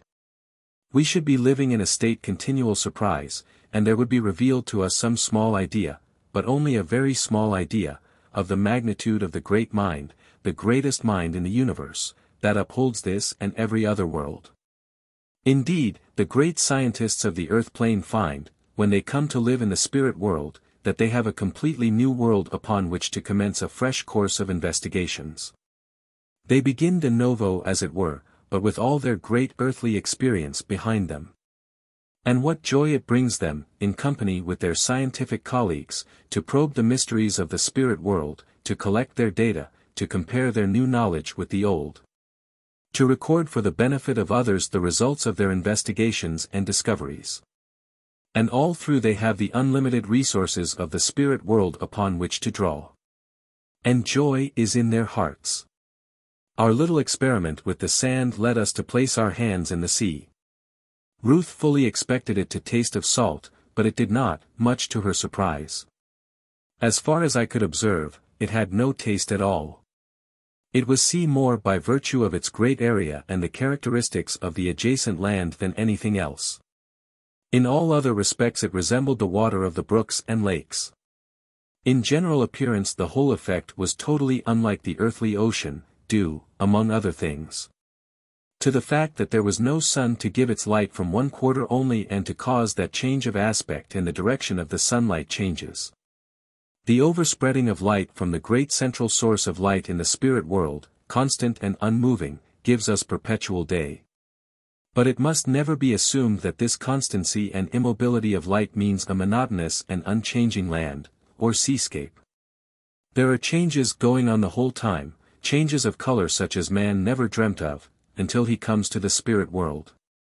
The eyes of the spirit person can see so many beautiful things in the world of spirit that the eyes of incarnate man cannot see, unless he be gifted with the psychic eye. We wanted very much to visit one of the islands that we could see in the distance, but Ruth felt that it would be a nice experience to travel over the sea in one of the fine vessels that were close to the shore. But the difficulty arose, that is, it seemed as though it might arise. As to the boat. If, as I understood, these were privately owned, we should first have to become acquainted with one of the owners. Edwin, however, could see how Ruth was so longing to go upon the water that he soon explained the exact position, to her unbounded joy.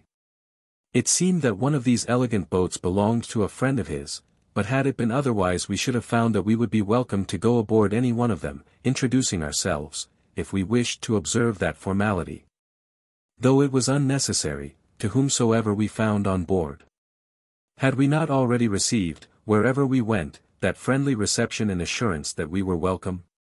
Then why should there be any departure, in the case of the boats of the sea, from the fundamental rule of hospitality that operates in the spirit world? Edwin drew our attention to a very beautiful yacht that was riding, at anchor, close to the shore. From where we were she had all the appearance of having had much attention devoted to her, our opinion was afterwards confirmed. She was built on the most graceful lines, and the grand upward sweep of her bows held the promise of power and speed. She looked much the same as an earthly yacht, that is, externally. Edwin sent a message across to the owner, and in reply received an instantaneous invitation to us all. We therefore wasted no time, and we found ourselves upon the deck of this most handsome vessel, being greeted with great good cheer by our host. Who immediately took us off to present us to his wife. She was very charming, and it was obvious to see that the two made a perfect couple. Our host could see that Ruth and I were both very keen to see over the boat, and knowing from Edwin that we had not been long in spirit, he was so much the more pleased to do so. Our first observations at close band showed us that many devices and fittings that are essential to earthly ships were here absent. That indispensable adjunct, an anchor, for instance. There being no winds, tides, or currents in spirit waters, an anchor becomes superfluous, though we were told that some boat owners have them merely as an ornament and because they did not feel their vessels would be complete without them. There was unlimited space on deck, with a copious provision of very comfortable-looking chairs. Below deck were well-appointed saloons and lounges. Ruth, I could see, was disappointed because she could see no evidence whatever of any motive power to drive the vessel, and she naturally concluded that the yacht was incapable of independent movement. I shared her disappointment, but Edwin had a merry twinkle in his eye which ought to have told me that things are not always what they seem to be in the spirit world. Our host had received our thoughts, and B immediately took us up into the wheelhouse. What was our astonishment when we saw that we were slowly and gently moving away from the shore. The others laughed merrily at our bewilderment, and we ran to the side to watch our progress through the water. There was no mistake about it, we were really on the move, and gathering speed as we went. We returned at once to the wheelhouse, and demanded an instant explanation of this apparent wizardry. A visitation. Our host told us that the power of thought is almost unlimited in the spirit world, and that the greater the power of any particular effort or concentration of thought the greater the results. Our means of personal locomotion here is by thought, and we can apply that same means to what the earth world would call inanimate objects. Of course, in the spirit world nothing is inanimate, and because of this, then our thoughts can have a direct influence upon all the countless things of which the world of spirit is composed. Ships are meant to float and move upon the waters. They are animated by the living force that animates all things here, and if we wish to move them over the water we have but to focus our thoughts in that direction and with that intention, and our thoughts produce the desired result of movement. We could, if we wished, call upon our scientific friends to provide us with splendid machinery to supply the motive power, and they would be only too pleased to oblige us.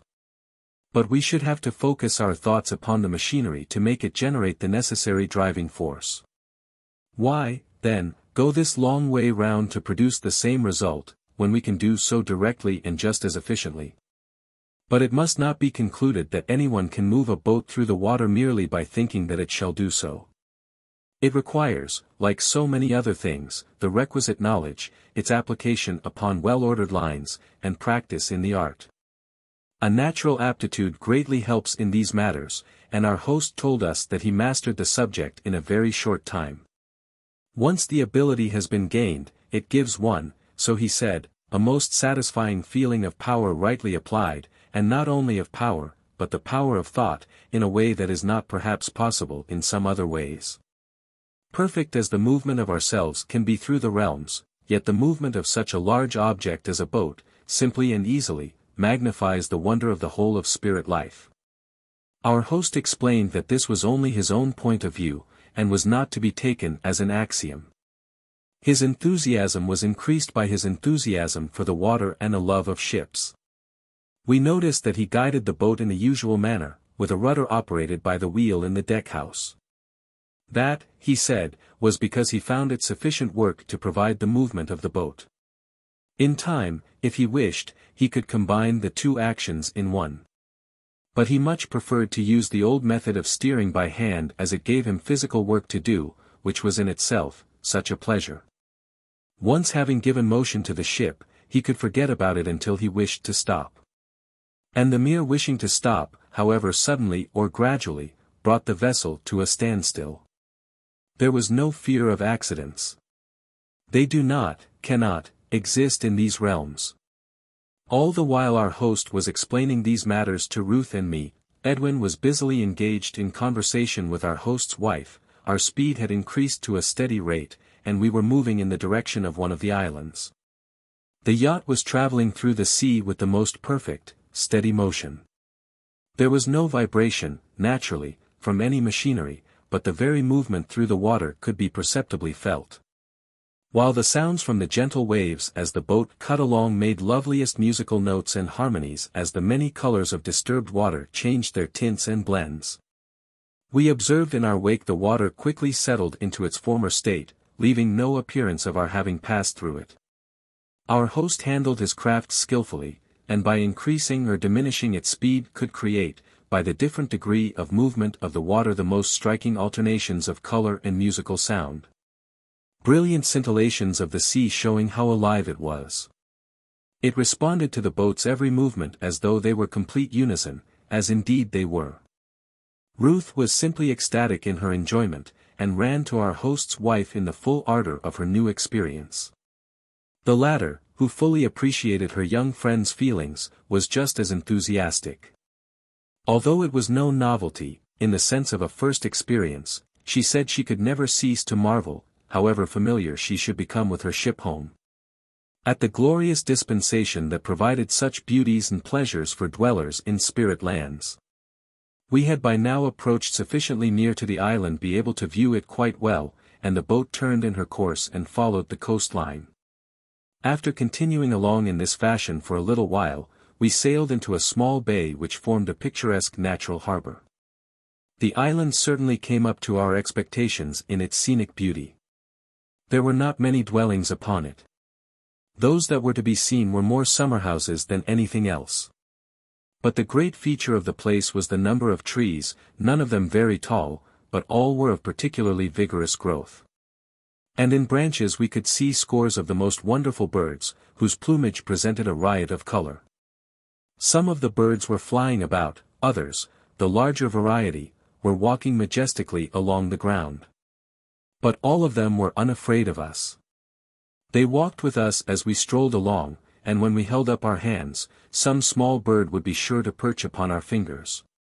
They seemed to know us, to know that any harm coming to them was an utter impossibility. They did not require to make a constant search for food nor exercise a perpetual vigilance against what on earth would be their natural enemies.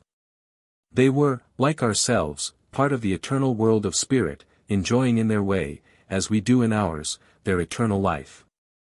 Their very existence there was just another of those thousands of things that are given to us for our delight. The birds which had the most gorgeous plumage were evidently of the kind that live in the tropical parts of the earth plane, and which are never seen by the eye of man until he comes to the spirit world. By the perfect adjustment of temperature they were able to live in comfort with those of less spectacular appearance. And all the while they were singing and twittering in a symphony of sound. It was never wearying, in spite of the quantity of sound that was going on, because in some extraordinary fashion the musical sounds blended with each other. Neither were they piercing in quality despite the fact that many of the small bird songs were themselves high-pitched. But it was their trusting friendliness that was so delightful by comparison with the earthly birds, whose life there takes them into another world almost.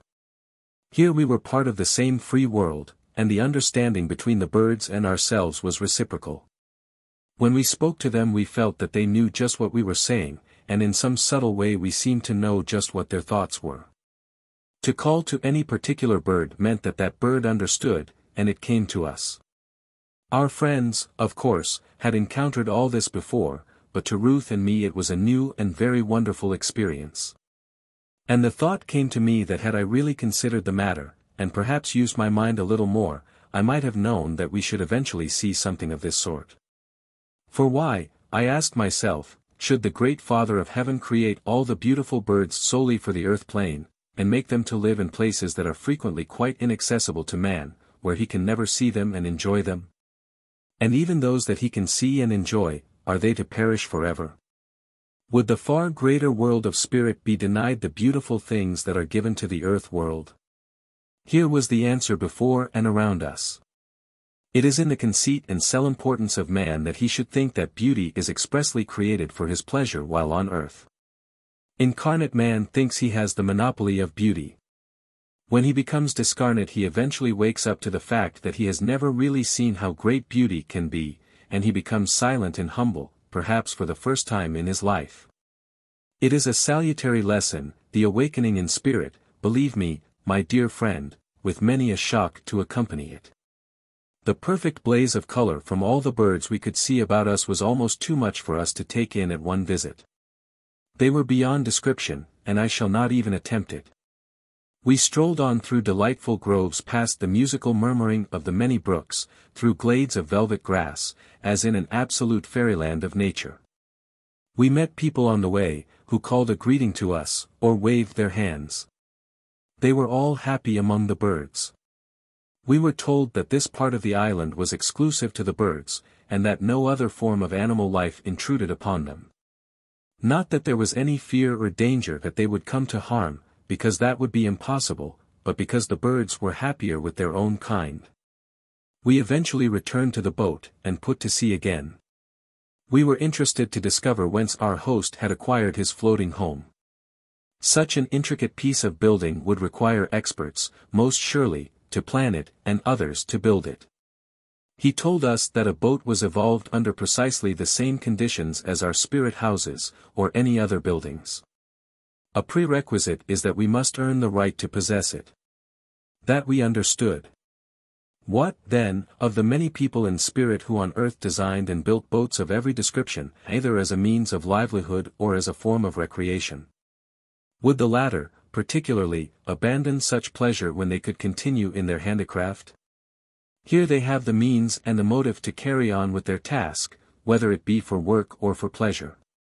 And it can be said that though many build their boats for the pleasure of doing so, yet they give great pleasure to many others who have a fondness for the sea and ships. Their pleasure becomes their work, and their work is pleasure. The task of actually constructing a craft is highly technical, and the methods of the spirit world, so entirely different from those of the earth plane, have to be mastered. Although we must earn the right to possess in the spirit world, we have the aid of our friends in the actual building. We can form in our minds, when on earth, the shape of something we long to have, a garden, a home, or whatever it may be. It will then be a thought form, and will be converted from that into actual spirit substance by the help of experts. Our return was as delightful as our outward journey. When we drew into the land again, our host extended a permanent invitation to us to visit them on board whenever we wished, and enjoy with them all the recreation of sailing on the sea. As we walked along the sandy beach Edwin recalled to our minds the great building in the center of the city, by telling us that very shortly there would be a visitation from a being of the higher realms. And for which many would be foregathering in the domed temple. Would we care to join him? It was not in any sense to be considered a specific act of worship for which this personage was visiting the realm. Such things as worship do not require conscious effort, they come spontaneously from the heart, but our visitant would bring with him not only his own radiance, but the radiance of the heavenly sphere which he graced. We at once expressed our eagerness to go with him, as we both felt that we would not have ventured there alone, since we had all along been under Edwin's guidance. As we walked down the broad avenue of trees and gardens, we formed part of a great concourse of people who were all proceeding in the same direction, and obviously for the same purpose. Strange to say, that although we were among so many people, yet we never experienced the feeling, so common on earth, of being amongst a large crowd. It was an extraordinary feeling, which Ruth shared with me. We supposed that we had expected our old earthly sensations would have overcome us, the fear that in such an immense assembly of people there would be something of the confusion that one is accustomed to on the earth plane. The jostling and the noise, and above all the sense of time passing, when our enjoyment would be over and past. To have such ideas as these was quite ridiculous, and Ruth and I laughed at ourselves, as did Edwin, for expressing such notions, or entertaining them for an instant. We felt, because we knew, that everything was in perfect order. That everyone knew what to do or where to go, that there was no question of another's superiority over ourselves for reasons of privilege. We felt that we were expected for the support we should give, and that a personal welcome was waiting for us. Was not this sufficient to banish all feelings of discomfort or uneasiness? There was, moreover, a unity of mind among us that is not possible on the earth plane even with those of the same religious beliefs. What earthly religion is there where all its adherents are entirely of one mind? There is none. It has been thought essential on earth that to offer up thanks and worship to the Supreme Being there must be a complexity of ritual and formularies and ceremonies, with creeds and dogmas and strange beliefs. Over which there is as much diversity of views as there are numbers of different religions. It may be said that I have already told of the establishment of communities of those same religions here in the spirit world, so that the spirit world so is in no better case than the earth world. When the earth world becomes really enlightened these communities here will disappear. It is the blindness and stupidity of the earth world that causes them to be here at all. They are given tolerance, and they must exercise tolerance themselves otherwise they would be swept away. They must never attempt to influence or coerce any soul into believing any of their erroneous doctrines. They must confine themselves strictly to themselves, but they are perfectly and absolutely free to practice their own false religion among themselves. The truth awaits them on the threshold of their churches as they leave their places of worship not when they have entered. When a soul at length perceives the futility of his particular and peculiar religious beliefs he quickly dissociates himself from them. And in full freedom and complete truth, which has no creeds or ecclesiastical commandments, High offers up his thoughts to his heavenly Father just as they flow from his mind, free and unaffected, stripped of all jargon, simple and heartfelt. But we have our temples where we can receive the great messengers from the highest realms, fitting places to receive the Father's representatives, and where such messengers can send our united thanks and our petitions to the great source of all. We do not worship blindly as on earth. As we drew close to the temple we could already feel ourselves being, as it were, charged with spiritual force. Edwin told us that this was always the case because of the immense power, brought by the higher visitants, which remained undiminished within a wide circle of the temple. It was for this reason that the temple stood completely isolated, with no other buildings near it. Gardens alone surrounded it, a great sea of flowers, extending, it almost seemed, as far as the eye could see, and presenting such a galaxy of brilliant color, in great banks and masses, as the earth could never contemplate. And arising from all this were the most heavenly sounds of music and the most delicate perfumes, the effect upon us being that of pure exaltation of the spirit. We felt that we were lifted up above ourselves right out into another realm. The building itself was magnificent.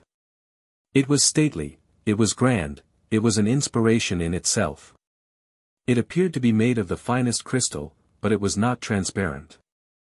Massive pillars were polished until they shone like the sun, while every carving flashed its brilliant colors until the whole edifice was a temple of light.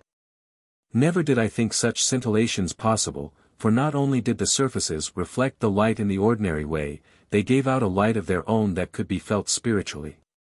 Edwin took us to some seats which we knew to be our own, we had that feeling of familiarity with them as one does with a favorite chair at home. Above us was the great dome of exquisitely wrought gold, which reflected the hundreds of colors that shone from the rest of the building. But the focus of all attention was upon the marble sanctuary, which word I must use for want of a better, at the end of the temple. It had a shallow balustrade with a central opening at the bead of a flight of steps leading down on to the floor. We could hear the sounds of music, but whence it came I knew not, because there was no sign of any musicians. The music was evidently provided by a large orchestra, of strings only, for there were no sounds of the other instruments of the orchestra. The sanctuary, which was of spacious dimensions, was filled with many beings from higher realms, with the exception of a space in the center, which I guessed was reserved for our visitant. We were all of us seated, and we conversed quietly amongst ourselves. Presently we were aware of the presence of a stately figure of a man with jet black hair, who was closely followed, very much to my surprise, by the kindly Egyptian whom we had met in Edwin's house on the boundary of our realm. To those who had already witnessed such visitations, their arrival was at once the indication of the coming of the high personage, and we all accordingly rose to our feet. Then, before our eyes, there appeared first a light, which might almost be described as dazzling, but as we concentrated our gaze upon it we immediately became attuned to it, and we felt no sensation of spiritual discomfort. In point of fact, as I discovered later, the light really became attuned to us, that is to say, it was toned down to accord with ourselves and our realm. It grew in shade to a golden hue upon the extremities, gradually brightening towards the center. And in the center there slowly took shape the form of our visitant. As it gained in density we could see that he was a man whose appearance was that of youth, spiritual youth but we knew that he carried with him to an unimaginable degree the three comprehensive and all-sufficing attributes of wisdom, knowledge, and purity. His countenance shone with transcendental beauty, his hair was of gold, while round his head was a lustrous diadem. His raiment was of the most gossamer-like quality, and it consisted of a pure white robe bordered with a deep band of gold, while from his shoulders there depended a mantle of the richest cerulean blue, which was fastened upon his breast with a great pink pearl. His movements were majestic as he raised his arms and sent forth a blessing upon us all. We remained standing and silent while our thoughts ascended to him who sent us such a glorious being. We send our thanks or we send our petitions.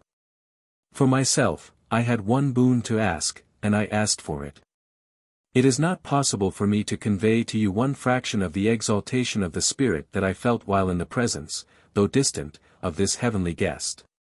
But I do know that not for long could I have remained in that temple while he was there without undergoing the almost crushing consciousness that I was low, that very low upon the scale of spiritual evolution and progression.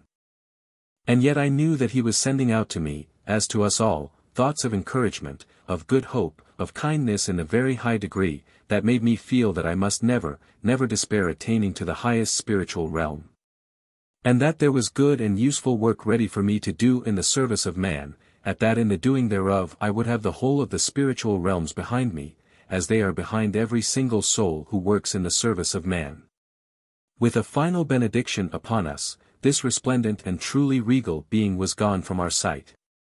We remained seated for a while, and gradually the temple began to empty.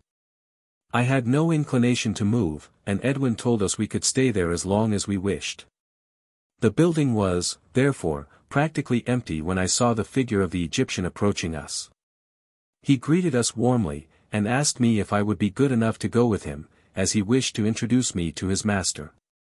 I thanked him for his continued interest in me, and what was my astonishment when he led me into the presence of the man with whom he had entered the sanctuary.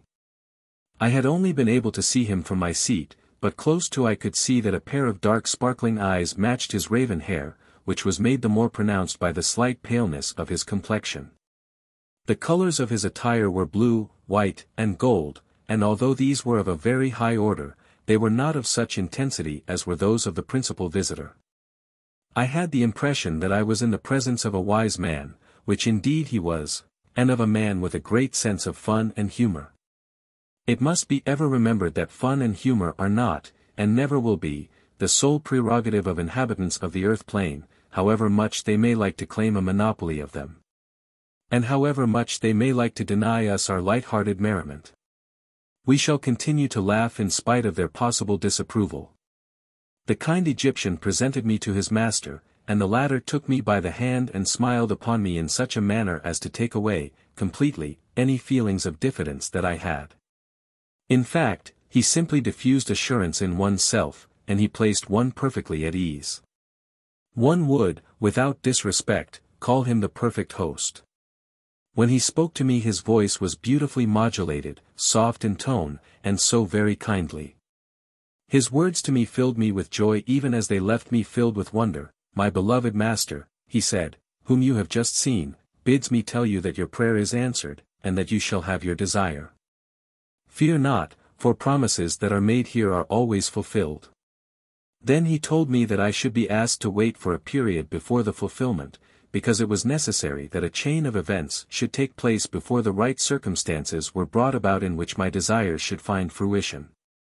The time would soon pass, he said, and I could, meanwhile, carry on with my intended work with my friends. If at any time I wished for advice my good Edwin would always be able to call upon our Egyptian friend, whose guidance was ever at my service.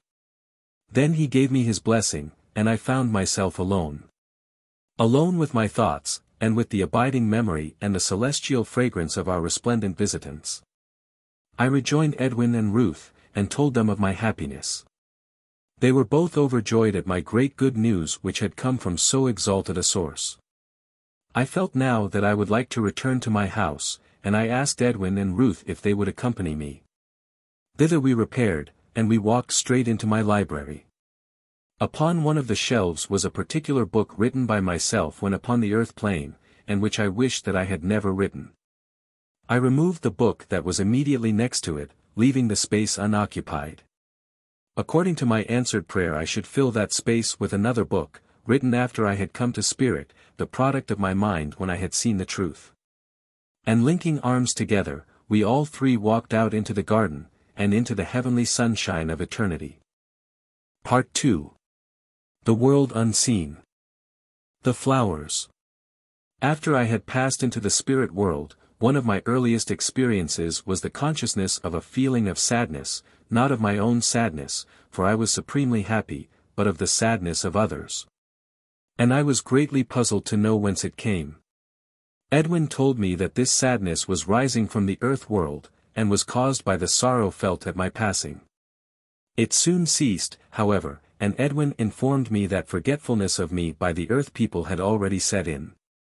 That experience alone my good friend, is one that can be relied upon to induce feelings of humility, if no humility before existed.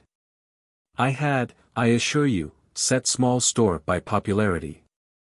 The discovery, therefore, that my memory was fast fading from the minds of earth people occasioned me no distress whatever. I had written and preached for the good they might do, and that, now learnt, was microscopically small. I was told that many people, whose public favor was considerable when they were incarnate, discovered, when they had shed their earthly bodies that their fame and high favor had not preceded them into the world of spirit. Gone was the admiration which had been common everyday experience. It naturally saddened such souls to leave behind them their earthly prominence, and it gave them something of a sense of loneliness, the more so when, in addition, the earth world quickly forgot all about them. My own earthly reputation had been of no very great magnitude, but I had managed to carve a niche for myself among my co-religionists. My transition had been calm and peaceful, and unattended by any unpleasant circumstances. It was no wrench for me to leave the earth world. I had no ties but my work. I was, therefore, greatly blessed. Edwin told me of others whose passing was extremely unhappy, and whose spiritual state upon their arrival here was still more unhappy. Many, who were great upon earth found themselves very small in spirit. And many, who were unknown upon earth, found themselves here so spiritually well known as to be almost overcome by it. It is not all, by any means, who are destined for the beautiful realms of eternal sunshine and summer. I have already given you a glimpse of those realms of darkness and semi-darkness, where all is cold and bleak and barren, and wherein souls have their abode, souls who can rise up out of the darkness if they so wish it and will work for that end. There are many who spend their heaven visiting these dim regions to try to draw out of their misery some of these unfortunates, and to set them upon the path of light and spiritual progression. It has been my privilege to go with Edwin and Ruth to visit the dark places beyond the belt of mist that separates them from the light. It is not my purpose to take you into those realms of misery and unhappiness just yet. Later on I shall hope to give you some account of our experiences. For the moment there are other, and pleasanter, matters upon which I should like to speak. There are many souls upon the earth plane who seek to probe the manifold mysteries of life. They propound theories of diverse kinds purporting to explain this or that, theories which, in the course of time, come to be looked upon as great truths. Some of these hypotheses are as remote from the truth as it is possible to imagine. Others are merely nonsensical, but there are also people who refuse even to think for themselves, and who stolidly uphold the belief that while they are incarnate they are not meant to know anything of the life of spirit that lies before them all. They affirm that it is not God's purpose that they should be told of such matters, and that when they come to spirit they will know all things. These are two extremes of thought, the theorists and the partisans of the closed door. Both schools receive some severe shocks when they enter spirit lands to live for all time. Individuals with strange theories find those theories demolished by the simple fact of finding themselves faced with the absolute truth. They discover that life in the spirit world is not nearly so complex as they would have it to be. In so many instances it is vastly simpler than life upon earth, because we do not have the problems that constantly harass and worry earth people, problems, for example, of religion and politics which throughout the ages have caused social upheavals that are still having their repercussions in the earth world at the present time. The student of occult matters is apt to fall into the same error as the student of religious matters. He makes assertions every bit as dogmatic as those that emanate from orthodox religion, assertions that are mostly as far from the truth. The period of time in which I have lived in the spirit world is as nothing, nothing, by comparison with some of the great souls with whom it has been my privilege to speak. But they have shown me something of their vast store of knowledge, things that is, that my mind was capable of understanding. For the rest, I, in company with millions of others, am perfectly contented to wait for the day when my intelligence is sufficiently advanced to grasp the greater truths. A matter that gives rise to some perplexity concerns the flowers that we have in the spirit world. Some would ask, why flowers? What is their purpose or significance? Have they symbolical meaning? Let us put the same questions to earth people concerning the flowers that grow upon the earth plane. Have the earthly flowers any special significance? Have they some symbolical meaning? The answer to both questions is no. Flowers are given to the earth world to help to beautify it, and for the delight and enjoyment of those who behold them. The fact that they serve other useful purposes is an added reason for their existence. Flowers are essentially beautiful, evolved from the supreme creative mind, given to us as a precious gift, showing us in their colorings, in their formations, and in their perfumes an infinitesimally small expression of that great mind. You have this glory of the earth plane. Are we to be deprived of it in the spirit world because it is considered that flowers are rather earthy, because no deep, abstruse meaning can be assigned to our existence? We have the most glorious flowers here, some of them like old familiar cherished blooms of the earth plane, others known only to the spirit world, but all alike are superb, the perpetual joy of all of us who are surrounded with them.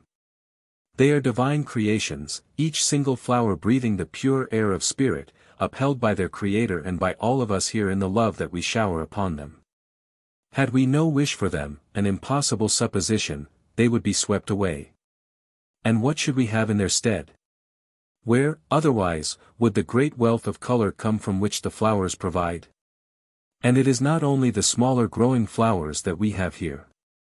There is no single flowering tree or shrub that the mind recall that we do not possess, flourishing in superabundance and perfection, as well as those trees and shrubs that are to be nowhere else but in the spirit world. They are always in bloom they never fade or die, their perfumes are diffused into the air where they act like a spiritual tonic upon us all. They are at one with us, as we are with them. When we are first introduced to the flowers and trees and all the luxuriance of spirit nature, we instantly perceive something that earthly nature never seemed to possess, and that is an inherent intelligence within all growing things. Earthly flowers, although living, make no immediate personal response when one comes into close touch with them. But here it is vastly different. Spirit flowers are imperishable, and that should at once suggest more than mere life within them, and spirit flowers, as well as all other forms of nature, are created by the great Father of the universe through his agents in the realms of spirit. They are part of the immense stream of life that flows directly from him, and that flows through every species of botanic growth. That stream never ceases, never falters, and it is, moreover, continuously fed by the admiration and love which we, in this world of spirit, gratefully shed upon such choice gifts of the Father. Is it, then, to be wondered at, when we take the tiniest blossom within our hands, that we should feel such an influx of magnetic power, such a revivifying force, such an upliftment of one's very being, when we know, in truth, that those forces for our betterment are coming directly from the source of all good. No, there is no other meaning behind our spirit flowers than the expressed beauty of the Father of the universe, and, surely, that is enough. He has attached no strange symbolism to his faultless creations. Why should we? A large majority of the flowers are not meant to be picked.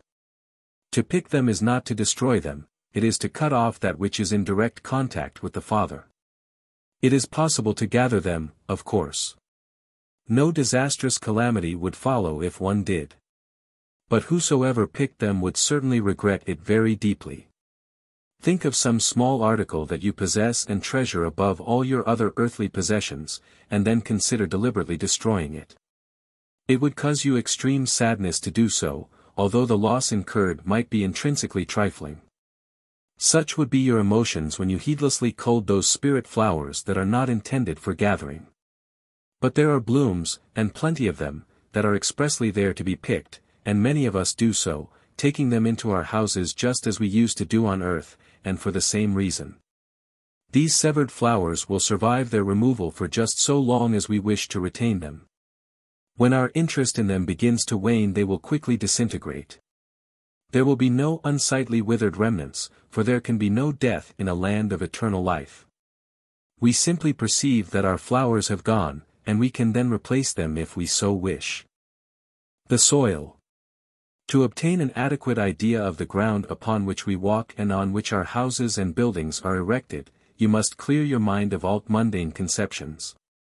First of all, we have no roads as they are known on earth. We have broad extensive thoroughfares in our cities and elsewhere, but they are not paved with a composite substance to give them hardness and durability for the passage of a constant stream of traffic. We have no traffic, and our roads are covered with the thickest and greenest of grass, as soft to the feet as a bed of fresh moss. It is on these that we walk. The grass never grows beyond the condition of being well trimmed, and yet it is living grass. It is always retained at the same serviceable level, perfect to walk upon and perfect in appearance. In such places where smaller paths are desirable, and where grass would seem unsuitable, we have such pavements as are customary in the earth world. But they are constructed of very different materials. The paving is, for the most part, a description of stone, but it is without the usual dull drabness of color. It closely resembles the alabaster-like material of which so many of the buildings are constructed. The colors vary, but they are all of delicate pastel shades. This stone, like the grass, is very pleasant to walk upon, though, naturally, it is not as soft. But there is a certain quality about it, a certain springiness, if one may so term it, something like the resilience of certain earthly timber that is utilized in that making of floors. That is the only way in which I can convey any idea of the difference between earthly stone and spirit stone. There is never, of course, any unsightly discoloration to be observed upon the surface of these stone walks. They always preserve their initial freshness. Often the pavements reveal network of delightful designs formed by the use of different colored materials, and blending harmoniously with their immediate surroundings. As one approaches the boundaries to the higher realms, the pavements become noticeably more translucent in character, and they seem to lose some of their appearance of solidity, though, indeed, they are solid enough. When one draws near the boundaries of the lower realms, the pavements become heavy in appearance, they begin to lose their color until they look leaden and opaque. And they have the semblance of extreme solidity, almost like the granite of the earth plane. Round about our own individual homes we have lawns and trees and flower beds, with trim garden paths of stone similar to that which I have just described to you. But of bare earth you would see little or none.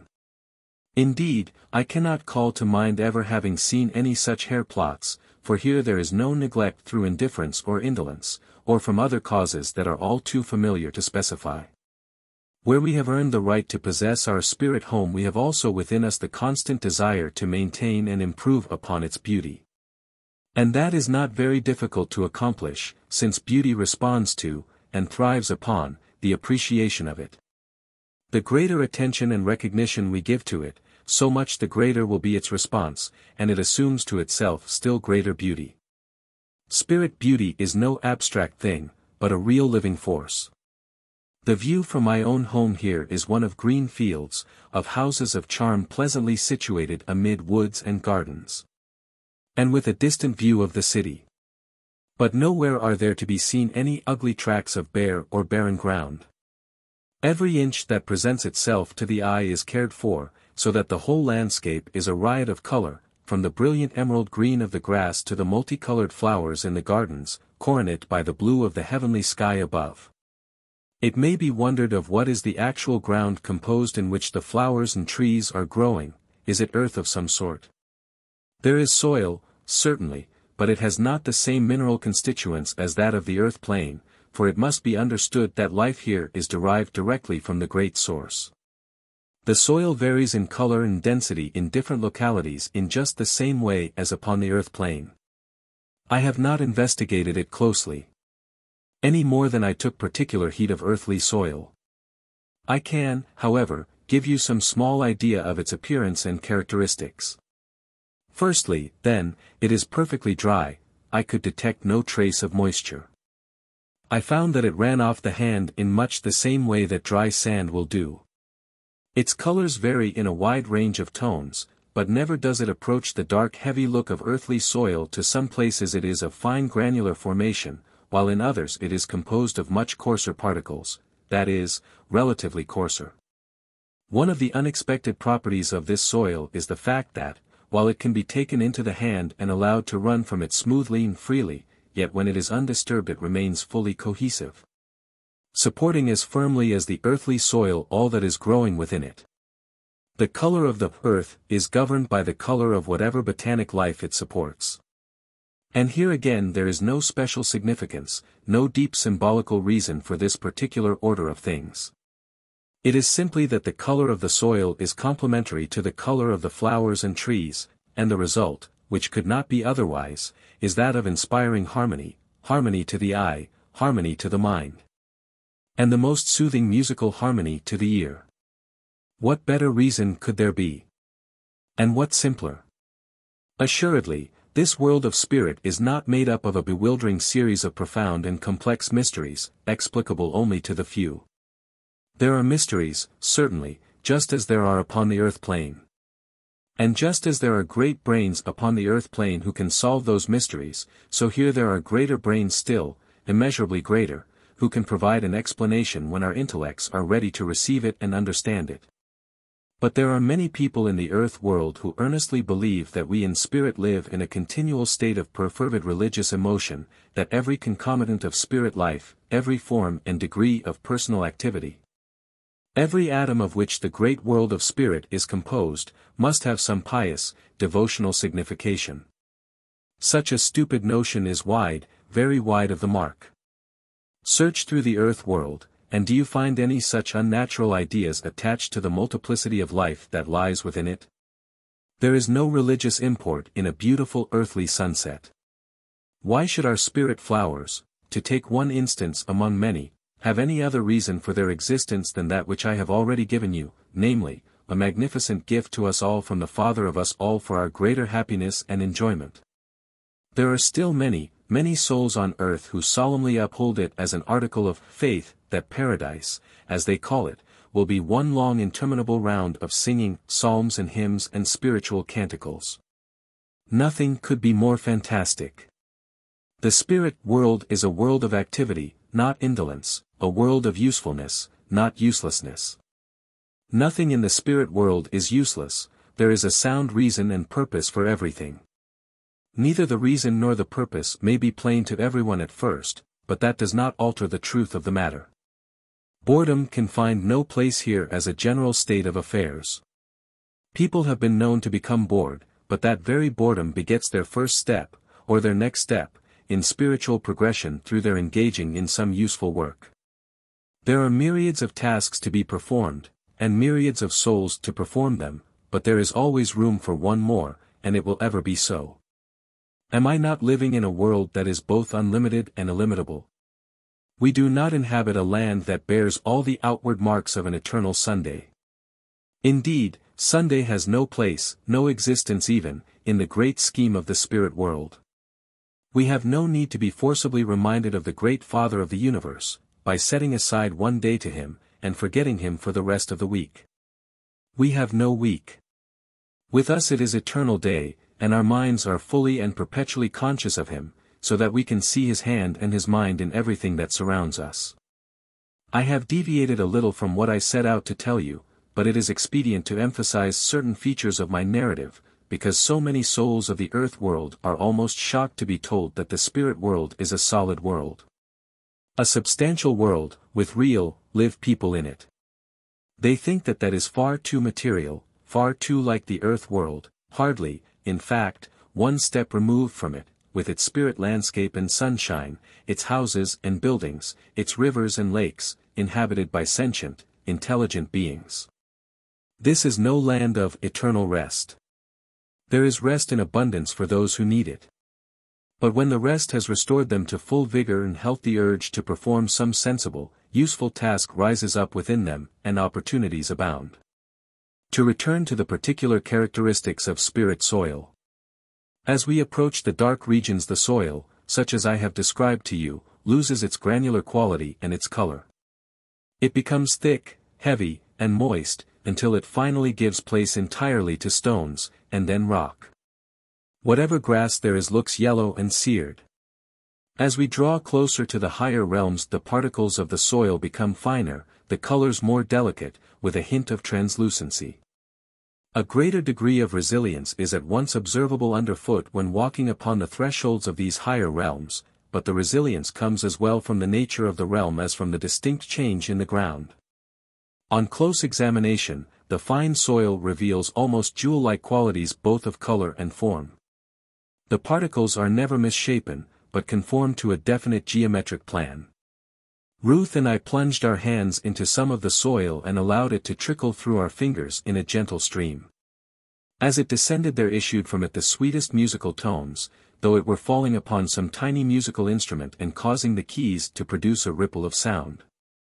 A keen ear will hear many musical sounds upon the earthly seashore as the water sweeps back and forth over the beach, but no keen ear is necessary to hear the rich harmonics when the ground of the spirit world is made to speak and sing. The sounds emitted in this way vary as much as the color and elements themselves vary. They are there for all to hear, and they can be produced at will by the very simple action I have described. How is this brought about, you will ask? Color and sound, that is, musical sound, are interchangeable terms in the spirit world. To perform some act that will produce color is also to produce a musical mound. To play upon a musical instrument, or to sing, is to create color, and each creation is governed and limited by the skill and proficiency the instrumentalist or singer.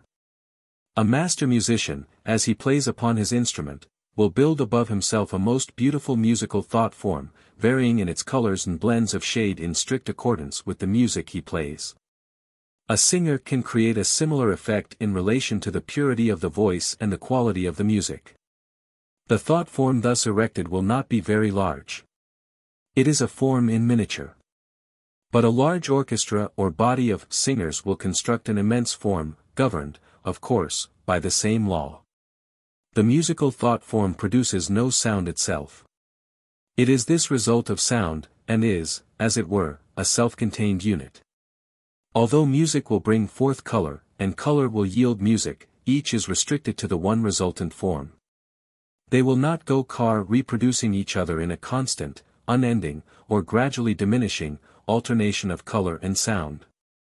It must not be thought that with all the vast galaxy of colors from the hundreds of sources in the spirit world, our ears are being constantly assailed with the sounds of music. That we are living, in fact, in an eternity of music that is sounding and resounding without remission. There are few minds, if any, that could possibly endure such a continuous plethora of sound, however beautiful it may be.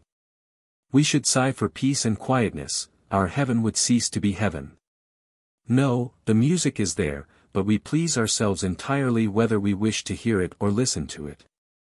We can completely isolate ourselves from all sound, or we can throw ourselves s open to all sound, or just hear that which pleases us most. There are times upon the earth plane when you can hear the strains of distant music without being in any way disturbed by it, on the contrary, you may find it very pleasant and soothing. So it is with us here in spirit. But there is this great difference between our two worlds, our potentialities for music of the highest order are immeasurably greater than are yours upon the earth plane. The mind of a spirit person who has a deep love of music will naturally hear more, because he so wishes, than one who cares little for it. To revert to the experiment that Ruth and I carried out when we let the soil run through our fingers. We both of us derive great enjoyment from listening to music, Ruth much more so than myself, since she has been trained in the musical art and therefore has a higher appreciation and grasp of musical technicalities. I have told you how, the instant the soil left our hands, we could hear the delightful sounds issuing from it. Another person performing the same action, but who possessed no particular musical susceptibilities, would scarcely be conscious of any sound at all. The flowers and all growing things respond immediately to those who love them and appreciate them. The music that they send out operates under precisely the same law. An attunement upon the part of the percipient, with that with which he comes into contact or relationship, is a prerequisite condition. Without that attunement it would be impossible to be conscious of the musical strains that issue forth from the whole of spirit nature.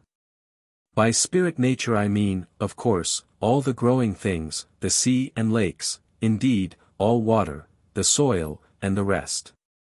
The greater the power of the individual of appreciating and understanding beauty in all its multifarious forms, the greater will be the outflowing of magnetic force. In the spirit world nothing is wasted nor expended uselessly. We never have forced upon us something that we do not want, whether it be music or art, entertainment or learning. We are free agents, in every sense of the term, within the confines of our own realm. It would be a most terrifying thought to imagine that the spirit world is one immense pandemonium of music, continuing ceaselessly, totally unavoidable, presenting itself on every conceivable occasion and in every possible place and situation. No. The spirit world is conducted on much better lines than that. The musical sounds are most certainly there, but it rests solely with ourselves whether we shall hear them or not. And the secret is personal attunement. There are people upon the earth plane who possess the ability of mentally isolating themselves from their surroundings to such a degree that they can become oblivious to all sounds, however intense, that might be going on around them. This state of complete mental detachment will serve as an analogy, though rather elementary one, of the effect that we can produce upon ourselves in spirit, to the exclusion of such sounds as we have no wish to hear. Unlike the earth world, we do not need to bring to bear any great force of concentration. It is but another process of thought, just as we use our minds to effect personal locomotion and after a brief sojourn in spirit we are soon able to perform these various mental functions without any conscious effort. They are part of our very nature, and we are merely applying, in an extended form, without earthly limitations restrictions, mental methods that are perfectly simple to apply. On the earth plane our physical bodies, in a heavy physical world, prevented similar mental processes from producing the physical result. In the spirit world we are free and unfettered and those actions of the mind show an instant and direct results whether it be to move us with the quickness of our thought, whether it be to shut out any sight or sound that we do not w to experience. On the other hand, we can, and do, open our minds and attune ourselves to absorb the many glorious sounds that co-rising up all round us. We can open our minds, or close then to the many delectable perfumes that spirit nature casts abroad for our happiness, and contentment. They act like a tonic upon the mind, but they are not forced upon us, we merely help ourselves to them as we wish. It must ever be borne in mind t the spirit lands are founded upon law and order. But the law never oppressive nor the order irksome, because the same eye and order have helped to provide all the countless beauties and wonders of this heavenly realm. Building Methods Not the least important, among the many physical features the realm in which I live, are the numerous buildings devoted to the pursuit of learning and the fostering of the arts family to the earth plane. These magnificent edifices present to the eye all the signs one would expect of the permanence of eternity. The materials of which they are constructed are imperishable. The surfaces of the stone are as clean and fresh as on the day when they were raised up. There is nothing to soil them, no heavy smoke-laden atmosphere to eat into them, no winds and rains to wear down the works of exterior decoration. The materials of which they are built are of the spirit world, and therefore they have a beauty that is not earthly. Although these fine halls of learning have every suggestion of permanency, they could be demolished if it were considered expedient or desirable to do so. In some cases it has been so considered. Such buildings have been removed, and others have taken their place. The spirit world is not static. It is ever vibrant with life and movement. Contemplate, for a moment, the normal conditions of the earth world, with the many changes that are taking place continuously, the gradual reconstruction of towns and cities, the alterations in the countryside. Some of these changes have not always been deemed improvements. However that may be, changes are made, and the procedure is looked upon as one of progression. What, then, of the spirit world? Are no changes to take place in the world in which I live? Most certainly they are. We do not exactly move with the times, to use a familiar earthly phrase, because we are always very much ahead of the times. And we have every need to be, to meet the heavy demands placed upon us by the earth world. Let us take one specific instance, just one. As the earth world progresses in civilization, in its own estimation, the means and methods of waging war become more devastating and wholesale. In place of hundreds killed in battles in ancient times, the slain are now counted in hundreds of thousands. Every one of those souls has finished with his earthly life, though not with the consequences of it, and, in so many cases, the earth world has finished with him too. The individual may survive as a memory to those whom he has left behind him. His physical presence is gone. But his spirit presence is unalterably with us. The earth world has passed him on to us, oftentimes not really caring what has befallen him. He will leave behind him those whom he loved, and who loved him, but the earth world, so it thinks, can do nothing for him, nor for those who mourn his passing. It is we, in the spirit world, who will care for that soul. With us there is no shifting the responsibility onto other shoulders, and so passing upon our way. We faced with strict realities here. The earth world, in its blind ignorance, hurls hundreds thousands of souls into this, our land, but those who dwell in high realms are fully aware, long before it happens, of what is to take place upon the earth plane. And a fiat goes forth to the realms nearer the earth to prepare for what is to come. These dire calamities of the earth plane necessitate the building of more and ever more halls of rest in the spirit world. That is one occasion, and perhaps the greatest, for the changes that are always taking place here. But there are others and more pleasant. Sometimes the wish is expressed by a great number of souls for an extension to be made to one of the halls of learning. There is seldom any difficulty about such a desire, since it's in no sense a selfish one, because it will be there for all to use and enjoy. It was in reply to a question which I put to Edwin that he told me that a new wing was to be added to the great library, where I have spent so many profitable and enjoyable moments since I came to Spirit. It was suggested that perhaps Ruth and I would like to witness a Spirit building in actual course of being erected. Accordingly, we made our way to the city and to the library. There was a large number of people already gathered there with the same intent as ourselves, and while we were waiting for operations to begin, Edwin told us something of the preliminary details that are necessary before work actually begins. As soon as some new building is desired, the ruler of the realm is consulted. Of this great soul, and of others similar to him in spiritual character and capacity, I will tell you later. Knowing as he does, so intimately, the needs and wishes of all in his realm, there never arises a case where some building is required for the use and service of all but that the wish is granted. The ruler then transmits the request to those in authority above him, who in turn refer it to those still higher. We then foregather in the central temple in the city, where we are received by one whose word is law, the great soul who, many years ago of earthly time made it possible for me to communicate thus with the earth world.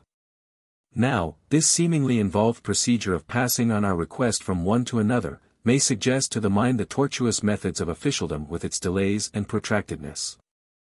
The method may be somewhat similar, but the time taken in performance is a very different matter. It is no exaggeration to say that within the space of a few earthly minutes our request has been stated, and the permission, with a gracious blessing accompanying it, has been granted. On such occasions as these we have cause for rejoicings, and we seize the opportunity to the full. The next step is to consult the architects, and it may be readily imagined that we have a host of masters upon whom we can draw without limitation. They work for the sheer joy it brings them in the creation of some grand edifice to be used in the service of their fellows. These good men collaborate in a way that would be almost impossible upon the earth plane. Here they are not circumscribed by professional etiquette, or limited by the narrowness of petty jealousies. Each is more than happy and proud to serve with the other, and never is there discord or disagreement through endeavoring to introduce, or force, the individual ideas of the one at the expense of another's. Perhaps you will say that such complete unanimity is far and away beyond the bounds of human nature and that such people would not be human if they did not disagree or otherwise show their individuality. Before you dismiss my statement as highly improbable, or as the painting of a picture of perfection impossible to attain except within the very highest realms of all, let me state the simple fact that discord and disagreement upon such a matter as we are now considering, could not possibly exist in this realm wherein is my home. And if you still insist that this is impossible, I say no, it is perfectly natural. Whatever gifts we may possess in spirit, it is part of the essence of this realm that we have no inflated ideas of the power or excellence of those gifts. We acknowledge them in humility alone, without self-importance, unobtrusively, selflessly, and we are grateful for the opportunity of working, con amore, with our colleagues in the service of the great inspirer. This, in substance, is what one of these great architects himself told me with reference to his own work. After the plans for the new buildings have been drawn up in consultation with the ruler of the realm, there is a meeting of the master masons. The latter were mostly masons when they were upon the earth plane, and they continue to exercise their skill in spirit lands. They do so, of course, because the work appeals to them, even as it did when they were incarnate, and here they have faultless conditions under which they can carry on their work. They do so with a grand freedom and liberty of action that was denied them upon earth, but which is their heritage here in the spirit world. Others, who were not masons by trade, have since learned the spirit methods of building, for the sheer joy of doing so, and they give valuable aid to their more skilled confreres. The Masons, and one other, are the only people concerned in the actual construction, since spirit buildings do not require much that has to be included within the disposition of earthly buildings. Such, for example, as the necessary provision for lighting by artificial means, and for heating. Our light comes from the great central source of all light, and the warmth is one of the spiritual features of the realm. The addition which was being made to the library consisted of an annex, and it was not of any very great dimensions. Our spirit library has at least one feature in common with earthly libraries. A time comes when the quantity of books exceeds the space in which to house them and in our case the excess is inclined to be greater, because not only do we have copies of earthly books upon the shelves. But there are also volumes that have their source solely in spirit. By this, I mean that such books have no counterpart on earth. Included among them are works concerning spirit life alone, the facts of life here, and spiritual teachings, written by authorities who have an infallible knowledge of their subject, and who reside in the higher spheres. There are also the histories of nations and events, with the facts set down in strict accordance with the absolute truth, written by men who now find that equivocation is impossible.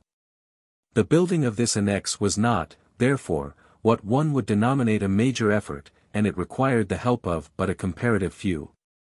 It was simple in design, consisting of two or three medium-sized rooms. We were standing fairly close to the group of architects and masons, beaded by the ruler of the realm. I noticed particularly that they had all the appearance of being extremely happy and jovial, and many were the jokes that circulated round this cheerful band. It was strange to Ruth and me, Edwin had witnessed this sort of thing before, to think that a building was shortly to go up, because since my arrival in the spirit world I had seen no signs of any building operations going on anywhere. Every hall and house was already erected, and it never occurred to me that anything further would be required in this direction. A little thought, of course, would have revealed that spirit houses are always in course of being built, while others are being demolished if they are no longer wanted. The halls of learning all looked so very permanent to my unaccustomed eyes, so very complete, that I could not think it would ever be necessary to make any additions to them. At length there were signs that a beginning was to be made. It must be remembered that the act of building in the spirit world is essentially an operation of thought. It will not be surprising, therefore, when I tell you that nowhere were there to be seen the usual materials and paraphernalia associated with earthly builders, the scaffolding and bricks and cement, and the various other familiar objects. We were to witness, in fact, an act of creation, of creation by thought, and as such no physical equipment is necessary. The ruler of the realm stepped forward a few paces, and, with his back towards us, but facing the site upon which the new wing was to arise, he spoke a brief but appropriate prayer. In simple language he asked the great Creator for his help in the work they were about to undertake. His prayer brought an instantaneous response, which was in the form of a bright beam of light that descended upon him and upon those gathered immediately behind him. As soon as this happened the architects and masons moved up close beside him.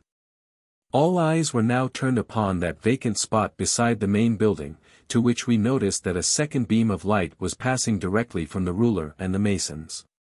As the second beam reached the site of the annex it formed itself into a carpet of coruscation upon the ground.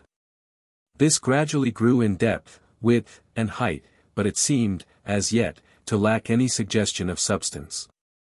It matched the main building in color, but that was all so far. Slowly the form gained in size until it reached the required height. We could now see plainly that it matched the original structure in general outline, while the carved devices similarly corresponded. While it was in this state the architects approached and examined it closely. We could observe them moving within it, until at length they passed from view. They were gone but a moment and they returned to the ruler with the report that all was in order. Edwin explained to us that this rather ghostly edifice was in reality an adumbration of the finished structure, shaped in exact facsimile before an intensification of thought was applied to produce a solid and completed building. Any mistake or fault would be detected when the building was in this tenuous state, and corrected at once. No rectification, however being necessary to this particular instance, the work was proceeded with immediately. The downstream of light now became very much more intense, while the horizontal stream from the ruler and his collaborators assumed, after the lapse of a minute or two, a similar degree of intensity. We could now perceive the nebulous form acquiring an unmistakable appearance of solidity as the concentration of united thought laid layer upon layer of increased density upon the simulacrum. From what I observed it seemed to devolve upon the ruler to supply to each of the masons just that quantity and description of force that each required upon his separate task. He acted, in fact, as a distributive agent for the magnetic power that was descending directly upon him. This split up into a number of individual shafts of light of different color and strength, which corresponded with his direct appeals to the great architect. There was no faltering or diminution of the application of thought substance to be perceived anywhere. The masons themselves seemed to work with a complete unanimity of concentration, since the building attained full solidity with a remarkable degree of evenness. After what appeared to Ruth and me a very short period, the building ceased to acquire any further density, the vertical and horizontal rays were cut off, and there stood before us the finished wing, perfect in every detail. An exact match and extension to the main edifice, beautiful alike in color and form, and worthy of the high purpose to which it was to be devoted. We moved forward to examine more closely the results of the feat that had just been accomplished. We ran our hands over the smooth surface, as though to convince ourselves that it was really solid. Ruth and I were not the only people to do this, as there were others who were witnessing for the first time, and with equal wonderment, the immense power of directed thought. The procedure which governs the building of our personal houses and cottages differs a little from that which I have just described to you. An indispensable prerequisite to the ownership of a spirit home is the right to own it, a right which is gained solely by the kind of life we live when incarnate, or by our spiritual progression after our transition to the spirit world. Once we have earned that right there is nothing to prevent our having such a residence if we should wish for one. It has often been said that we build our spirit homes during our earthly lives, or after. That is so only in a broad sense. What we have built is the right to build, for it requires an expert to erect a house that would justify the name. My own home was built for me during my earthly life by builders just as proficient as those who helped to erect the annex to the library. My friends, headed by Edwin, had looked after all the details entailed in such work. They had sought out the men to undertake the task, and the latter had carried into effect a fine piece of craftsmanship. When that day shall dawn upon which my spiritual progression will carry me onwards, I shall leave my house. But it will rest entirely with myself whether I leave my old home as it stands for others to occupy and enjoy, or whether I demolish it. It is customary, I am told, to make a gift of it to the ruler of the realm for his disposal to others at his discretion. Time and Space It is commonly thought by people of the earth plane that in the spirit world time and space do not exist. That is wrong.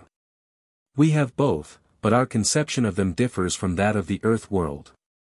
We sometimes use the phrase, before the dawn of time, to convey an idea of the passage of eons of time, but we have no notion of what is really embodied in that phrase. On the earth plane the measurement of time had its source in the revolution of the earth upon its axis, giving a division of time known to us as night and day. The recurrence of the four seasons gave that larger measure, during which the earth revolved round the sun. The invention of clocks and calendars brought a convenient means of measuring time within the reach of all of us. In the spirit world we have no clocks or other mechanical contrivances to indicate the passage of time. It would be the simplest thing in the world for our scientists to provide us with such if we felt the need for them. But we have no such need.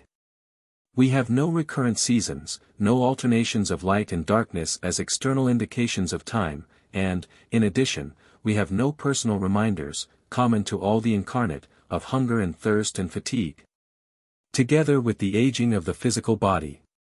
How, then, can we have any possible heat of the flight of time?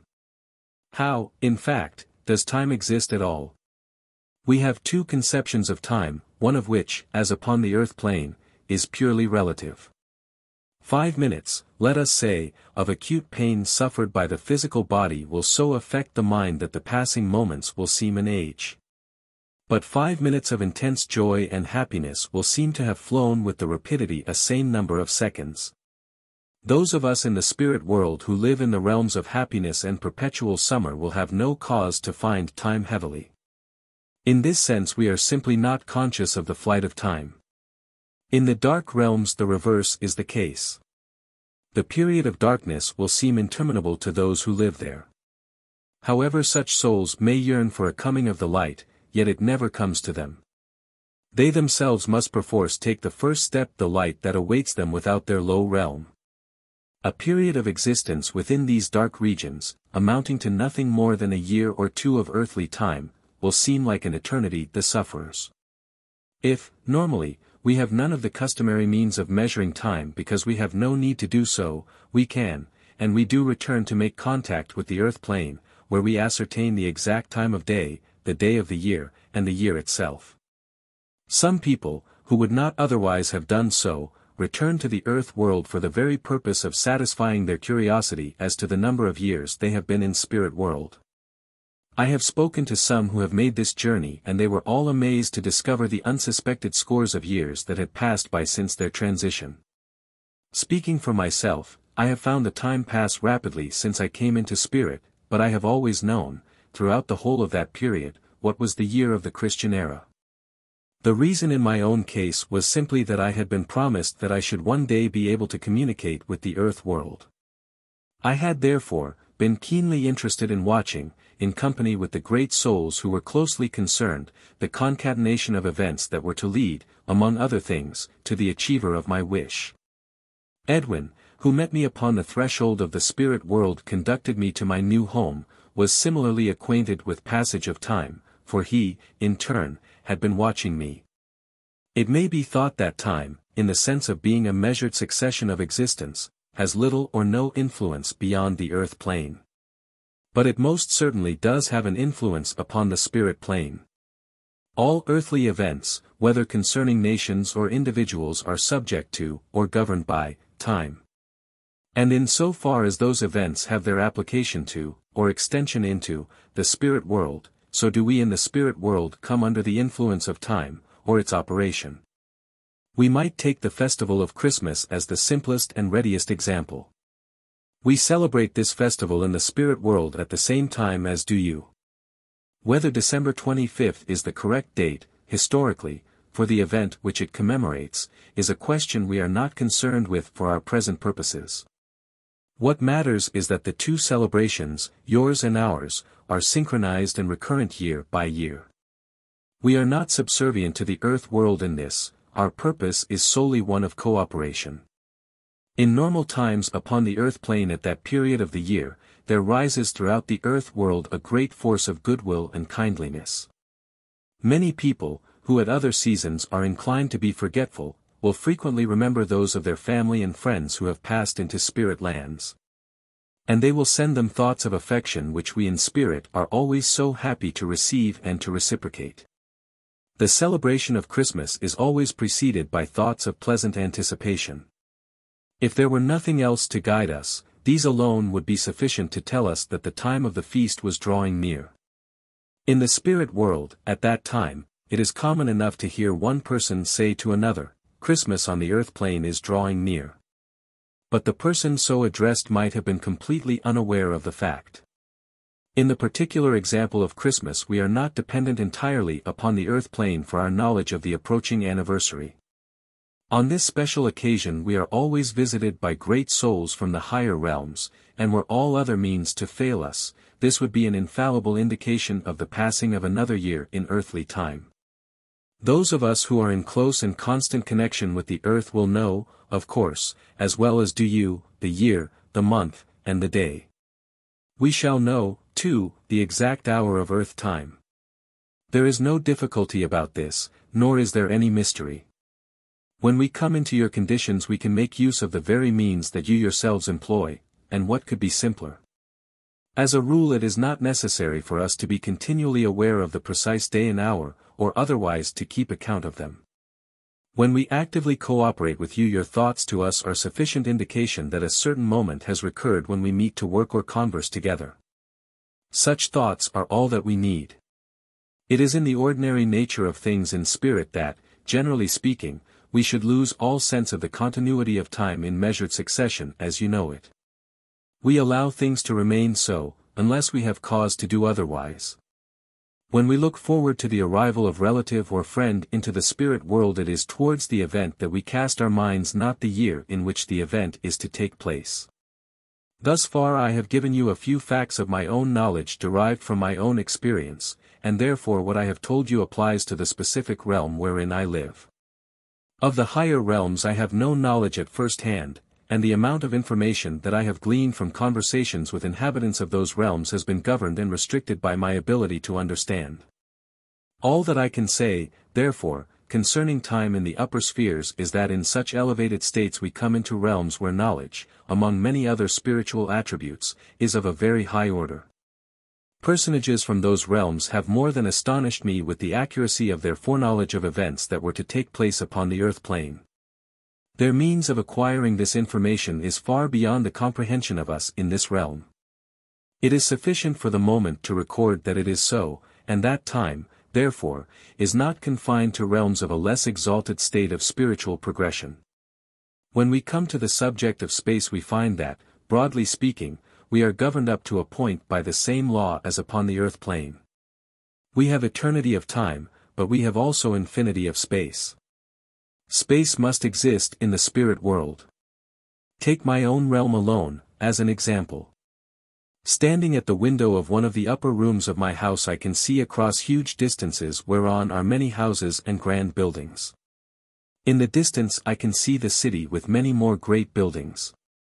Dispersed throughout the whole wide prospect are woods and meadows, rivers and streams, gardens and orchards, and they are all occupying space, just as all these occupy space in the earth world.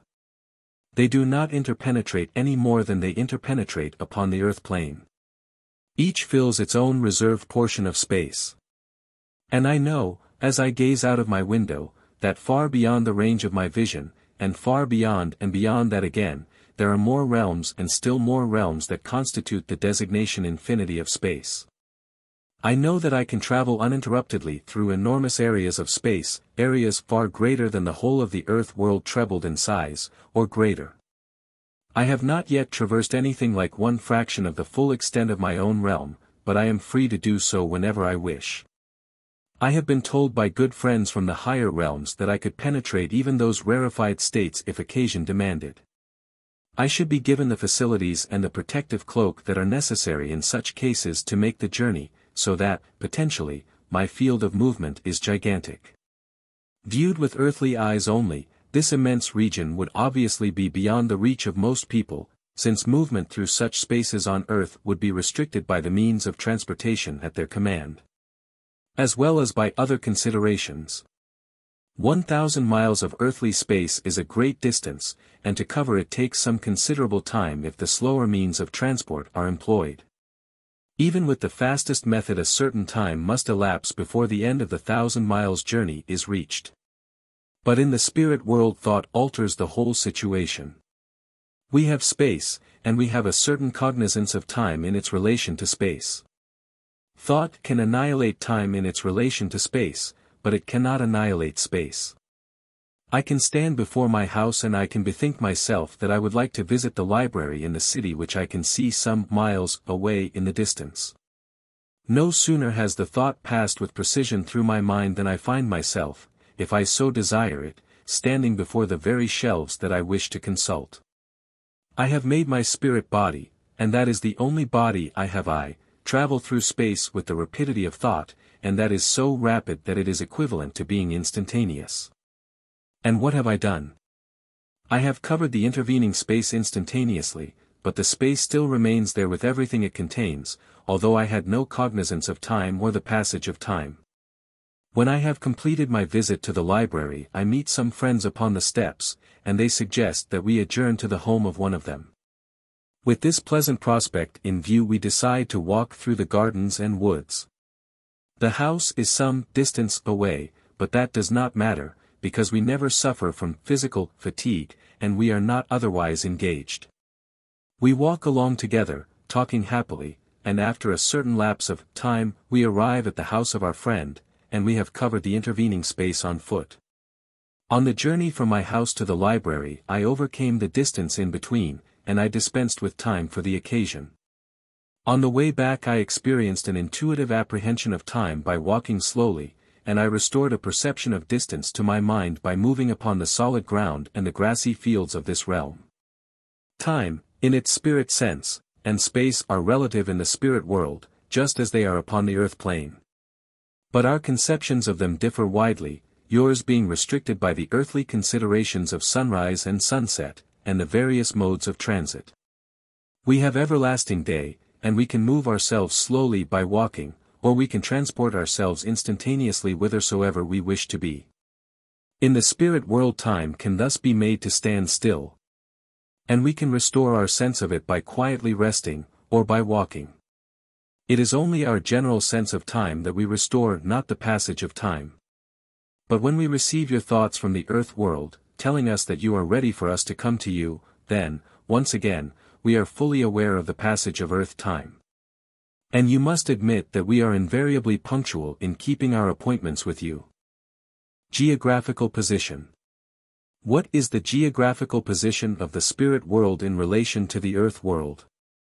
Many people have wondered this at different times, and I include myself among the many.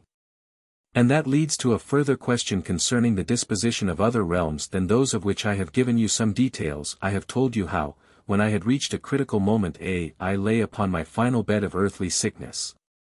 I at length felt an irresistible urge to rise up, and that I yielded to that urge easily and successfully. In this particular case the line of demarcation was very fine between the end of my earthly life and the beginning of my spirit life, because I was in full possession of my senses, fully conscious. The actual transition from one world to the other was in this respect imperceptible. But I can narrow things down still further by recalling that there came a moment when the physical sensations attendant upon my last illness left me abruptly, and in place of them a delightful feeling of bodily case and peace of mind completely enveloped me. I felt that I wanted to breathe deeply, and I did so. The impulse to rise from my bed, and the passing of all physical sensations, marked the instant of my physical death and my birth into the world of spirit. But when this took place I was still in my own earthly bedroom, and therefore a part, at least, of the spirit world must interpenetrate the earth world. This particular experience will give something of a point of departure for our geographical explorations. The next event in my transition was the arrival of my good friend Edwin, and our meeting after the lapse of years. The meeting took place seemingly in the bedroom. Then, after we had greeted each other and chatted for a brief space, Edwin proposed that we should depart from our present surroundings, which, in the circumstances, were rather doleful. He took me by the arm, told me to close my eyes, and I felt myself gently moving through space. I had no clear perception of direction. I only knew that I was traveling, but whether up or down or horizontally, it was impossible for me to say. Our rate of progress increased until at last I was told to open my eyes, and then I found myself standing before my spirit home. Since that day I have learnt many things, and one of my first lessons was in the art of personal locomotion by other means than walking. There are immense distances here to cover, and sometimes we need to cover them instantly. We do so by the power of thought as I have already outlined to you. But the strangest thing to me, at first, was the fact that when I moved myself through space at any greater speed than ordinary walking. I found that I had no sense of absolute direction, but one of movement only. If I chose to shut my eyes whilst traveling with moderate speed I merely shut out the scenery, or whatever else were my surroundings. It must not be thought that it is possible to lose one's way. That would be out of the question. This absence of a sense of direction in no way interferes with our initial thought function in personal locomotion. Once we have determined to journey to a certain place, we set our thoughts in motion and they, in turn, instantaneously set our spirit bodies in motion. One might almost say, it requires no thinking about. I have spoken to other people on these matters, and compared notes generally, it is a thing we all do when we are newly arrived in the spirit world, and we never lack willing friends to help us in our early difficulties. I have found that it is common to all here in spirit, this absence of any directional perception when moving rapidly. Of course, when we travel instantaneously there is no time to observe any object whatsoever. There is no observable interval of time between the moment we leave for, and the moment we arrive at, our destination. It will be appreciated from this factor of directional unawareness, if I may so term it, that to assign a precise location to the spirit world, relative to the earth world, is a difficult matter. Indeed, I doubt if anyone fairly new to spirit life could possibly hazard a guess as to his relative geographical position. Of course, there are scores upon scores of people who never bother their heads about such things. They have severed all connection with the earth world, and they have done with it for all time. They know positively that they are alive and in the spirit world, but as to the exact position of that world in the universe, they have no intention of troubling themselves. But our own case is different. I am in very active communion with the earth world, and I think it would be of interest if I were to try to give some idea just where the spirit lands are situated. The spirit world is divided into spheres or realms. These two words of designation have passed into current acceptation among most of those on the earth plane who have a knowledge of and practice, communication, with our world. In speaking to you thus, I have used the words interchangeably. They suffice for our purpose, one can think of none better. These spheres have been given numbers by some students, ranging from the first, which is the lowest, up to the seventh, the highest. It is customary among most of us here to follow this system of numbering. The idea originated, I am told, from our side, and it is a very useful and convenient method of conveying the information of one's position upon the ladder of spiritual evolution. The spheres of the spirit world are ranged in a series of bands forming a number of concentric circles around the earth. These circles reach out into the infinity of space, and they are invisibly linked with the Earth world in its lesser revolution upon its axis and, of course, in its greater revolution round the Sun. The Sun has no influence whatever upon the spirit world. We have no consciousness of it at all since it is purely material. An exemplification of the concentric circles is afforded us when we are told that a visitant from a higher sphere is coming down to us. He is relatively above us, spiritually and spatially. The low realms of darkness are situated close to the earth plane and interpenetrated at their lowest. It was through these that I passed with Edwin when he came to take me to my spirit home. And it was for that reason that he recommended that I keep my eyes firmly closed until he should tell me to open them again I was sufficiently alert, too much so. Because I was fully conscious, otherwise to see some of the hideousness that the earth world has cast into these dark places.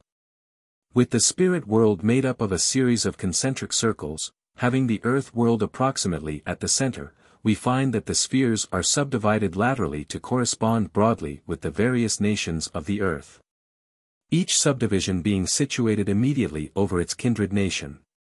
When you consider the enormous variety of national temperament and characteristics distributed throughout the earth plane, it is not surprising that the people of each nation should wish to gravitate to those of their own kind in the spirit world. Just as much as they wish to do when upon the earth plane. Individual choice, of course, is free and open to every soul, he may live in whatsoever part of his own realm that he pleases. There are no fixed territorial frontiers here to separate the nations. They make their own invisible frontiers of temperament and customs, but the members of all the nations of the earth are at liberty to intermingle in the spirit world, and to enjoy unrestricted and happy social intercourse. The language question presents no difficulty, because we are not obliged to speak aloud. We can transmit our thoughts to each other with the full assurance that they will be received by the person whom we are mentally addressing. Thus language constitutes no barrier. Each of the national subdivisions of the spirit world bears the characteristics of its earthly counterpart. That is but natural. My own home is situated in surroundings that are familiar to me and that are a counterpart of my earthly home in general appearance. These surroundings are not an exact replica of the earthly surroundings. By which, I mean that my spirit home is located in the type of countryside with which I and my friends are very familiar. This dividing of the nations extends only to a certain number of realms. Beyond that, nationality, as such, ceases to be. There we retain only our outward and visible distinctions, such as the color of our skin, whether it be yellow, white, or black. We shall cease to be nationally conscious such as we are when upon the earth plane and during our sojourn in the realms of less degree. Our homes will no longer have a definite national appearance, and will partake more of pure spirit. You will recall how, in building the annex to the library, I introduced you to the ruler of the realm. Each realm has such a personage, though the term ruler is not a really good one, because it is apt to convey something of a wrong impression. It would be much happier and far more exact to say that he presides over the realm. Although each realm has its own resident ruler, all the rulers belong to a higher sphere than that over which they preside. The position is such that it calls for high attributes on the part of its holder, and the office is held only by those who have had long residence in the spirit world. Many of them have been here thousands of years. Great spirituality is not alone sufficient, if it were, there are many wonderful souls who could hold such office with distinction. But a ruler must possess a great deal of knowledge and experience of humanity, and in addition he must always be able to exercise wise discretion in dealing with the various matters that come before him. And all the ruler's experience and knowledge, all his sympathy and understanding, are ever at the disposal of the inhabitants of his realm, while his kindness and infinite patience are always in evidence. This great soul is ever accessible to any who wish to consult him, or who bring him their problems for solution. We have our problems, just as do you upon the earth plane, although our problems are very different from yours. Ours never of the nature of those harassing worries and cares of the earth world. Speaking for myself, my first problem, soon after my transition, was how to set right what I considered to be a wrong I had done when I was incarnate. I had written a book in which I had treated the truth of communication with the earth world with great unfairness.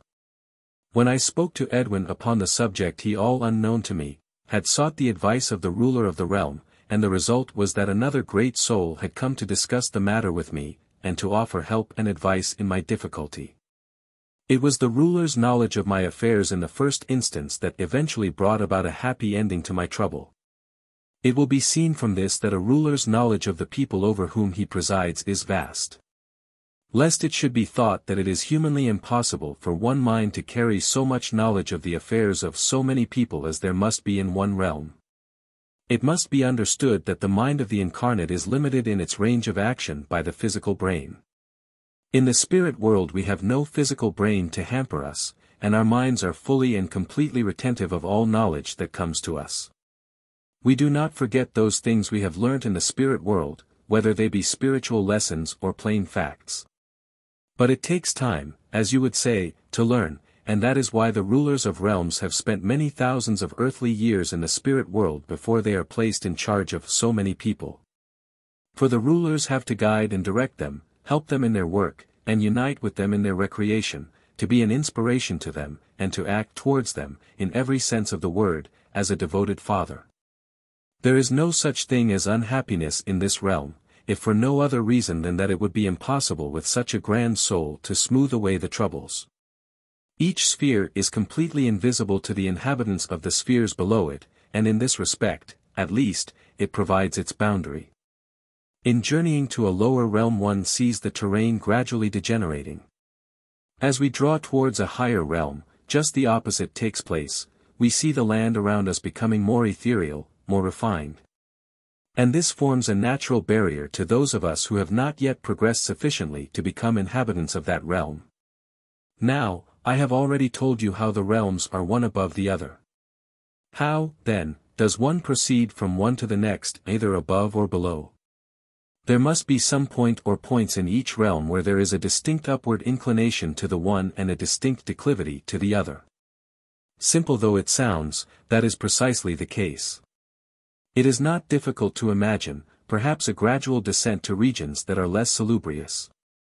We can call to our aid our earthly experiences, and recollect some rocky places that we could visit and descend, treacherous to the feet, leading us down into dark caverns, cold and damp and uninviting. Where we could imagine all manner of noisome things lurking in readiness for us. We can then remember that above us, though out of sight, there shines the sun, spreading warmth and light upon the earth, while yet we seem to be in another world altogether. We might wander about through underground caves until we become lost and are shut off completely from the land above us. But we know that there is one way up at least, if we can but find it, and if we persevere in our attempts to scale the dangerous rocky pathway. If we commence our world of spirit in the lowest recess of this earthly picture of the subterranean caves, we can see how each of the realms is connected with the realm immediately above it. The earthly analogy is, of course, an elementary one, but the process and the principle are the same. The transition in the spirit world from one realm to another is literal, as literal as passing from the dark cavern to the sunlight above, as literal as walking from one room in your house to another, whether upstairs or down. To pass from this realm where I live to the next higher, I shall find myself walking along gently rising ground. As I proceed I shall see all the unmistakable signs, and feel them, of a realm of greater spiritual refinement. There will eventually come a point in my walking when I can go no further because I shall feel most uncomfortable spiritually. If I should be foolish enough to try to defy these feelings, I should, at length, find that I was completely unable to venture a foot forward without undergoing sensations which I could not possibly bear. I should not be able to see anything before me, only that which lay behind me. But whether we are standing at one of the boundaries, or whether we are well within the confines of our own realm, there comes a certain line in the bridge between the realms where the higher realm becomes invisible to less spiritual eyes. Just as certain light rays are invisible to earthly eyes, and certain sounds and musical notes are inaudible to earthly ears, so are the higher realms invisible to the inhabitants of the lower realms. And the reason is that each realm possesses a higher vibrational rate than that below it, and is therefore invisible and inaudibly to those who live below it. Thus we can see that another natural law operates for our own good. The lowest realms. There is a very bright and beautiful sphere of the spirit world which has been given the picturesque and most apposite title the Summerland. The dark regions might almost be called the Winterland, but for the fact that the earthly winter possesses a grandeur all its own while there is nothing but abomination about the lower realms of the spirit world. So far I have only touched briefly upon the dark realms, taking you just within the threshold, but in company with Edwin and Ruth, I have actually penetrated deeply into those regions.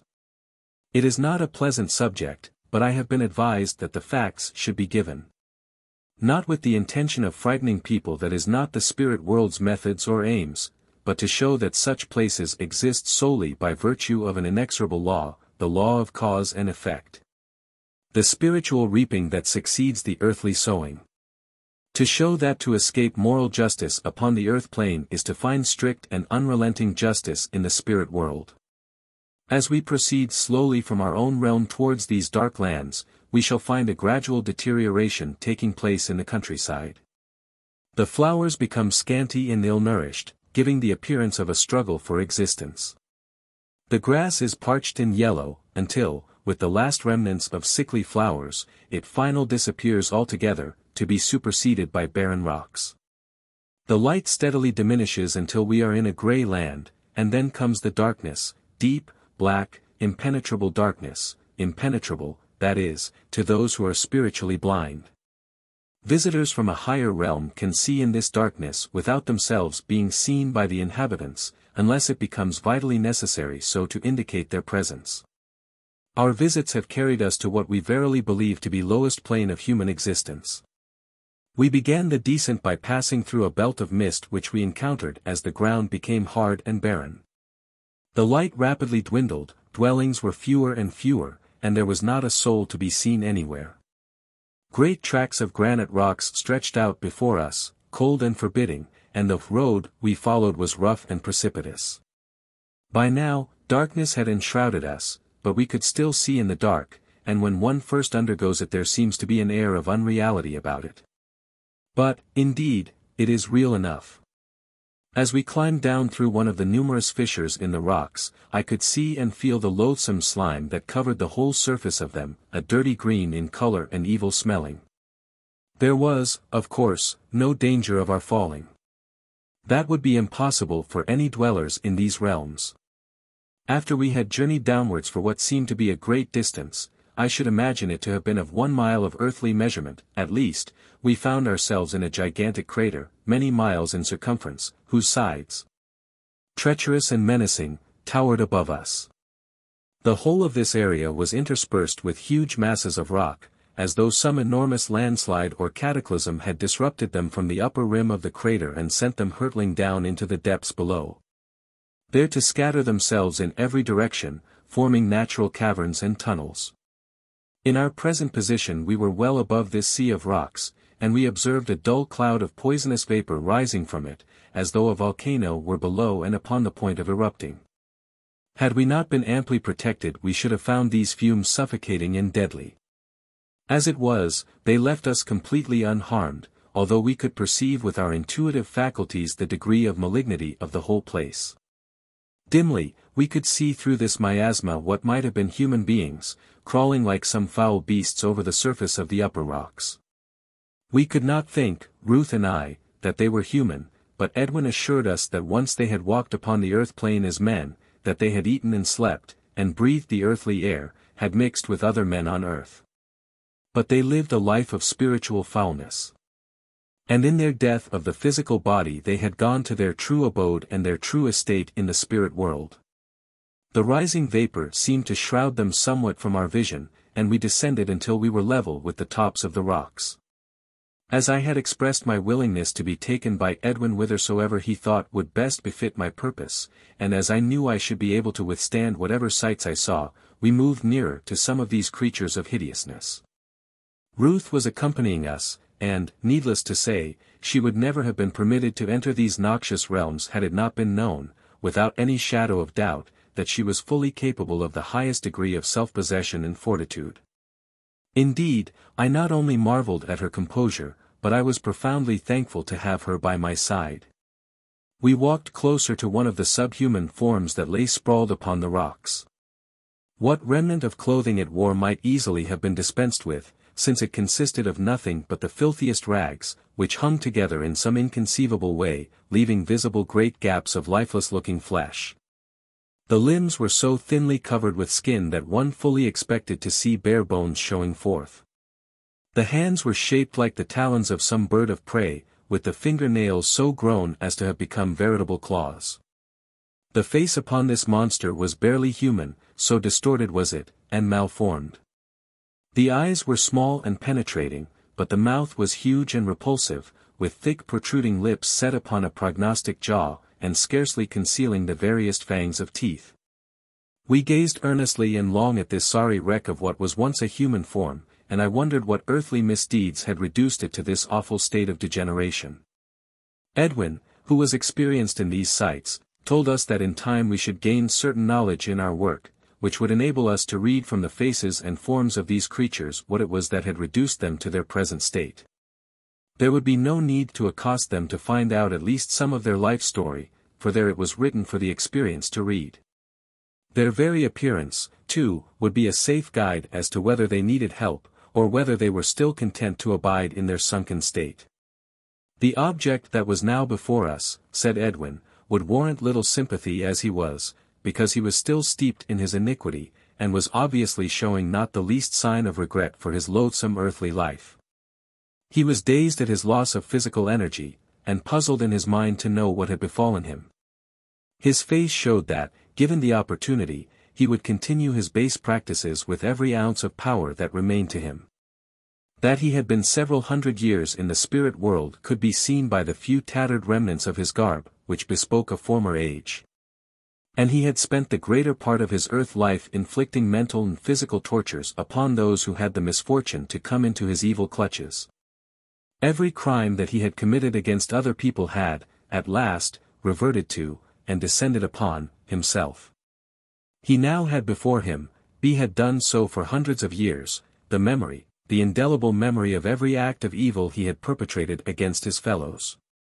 When he was upon earth, he had acted under a false pretense of administering justice. In very truth, his justice had been nothing but a travesty, and now he was seeing exactly what true justice really meant. Not only was his own life of wickedness continually before him, but the features of his many victims were ever passing before his mind, created out of that same memory which is registered unfailingly and ineradicably upon the subconscious mind. He cannot ever forget, he must always remember. And his condition was aggravated by the anger of feeling like a trapped animal. We stood together, a little group of three, but we could not feel one tiny vestige of sympathy for this inhuman monster. He aroused none within us. He was receiving his just merits, no more, no less.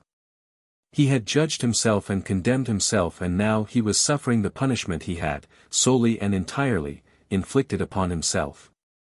Here was no case of an avenging God inflicting condign punishment upon a sinner. The sinner was there, truly, but B was the visible manifestation of the unalterable law of cause and effect. The cause was in his earthly life. The effect was in his spirit life. Had we been able to detect one tiny glimmer of that light, it is a real light that we see, which is an unmistakable sign of spiritual stirrings within, we might have done something for this soul. As it was, we could do nothing but hope that one day this dreadful being would call for help in true earnestness and sincerity. His call would be answered, unfailingly. We turned away, and Edwin led us down through an opening in the rocks onto more or less level ground. We could see at once that this part of the crater was more thickly peopled, if one can use the term people of such as we saw there.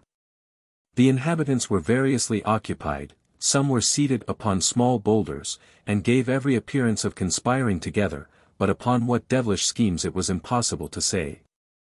Others were in small groups perpetrating unspeakable tortures upon the weaker of their kind who must, in some fashion, have fallen foul of their tormentors. Their shrieks were unbearable to listen to, and so we closed our ears to them, firmly and effectively. Their limbs were indescribably distorted and malformed, and in some cases their faces and heads had retrograde to the merest mockery of a human countenance. Others again we observed to be lying prone upon the ground as though exhausted from undergoing torture, or because of expending their last remaining energy upon inflicting it. Before they could gather renewed strength to recommence their barbarities. Interspersed throughout the great area of this dreadful region were pools of some sort of liquid. It looked thick and viscid, and inexpressibly filthy, as, indeed, it was. Edwin told us that the stench that came from these pools was in keeping with all else that we had seen here, and he advised us earnestly not to dream of testing the matter for ourselves. We followed his implicitly. We were horrified to see signs of movement in some pools, and we guessed, without Edwin having to tell us frequently the inhabitants slip and fall into them. They cannot drown because they are as indestructible as we are ourselves. We witnessed all manner of bestialities and grossness, and barbarities and cruelties as the mind can scarcely contemplate. It is not my purpose nor my wish to give you a detailed account of what we beheld. We had, by no means, reached the bottom of this foul pit, but I have given you quite sufficient details of what is to be found in the realms of darkness. And now you will ask, how does this all come about? Or why are such places allowed to exist? Perhaps the matter will become clearer when I tell you that every soul who lives in those awful places once lived upon the earth plane. The thought is dreadful, but the truth cannot be altered. Do not think for one moment that I have exaggerated in my brief description of these regions. I assure you that I have not done so. I have in fact, given you an understatement. The whole of these revolting regions exist by virtue of the same laws that govern the states of beauty and happiness.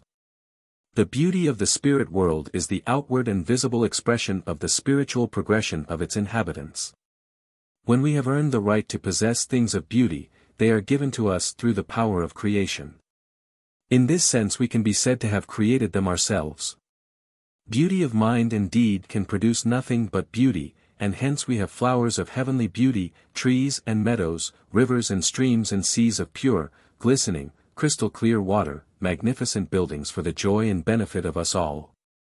And our own individual homes where we can surround ourselves with still more beauty, and enjoy the delights of happy converse with our fellows. But ugliness of mind and deed can produce nothing but ugliness. The seeds of hideousness sown upon the earth plane will inevitably lead to the reaping of a harvest of hideousness in the spirit world. These dark realms have been built up by the people of the earth plane, even as they have built up the realms of beauty. No single soul is forced into either the realms of light or those of darkness. No soul could possibly take exception to anything he found in his realm of light, since discontent or disapproval, discomfort or unhappiness cannot exist in these realms.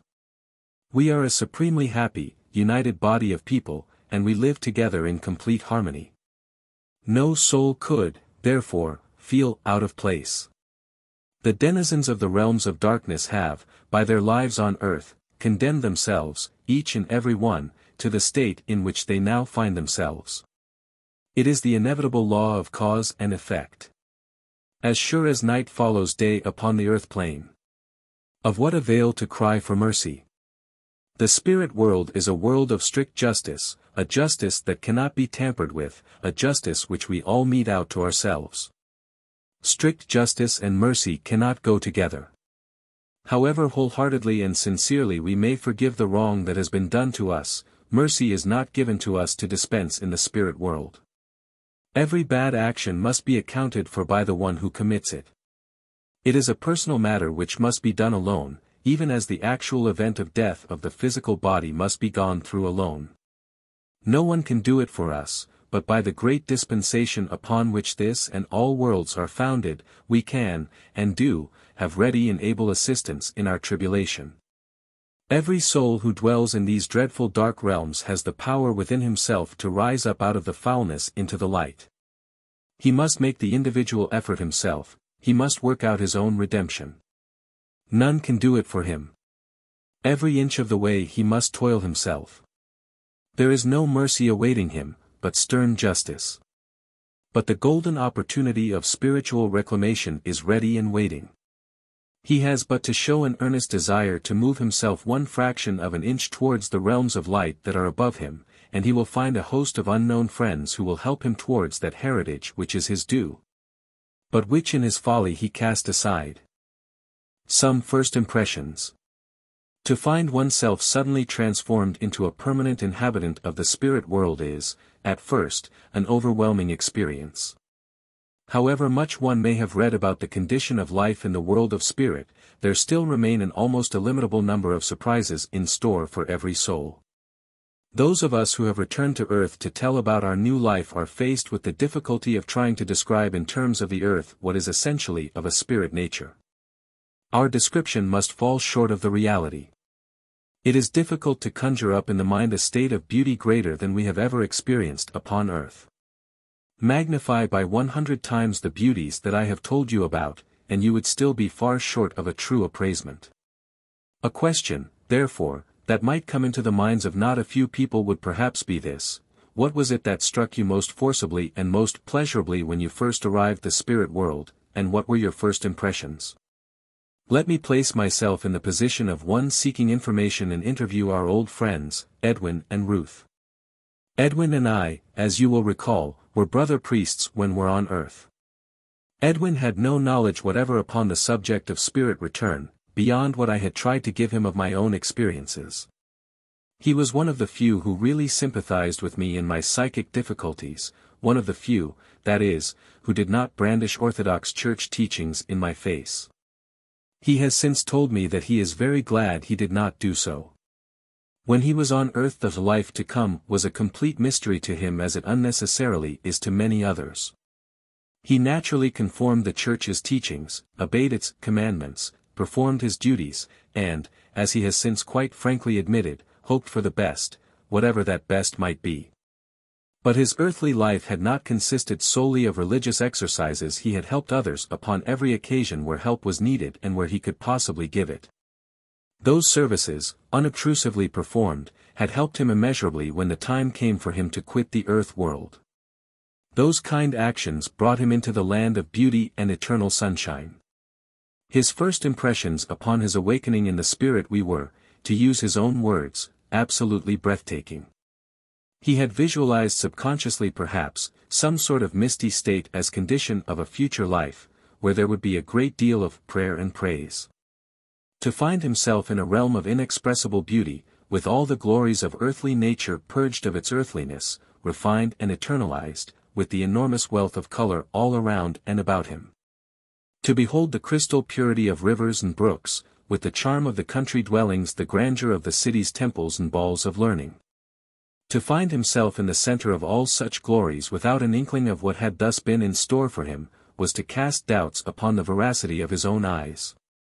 He could not believe that he was not in the midst of some beautiful, but fantastic, dream, from which he would shortly awaken to find himself once again in his old familiar surroundings. He thought how he would relate this dream when he returned to consciousness. Then he considered how it would be received, as very beautiful, no doubt, but just a dream. And so he stood gazing upon all this wealth of beauty. That, Edwin said, was his first and greatest impression. He had regarded as part of the same dream all that had gone before, all that had led up to his standing and gazing in wonder upon the scene that stretched out almost unendingly before him. How he had awakened upon a comfortable couch, in a very charming house, to see sitting beside him an old friend, who performed the same office for Edwin as did Edwin for me when he came to meet me. His friend led him out of doors to see the new world. Then came his friend's most difficult task, to convince Edwin that B had died and yet still lived. You see, at first he took his friend and his friend's explanation to be part of the same dream, and he was nervously awaiting for something to happen that would break up the dream into returning earthly consciousness. Edwin admitted that he took some convincing, but his friend was infinitely patient with him. The instant that he was assured that he was really and truly and permanently in the world of spirit, his heart knew no greater joy. And he proceeded to do what I afterwards did in company with Ruth, travel through the lands of the new life with the luxurious freedom of body and mind that is of the very essence of spirit life in these realms. What most impressed Ruth upon her first awakening in the spirit world was, she said, the enormous profusion of color. Her transition had been a placid one, and she had consequently awakened, after a very brief sleep, calmly and gently. As with Edwin, she had then found herself in a delightful house, small, neat and compact, and all her own. An old friend was beside her. Ready to help in the inevitable perplexities that accompany so many awakenings in the spirit world. Ruth is by nature rather reserved, especially, as she said, when it came to talking about herself. In Edwin's case I knew so much of his earth life that it was easy for me to draw upon my own knowledge of him. Ruth, however, I had never seen until we met here upon that occasion beside the lake. After much persuasion, I managed to extract from her one or two details concerning her earthly life. She had never, she said, been an active churchgoer, not because she despised the church, but because her own views upon hereafter did not agree with what her own church taught. She saw too much of faith required, and too little of fact being given altogether she had encountered so much of the troubles and afflictions of others in her daily life that the vague, but real terrifying, picture of the world to come. The dreadful judgment day that was so constantly held before her in the church teaching, she instinctively felt to be wrong. The emphasis so strongly upon the word sinner with the almost wholesale condemnation of everyone as such, she also felt to be wrong. She was not foolish enough, she declared, to believe that we as saints, but, at the same time, we are not all sinners. Of the many people she knew, she could recall none who could ever be branded and condemned in the religious sense. Where, then, were all these people going after they had died? She could never imagine herself sitting in judgment upon the souls and passing sentence upon them as sinners. It would be preposterous to contemplate, Ruth added, that she could be more merciful than God. It was unthinkable. So she had built for herself a simple faith, a practice that the theologian would at once say was highly dangerous and never for one moment to be encouraged. He would have spoken of the peril in her which immortal soul stood by entertaining such ideas. But Ruth never for an instant considered her immortal soul to peril. Indeed, she went happily along, living her life accordingly to the dictates of her gentle nature, helping others in her life. And bringing a little sunshine into the drab lives of others and she was firmly convinced that when her time came to leave the earth plane she would take with her into the new life affection of her many friends. She had no fear of death of the physical body, nor could she imagine it to be the terrifying experience that so many people anticipate and dread. She had no absolute grounds for this belief and she has since concluded that she must have been drawn to it intuitively. Apart from the glorious colors of the realm in which she found herself, what struck Ruth very forcibly was the astonishing clearness of the atmosphere. There was nothing like it to be seen on earth. The atmosphere was so free from the slightest of mistiness, and her own vision seemed to be so intensified in power and extent, that the enormous range of colors became doubly vivid. She had a naturally keen eye for color, and she had undergone considerable musical training when she was upon earth. When she came into the spirit world these two faculties had combined, and the color and music of the new land had burst upon her with all the luxuriance of their superb beauty. At first, she could scarcely believe her senses, but her friends had soon explained to her just what had happened, and as she had so few fixed ideas about the future life, so had she so little to unlearn. But, she said, it took her many days of earth time before she could fully grasp or absorb all the wonders that lay around her. When once she had fully realized the significance of her new life, and that all eternity lay before her in which to sample the marvels of this land, she was able to restrain her excitement, and, as she said, take things a little more quietly. It was while she was in process of the latter that we first met. Once, when the three of us were seated in the garden pleasantly discussing all manner of things, we espied, walking up the garden path, a figure that was well known to Edwin and myself.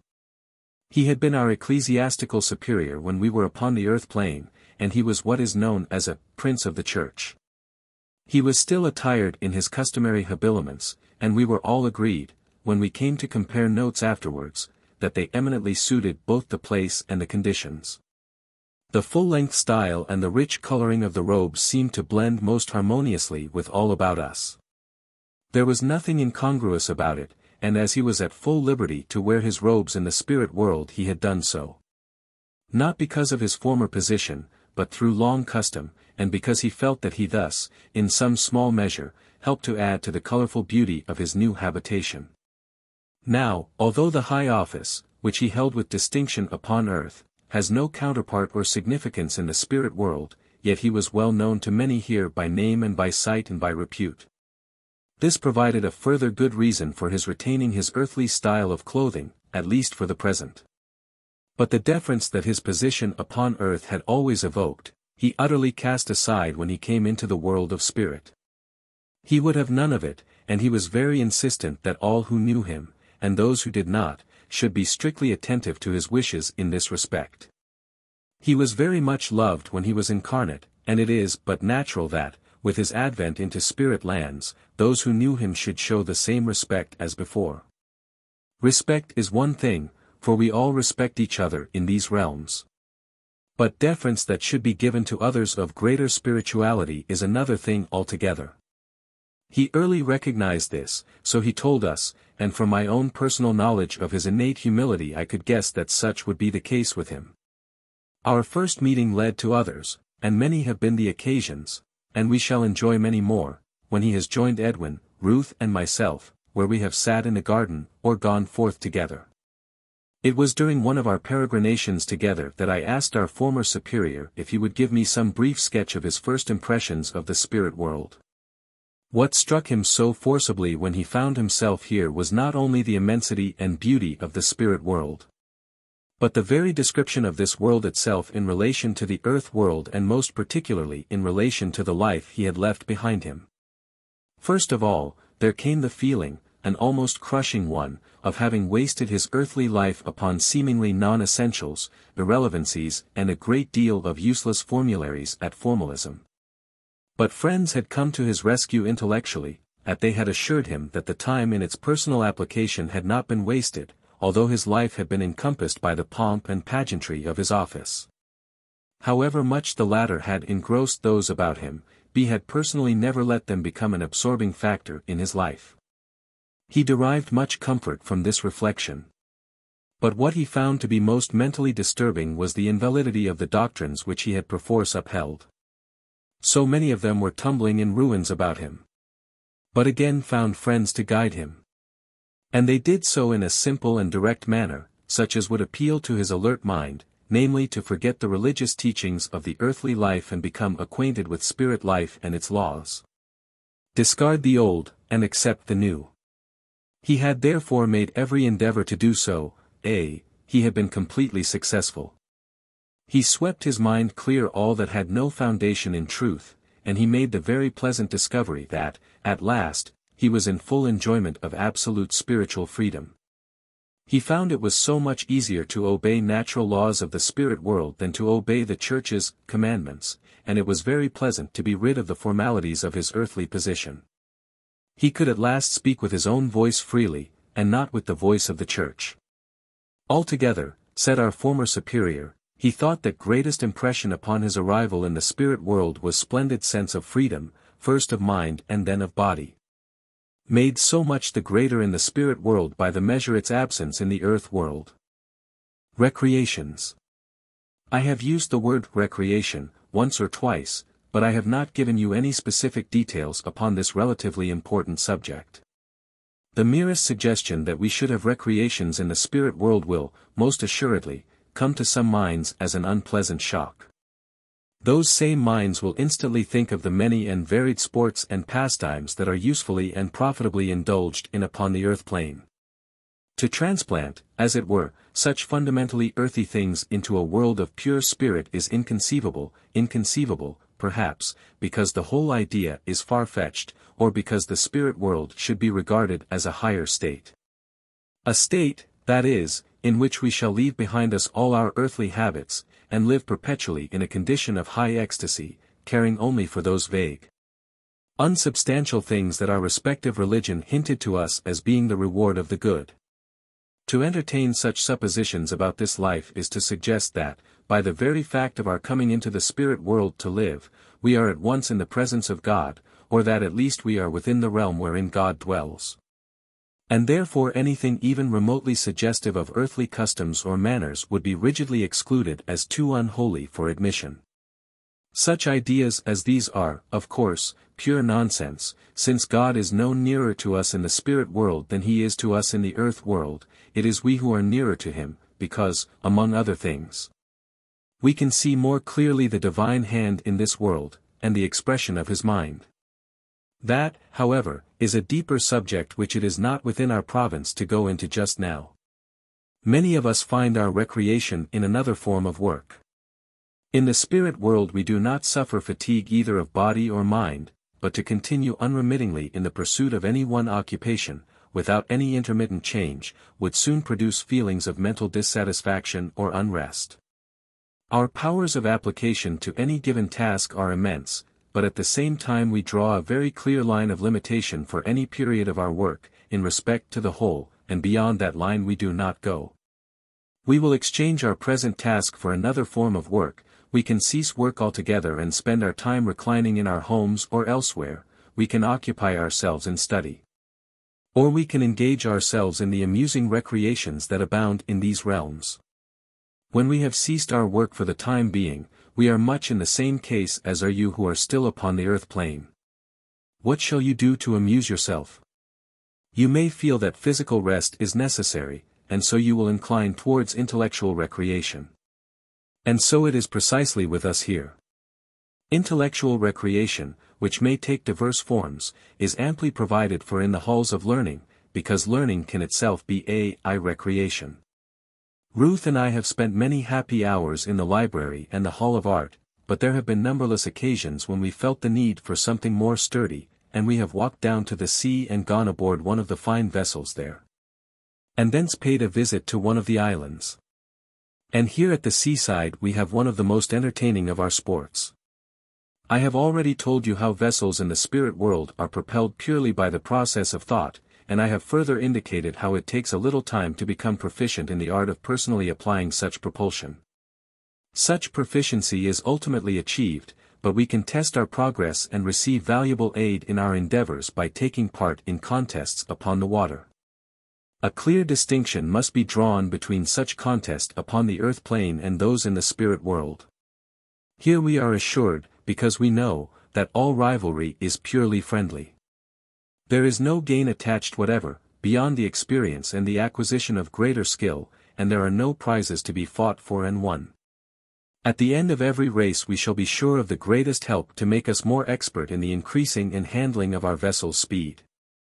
One particular diversion that finds a very considerable measure of favor with us here is that of dramatic representation different kinds. We have beautiful theaters situated in environment just as beautiful, Worthy buildings devoted to a worthy purpose. The architects who design the buildings do so with the same meticulous care as is shown in all their endeavors, and the results, as usual, reveal the degree of active cooperation that exists between the masters of the craft. The garniture within is the product of skilled artists from the Hall of Fabrics, the gardens without have same devoted care lavished upon them. The result is as removed from an earthly theatre as it is possible to imagine. Before I speak further upon this subject I would like to observe that I am fully aware that there are people upon the earth plane who totally disapprove of theaters and everything connected with them. In most instances such aversion is the outcome of religious upbringing. I cannot alter the truth, as I find it in the spirit world, to accord with certain religious views held by people still incarnate. I speak of those things which I have witnessed in company with thousands of others, and the fact of strong disapproval, by earth people, of what I have described as existing in the spirit world, in no way prove such things to be non-existent. And therefore my statement to be false. My position for observation is incomparably superior to theirs, because I have left the earth world and become an inhabitant of the spirit world. If our descriptions of the world we now inhabit were to be altered to suit every individual taste and every preconception of what the spirit world ought to be, we might just as well cease, forthwith, to give any further descriptions, since, after being so tampered with, they would be worthless. Lest I should have conveyed any false impression in saying this, let me add that anyone who expressed disapproval of all, or any, form of recreation he found here, such a person would never be asked to indulge in them. With others of similar views, he would find himself in a little community apart, there to remain, safely out of range of all supposed earthly things, and able to live in such a place as he thought, heaven ought to be. I have met such people, and it was not long, as a rule, before they abandoned their homemade heaven, and walked abroad into the finer, greater heaven, which is the work of the greatest mind. Each theatre of this realm is familiar to us by the type of play that is presented in it. The plays themselves are frequently vastly different from those that are customary upon the earth plane. We have nothing that is sordid, nor do the authors of plays insist upon harrowing their audiences. We can see many problem plays where social questions of the earth plane are dealt with, but unlike the earth plane our plays will provide a solution to the particular problem, a solution which the earth is too blind to adopt. We can go to see comedies where, I do assure you, the laughter is invariably much more hearty and voluminous than is ever to be heard in a theatre of the earth plane. In the spirit world we can afford to laugh at much that we once, when incarnate, treated with deadly seriousness and earnestness. We have witnessed grand historical pageants showing the greater moments of a nation, and we have seen, too, History as it really was, and not as it is often so fancifully written about in history books. But surely the most impressive, and, at the same time, interesting experience is to be present at one of these pageants where the original participants themselves reenact the events in which they were concerned. First as the events were popularly thought to have occurred, and then as they actually took place. These representations are among the most widely attended here, and never are there more attentive and rapt members of the audience than those players who, during their earthly lives, played the parts, in stage plays of the famous character whom they are now seeing in the flesh. In such pageants the coarser, depraved and debased incident are omitted entirely, because they would be distasteful to the audience, and, indeed, to all in this realm. Nor are we shown scenes which are, in the main incidents, nothing but battle at bloodshed and violence. At first, one experiences a strange feeling in beholding, it person, the bearers of names famous throughout the earth world but after a time one becomes perfectly accustomed to it, and becomes part of our normal existence. The most noticeable difference between our two worlds, in this matter of recreations, is created by our respective requirements. We have no need here to take bodily exercise, vigorous or otherwise, nor do we need to go out into the fresh air. Our spirit bodies are always in perfect condition, we suffer no disorders of any kind, and the air, which cannot be other than fresh penetrates into every corner of our homes and buildings, where it fully retains its purity. It would be impossible for it to become vitiated or contaminated in any way. It is to be expected, then that our recreations should be more upon the mental plane than, upon the physical. As most of the outdoor games of the earth world involve the use of a ball, it will be appreciated that here, where the law gravity operates under different conditions from yours, anything in the nature of propelling a ball by striking it would lead quite hopeless results. I am speaking now of games of a competitive nature. On the earth plane skill in games is acquired by the master of the mind over the muscles of the body, when once the latter has been brought to a healthy condition. But here we are always in a healthy condition, and our muscles are always under the complete and absolute control of our minds. Efficiency is quickly gained, whether it is in playing upon a musical instrument, painting a picture, or in any other pursuit that requires the use of the limbs. It will be seen, therefore, that most of the usual games would lose their point here. And it must be remembered that indoors or outdoors are precisely one to us here. We have no changes of weather during recurrent seasons. The great central sun is forever shining, it is never anything but delightfully warm. We never feel the necessity for a brisk walk to set our blood circulating the better. Our homes and our houses are not necessities, but additions to an already enjoyable life. You will find many people here who do not possess a home. They do not want one, they will tell you, for the sun is perpetually shining and the temperature is perpetually warm. They are never ill, or hungry, or in want of any kind, and the whole beautiful realm is theirs to wander in.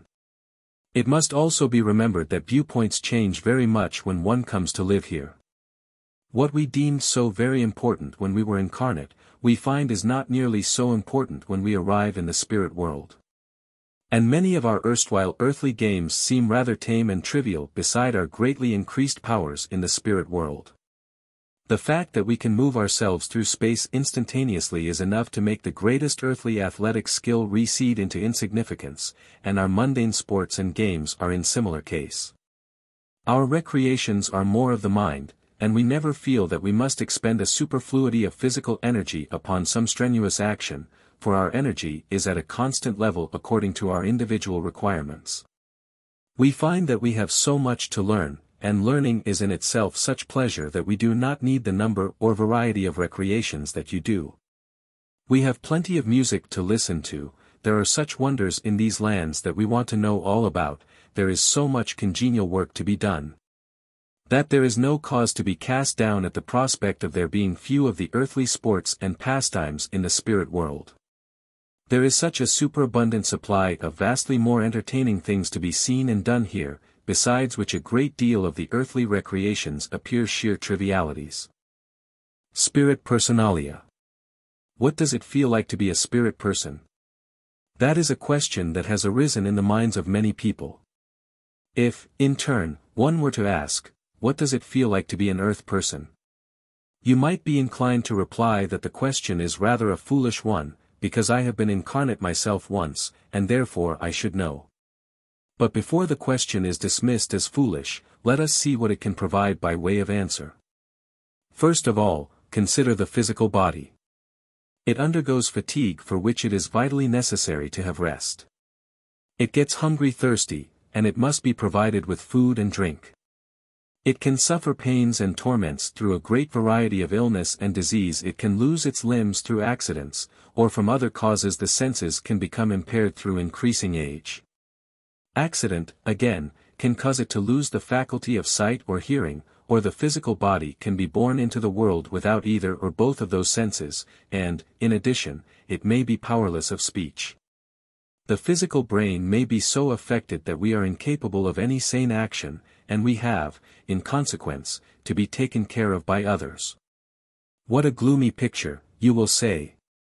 That is so, but anyone can be the victim to some, at least, of the catalogue of disabilities I have mentioned. At least three of them are common to every single soul upon the earth plane, hunger, thirst, and fatigue. And that by no means exhausts the list. But it will suffice for our purpose. Now, eliminate, completely and entirely, every one of these unpleasant disabilities that I have enumerated. Exclude, in infallibly and everlastingly, the cause of them, and you should have in your mind some idea of what it feels like as a spirit person, when I was upon the earth plane I suffered from some of the ailments that are common to most of us, ailments that are not necessarily serious, and that we take rather as a matter of course.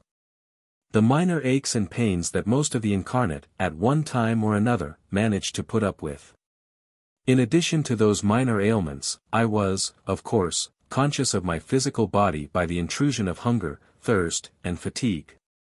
The final illness, serious one, was too much for the physical body, and transition took place. And immediately I knew what it felt like to be a spirit person.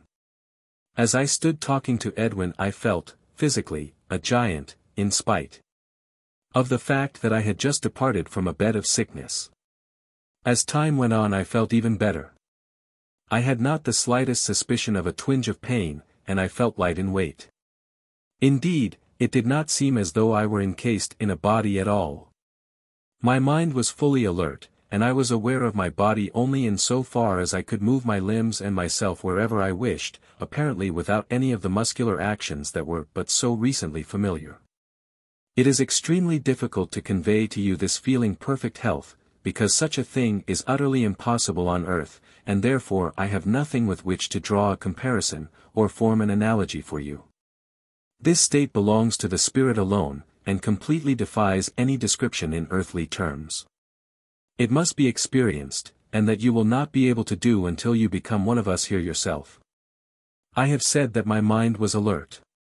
That is an understatement.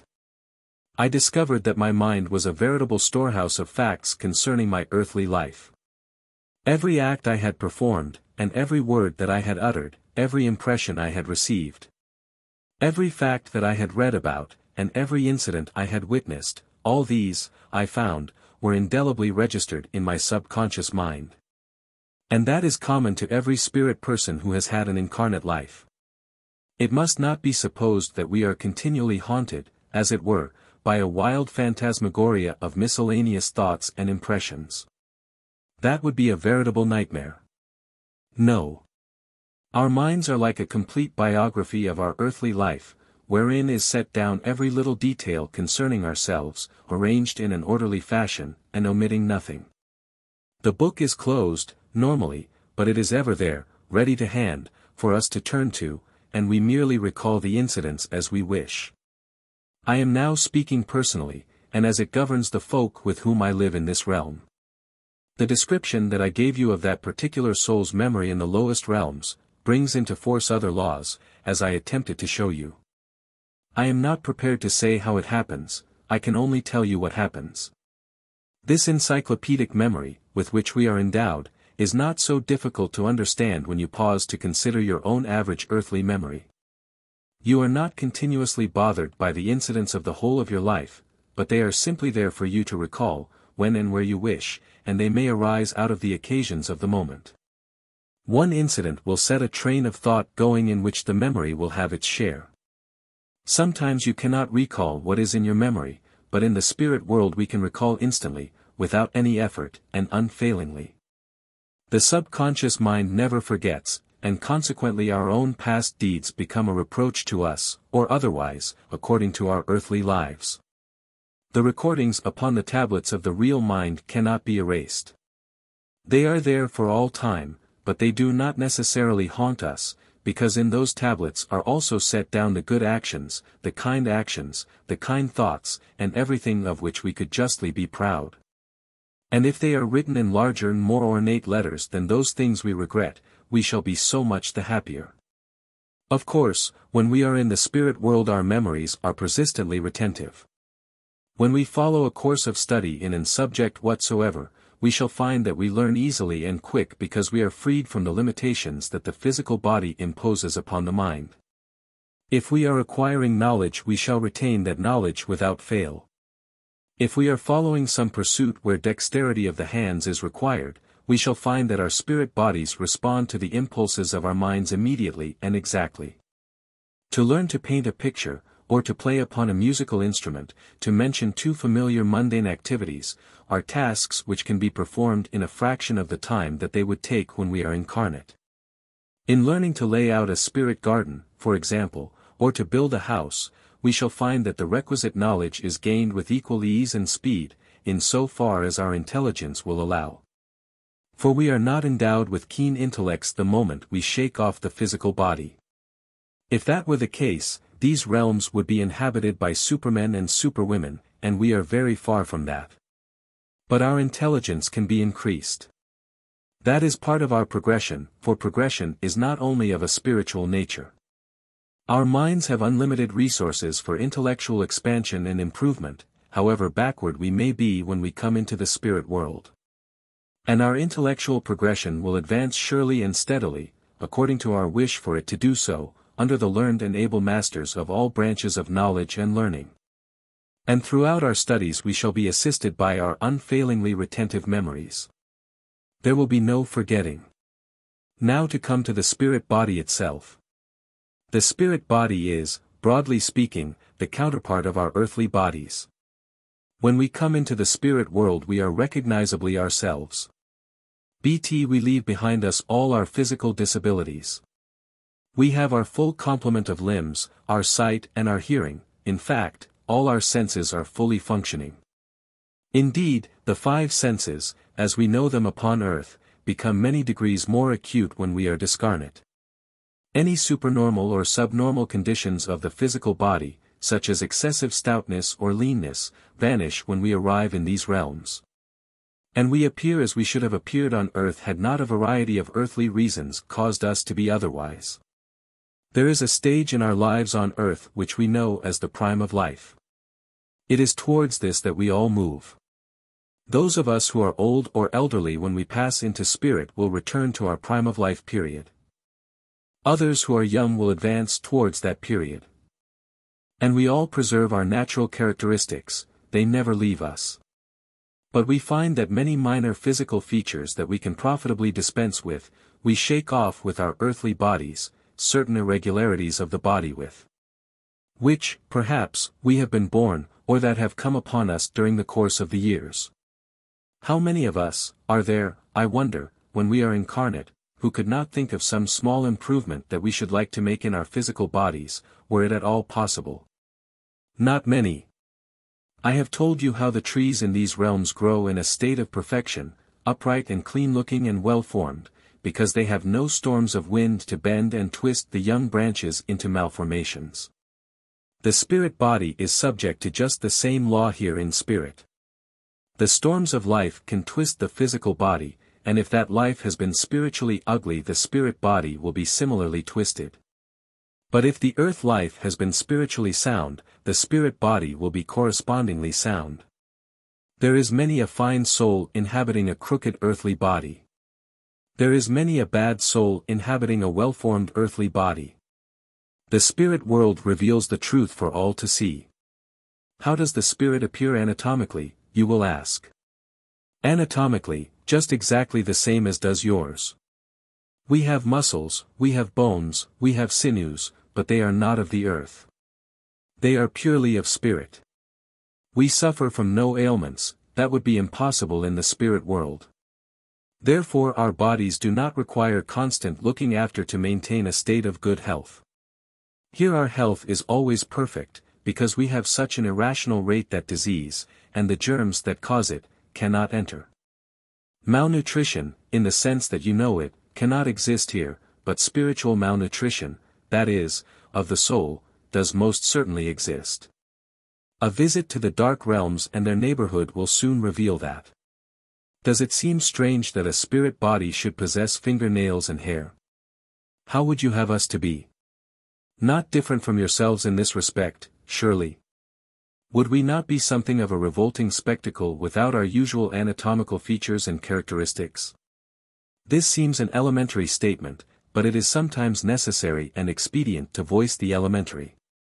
How is the spirit body covered? A great many people, I think it would be true to say the great majority, wake up in these realms dressed in the counterpart of the clothes they wore when upon the earth plane at the time of their transition. It is reasonable that they should, because such attire is customary, especially when the person has no foreknowledge whatever of spirit world conditions. And they may remain so attired for just as long as they please.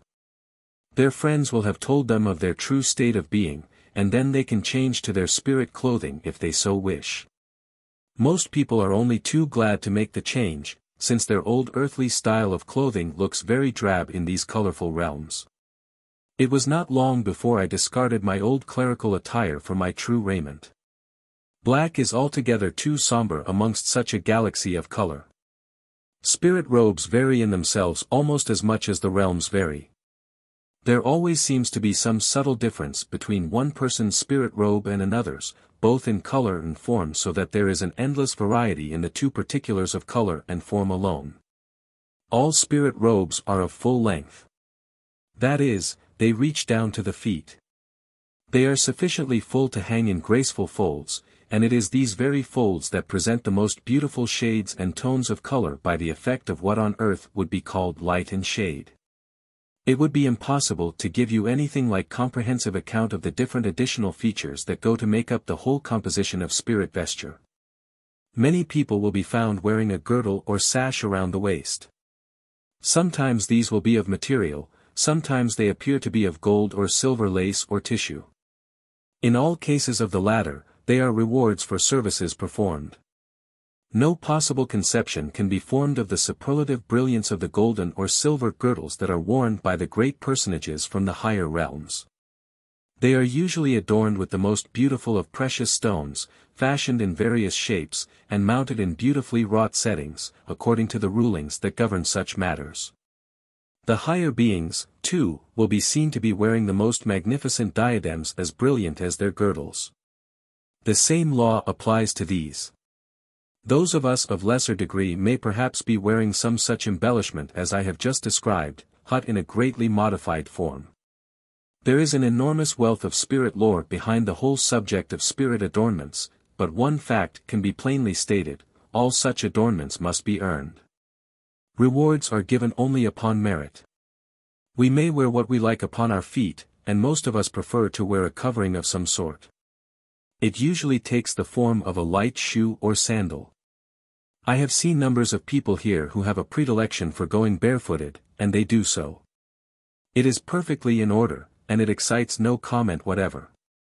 It is natural and commonplace with us. The material of which our robes are made is not transparent, as some would perhaps be inclined to imagine. It is substantial enough. And the reason why it is not transparent is that our clothing possesses the same vibrational rate of the wearer. The higher one progresses the higher this rate becomes, and consequently dwellers in those elevated spheres will take on an unimaginable tenuousness both of spirit body and clothing. That tenuousness is the more apparent to us than to them, that is, externally apparent, for the same reason that a small light will seem so much the brighter by virtue of the surrounding darkness. When the light is magnified a thousand times, as it is in the case of the higher realms, the contrast is immeasurably greater. We seldom wear any covering upon our heads. I do not remember seeing anything of the sort anywhere in this realm. We have no need for protection against the elements. I think you will have concluded by now that to be a spirit person can be a very pleasant experience.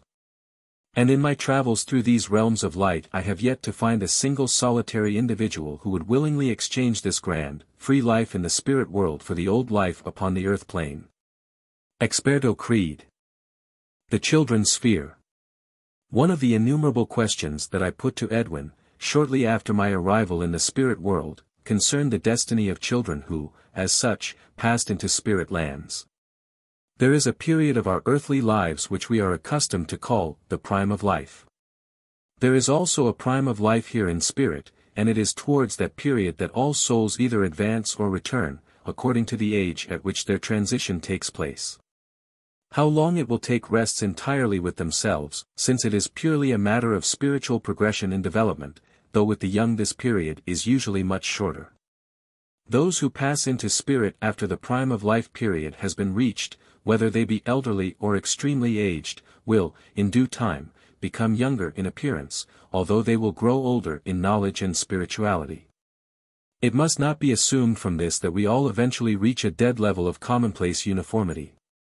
Outwardly, we look young, we lose those signs of the passage of years which cause some of us no little disturbance of mind when we are incarnate. But our minds become older as we gain knowledge and wisdom and greater spirituality, and these qualities of the mind are manifest to all with whom we come into contact. When we visited the temple in the city, and, from a distance beheld the radiant visitor whom we had come to honor, he presented to the eye the appearance of perfect, and eternal, youth. Yet the degree of knowledge and wisdom and spirituality which he diffused, and which we could feel with our minds, were almost overpoweringly great. It is the same, in varying degrees with all those who visit us from the higher realms, if, therefore there is this rejuvenation of fully grown people, what of the souls who pass over as children? Indeed, what of those, even, who pass into the spirit world at birth? The answer is that they grow as they would have grown upon the earth plane. But the children here, of all ages, are given such treatment and care as would never be possible in the earth world. The young child, whose mind is not yet fully formed, is uncontaminated by earthly contacts, and on passing into the spirit world it finds itself in a realm of great beauty, presided over by souls of equal beauty. This children's realm has been called the nursery of heaven, and surely anyone who has been fortunate enough to have visited it will say that a more apposite term could not be found. It was, therefore, in response to my original question that Edwin proposed that Ruth and I should accompany him on a visit to the nursery of heaven. We walked towards the boundary between the higher realm and our own, and we turned in the direction of Edwin's house. Already we could feel the atmosphere more rarefied, though it was not sufficiently pronounced to cause us any inconvenience or discomfort. I noticed that this atmosphere had a great deal more color in it, much more than in the depths of the realm. It was as though a great number of shafts of light were meeting and spreading their broad beams over all the landscape. These shafts of light were forever on the move, interweaving themselves and producing the most delicate and delightful blending of color, like a succession of rainbows. They were extremely restful, but they were also filled with vitality and, as it seemed to Ruth and me, light-heartedness and merriment.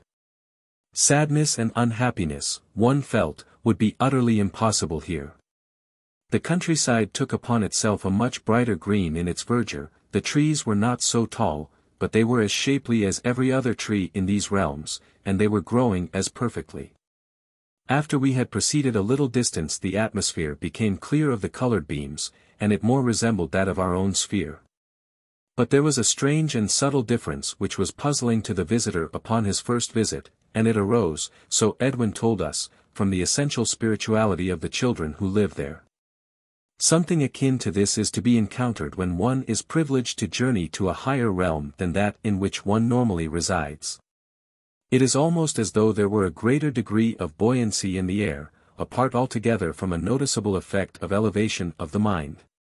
We saw many fine buildings before us as we walked along the soft grass.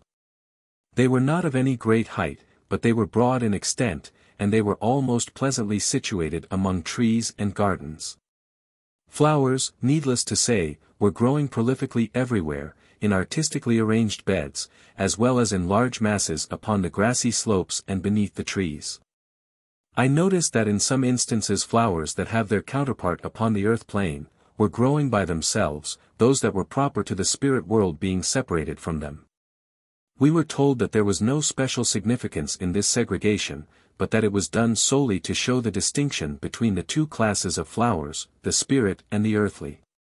Beautiful as the earthly flowers are that grow here, there can be no comparison with those that belong alone to spirit lands. Here again one is limited by earthly experience in any attempt to describe them. Not only are the colorings richer, but the conformations of the flowers and foliage present such an abundance of unparalleled beauty of design that we have no earthly example to adduce by way of comparison. But it must not be supposed that these magnificent flowers remotely suggested the rare hothouse bloom. Far from it. The superabundance of them, together with the great strength and variety of their perfumes, would instantly dispel any thought of rarity. It was no case of cultivating the beauty of the bloom at the expense of its perfume. They all possessed the quality common to all growing things here, that of pouring out energizing force, not only through the medium of their aromas, but through personal contact. I had already tried the experiment of holding a flower within the cupped hands, it was Ruth who had instructed me, and I had felt the stream of life force flowing up my arms. We could see delightful ponds and small lakes, upon the surface of which were flourishing the most beautiful water flowers in the gayest colors. In another direction we could see larger expanses of water like a series of lakes, with many small boats gliding serenely along. The buildings were constructed of a substance that had all the appearance of alabaster, and they were all tinged with the most delicate colors, such as one is accustomed to seeing in the subtle blendings of an earthly rainbow. The style of architect resembled, for the most part, that of our own sphere. That is to say, some of the buildings bore upon their surface the most exquisite carvings of such natural objects as abound in the trees and flowers, while others drew for their relief upon the none features particular to the spirit world. But what gave us the most enjoyable surprise, was to see interspersed throughout the woods, the quaintest little cottages such as one was always inclined to believe only belonged to the pages of children's storybooks. Here were diminutive houses with crooked timbers, beautifully crooked, with bright red roofs at lattice windows, and each with a charming little garden, all their own, surrounding it. It will at once be concluded that the spirit world has borrowed from the earth world in these fanciful creations for the children delight, but such is not the case. In truth, this whole concept of miniature houses emanated, in the first instance, from the spit world. Whoever was the artist who received our original impression, she has been lost to the earth world through the course of the years. That artist is known to us here, though, where she continues her work in the children's sphere. These little houses were large enough to allow a grown person plenty of room in which to move without appearing to knock his head. To the children they seemed to be of just the right size without their feeling lost within them. I learnt that it was for this same reason that all the large buildings in this realm were without any appreciable height. By thus not making them too high, nor the rooms too large, they conformed with the child's mind, as yet not fully formed.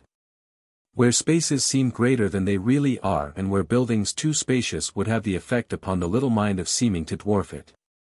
Great numbers of children live in these tiny dwellings, each being presided over by an older child, who is perfectly capable of attending to any situation that might arise with the other residences. As we walked along we could see groups of happy children, some playing games with their fellows, others seated upon the grass while a teacher was reading to them. Others, again, were to be observed listening attentively and with marked interest to a teacher who was explaining the flowers to them, and giving them something of a lesson in botany. But it was botany of a very different order from that of the earth plane, in so far as the purely spirit flowers were concerned. The distinctions between the earthly flowers and the spirit flowers were amply demonstrated by the two orders of flowers being separated. Edwin took us to one of the teachers, and explained the reason of our visit. We were instantly made welcome and the teacher was kind enough to answer a few questions. Her enthusiasm for her work added to her pleasure, she said, in telling us anything we wished to know. As to herself, she had been in the spirit world a goodly number of years.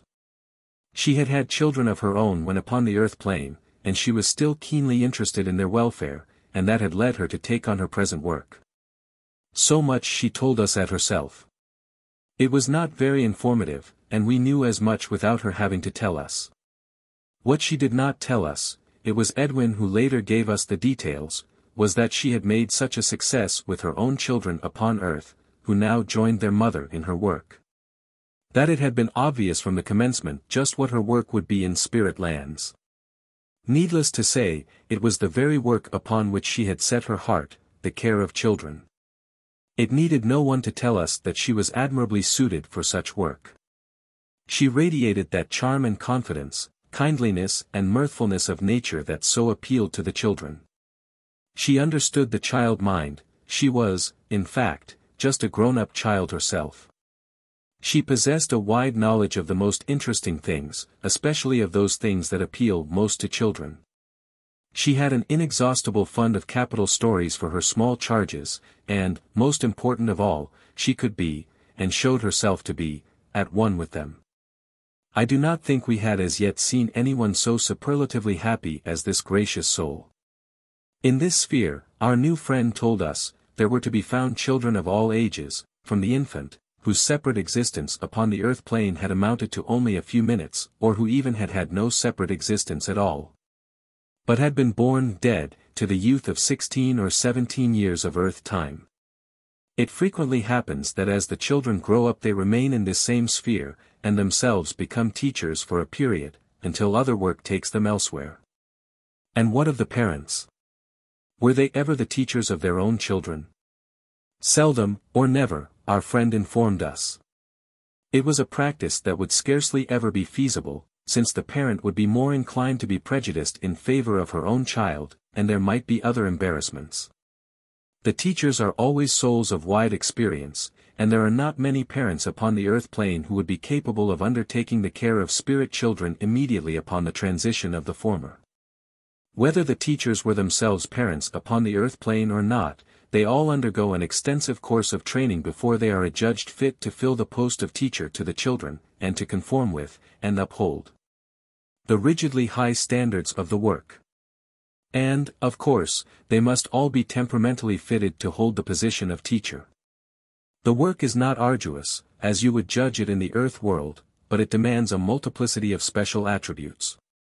The mental and physical growth of the child in the spirit world is much more rapid than in the earth world. You will recall what I told you about the absolute retentiveness of the memory here. That retentiveness begins as soon as the mind is capable of grasping anything at all, and that is very early. This seeming precocity is perfectly natural here, because the young mind absorbs knowledge evenly. The temperament is carefully guided along purely spirit lines, so that the possession of knowledge in one so young never takes upon it the obnoxiousness of earthly precociousness. The children are trained in strictly spirit matters first, and then they are usually taught about the earth world, if they have not already lived in it, or if their earthly lives were very brief. The ruler of the realm acts, in a general sense, in loco parentis, and all the children, indeed, look upon him as a father. The children's studies have an extremely wide range. They are taught to read, but many other subjects of the earthly curricula are entirely omitted as being superfluous in the world of spirit. It would be more exact to say that the children are given knowledge of a particular subject rather than taught it. As they grow they are able to choose for themselves the type of work that appeals to them, and so by specializing in their studies the children can become equipped with the necessary qualifications. Some of them, for instance, elect to return to the earth plane temporarily to work with us in the exercise of communication, and they make highly efficient instruments, and thoroughly enjoy their visits. Such visits have the advantage of adding widely to their experience. It increases their depth of understanding of the trials and tribulations, and the pleasures, of being incarnate. There is always one question that arises in the minds of earth people in connection with children who have passed on, shall we be able to recognize our children when we ourselves arrive in the spirit world? The answer is, most emphatically, yes, beyond all shadow of doubt. But how, if they have grown up in the spirit world and out of our sight, can that possibly be? To answer that, it is necessary to know a little more about oneself. You must know that when the physical body sleeps, the spirit body temporarily withdraws from it, while still remaining connected to it by a magnetic cord. This cord is the veritable lifeline between the spirit body and the earth body. The spirit thus situated will either remain in the vicinity of the earth body, or it will gravitate to that sphere which its earthly life, so far, has entitled it to enter. The spirit body will thus spend part of the lifetime of the earthly body in spirit lands. And it is upon these visits that one meets relatives and friends who have passed on before, and it is similarly upon these visits that parents can meet their children, and thus watch their growth. In the majority of cases the parents are not allowed within the children's own sphere, but there are plenty of places where such meetings can take place. Remembering what I have said about the retentiveness of the subconscious mind, you will see that, in such cases, the problem of recognizing a child does not arise. Because the parent has seen the child and observed its growth throughout the whole of the intervening years, in just the same way as the parent would have done if the child had remained in the earth world. There must be, of course, a sufficient bond of attachment between the parent and child, or else this law will not come into operation. Where such does not exist the conclusion is obvious. That link of affection or kindly interest must also exist between all human relationships in the spirit world, whether it be with husband and wife, parent and child, or between friends. Without that interest or affection it is problematical whether there would ever be any meeting at all, except fortuitously. The children's realm is a township in itself, containing everything that great minds, inspired by the greatest mind, could possibly provide for the welfare, comfort and education, and the pleasure and happiness of its youthful inhabitants. The halls of learning are as fully equipped as are those larger establishments in our own sphere. Indeed, in many respects, they are more so, since they have all the equipment for the diffusion of knowledge and learning to those who are possessed of neither in the slightest degree, and who must therefore start at the very beginning. As they would have done had they remained upon the earth plane. This concerns those children who have passed into the spirit world in their extreme infancy.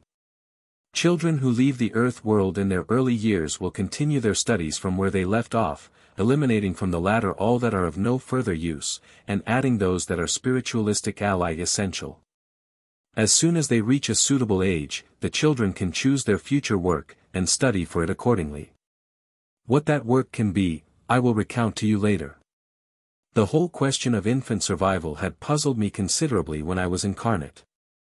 Ruth said she had no ideas upon the matter whatever, beyond supposing that children must survive, because she felt intuitively that grown people did so. The survival of the one would presuppose the survival of the other in a world of anything like law and order, which she presumed the spirit world to be. Edwin was as perplexed as I was. You can imagine our surprise, then, when we were introduced into the children's realm, to behold the more than adequate provision made for the young folk who have passed into spirit lands in their tender years. It is a provision instituted under the greatest and wisest dispensation, that of the Father, himself, involving no creeds or belief, no doctrines or dogmas, no ritual or formulary. It involves nothing more, in fact, but the plain act of undergoing the death of the physical body, and the operation of the same laws that govern us all, whether infants or aged, just the casting off of the physical body, and entering. For all time, the world of spirit. And the children, as might be expected, have the same opportunities, the same rights to their spiritual heritage as we all have here, young and old. And we all have the same great goal, perfect and perpetual happiness. Occupations The spirit world is not only a land of equal opportunity for every soul, but the opportunities are upon so vast a scale that no person still incarnate can have the least conception of its magnitude. Opportunities for what? It will be asked. Opportunities for good, useful, interesting work. I hope that, by now, I have sufficiently indicated that the spirit world is not a land of idleness, not a land where its inhabitants spend the whole of their lives in a super-ecstatic atmosphere of religious exercises. formally offering up prayer and praise to the great throne in a never-ceasing flow. There is an uninterrupted flow, most certainly, but it comes about in a very different way. It surges up from the hearts of us all, who are happy to be here, and thankful withal. I want to try to give you some slight idea of the immensity of the range of occupations in which one can become engaged here in these realms. Your thoughts will at once turn to the many and varied occupations of the earth world, covering every shade of earthly activity. But behind the earth world's occupations is the ever-driving necessity of earning a living, of providing the physical body with food and drink, clothing and a habitation of some sort. Now, you already know that these last four considerations have no existence whatever with us here. Food and drink we never need, the clothing and the habitation we have provided for ourselves by our lives upon earth. As our lives have been on earth, so will our clothing and our domicile be when we come to spirit lands. We have, as you see, no physical necessity to work, but we do have a mental necessity to work, and it is because of the latter that all work is a pleasure with us here. Imagine yourself in a world where no one works for a living, but where everyone works for the sheer joy of doing something that will be of service to others. Just imagine that, and you will begin to understand something of the life in spirit lands. A great many earthly occupations have no application whatever to the spirit world. Useful and necessary as they are, they belong essentially to the earthly period of life. What, then, becomes of people who occupied such a position as I have just mentioned? They will discover, immediately they are fully aware of their new state, that they have left their earthly avocation behind forever. They will see that the spirit world does not offer the same or similar work for them. But this does not cause regret or unhappiness, because the need for physical subsistence no longer exists with them, and in place of it such people feel gloriously free to engage themselves in some new work. They need never wonder what they are fitted for, they will soon find something which attracts their attention and draws their interest. And it will not be long before they are joining their fellows in learning some new occupation, and thoroughly enjoying themselves. So far, I have merely referred to work in the abstract. Let us be more specific, and consider some of the business of the spirit world. First, let us take what we might call the purely physical side of spirit life, and for the purpose we might pay another visit to the city. On the way there we walk through many beautiful gardens, which at some period have all been designed and created. Here, shall we say, is the first means of employment that we come across. Scores of people upon the earth plane love gardens and gardening. Some have engaged in the latter as their calling, and enjoyed doing it. What better than to continue with their work here in the spirit world, unrestrained by physical exigencies, free and unhampered and with the inexhaustible resources of the spirit world at their command. Their occupation is their own. They can, and do, stop whenever they wish, and they can resume whenever they wish. And there is no one to exert his will upon them. And what is the result? Happiness for themselves, because by creating a beautiful work of horticultural art they have added more beauty to an already beautiful realm, and in doing so they have brought happiness to others. So their task goes on, altering, rearranging, planning, beautifying, building anew, and ever acquiring skill and still greater skill. Thus they continue until such time as they wish to change their work, or until their spiritual progression carries their on to fresh fields of endeavor in other realms. Now let us go into the Hall of Music, and see what work we can find there. Someone, of course, had to plan, and others to build the hall itself. I have already given you an account of the building of an annex to the library. In all major building operations the method followed is the same, but the methods of the spirit world have to be learnt, and the work of the architects and builders, with their various expert assistants. Is among some of the most important in the spirit world. As all descriptions of employment are open to anyone who has the taste for such work, that of the architect and builder is, likewise, free to all who express a preference for continuing their earthly occupation, or who wish to turn to something new. The wish to do so is really all that is required, although, naturally, an aptitude is a great help. But it is very surprising how quickly efficiency is gained by the stimulus of desire. The wish to do becomes translated into the ability to do, in a very short time. Keen interest and predilection for the work are all that are asked. Inside the Hall of Music we find libraries of music, where students are busy at their studies, and pupils with their musician teachers. Most of the people whom we meet thus are learning to be practical musicians. That is, they are learning to play some one or more instruments. And someone has to provide them with the necessary instruments. The Hall of Music does that, but somebody must create them for the Hall of Music. And so the instrument makers of the earth plane find themselves at home in their craft if they wish to continue with it in the spirit world. Now, it may be suggested that a lifetime on earth spent in one particular form of work would be quite enough for the average person. And that when he comes into the spirit world the last thing he would want to do would be to take up again his old earthly occupation with its interminable routine and drudgery. But bear in mind all that I have told you about the freedom of these realms, and the fact that no one is compelled, either by force of circumstances, or from the mere need of subsistence, to do any work at all in the spirit world. Remember that all work is undertaken willingly, freely, for the love of doing it, for the pride in creating something, for the desire of being of service to one's fellow inhabitants and to the realm in general.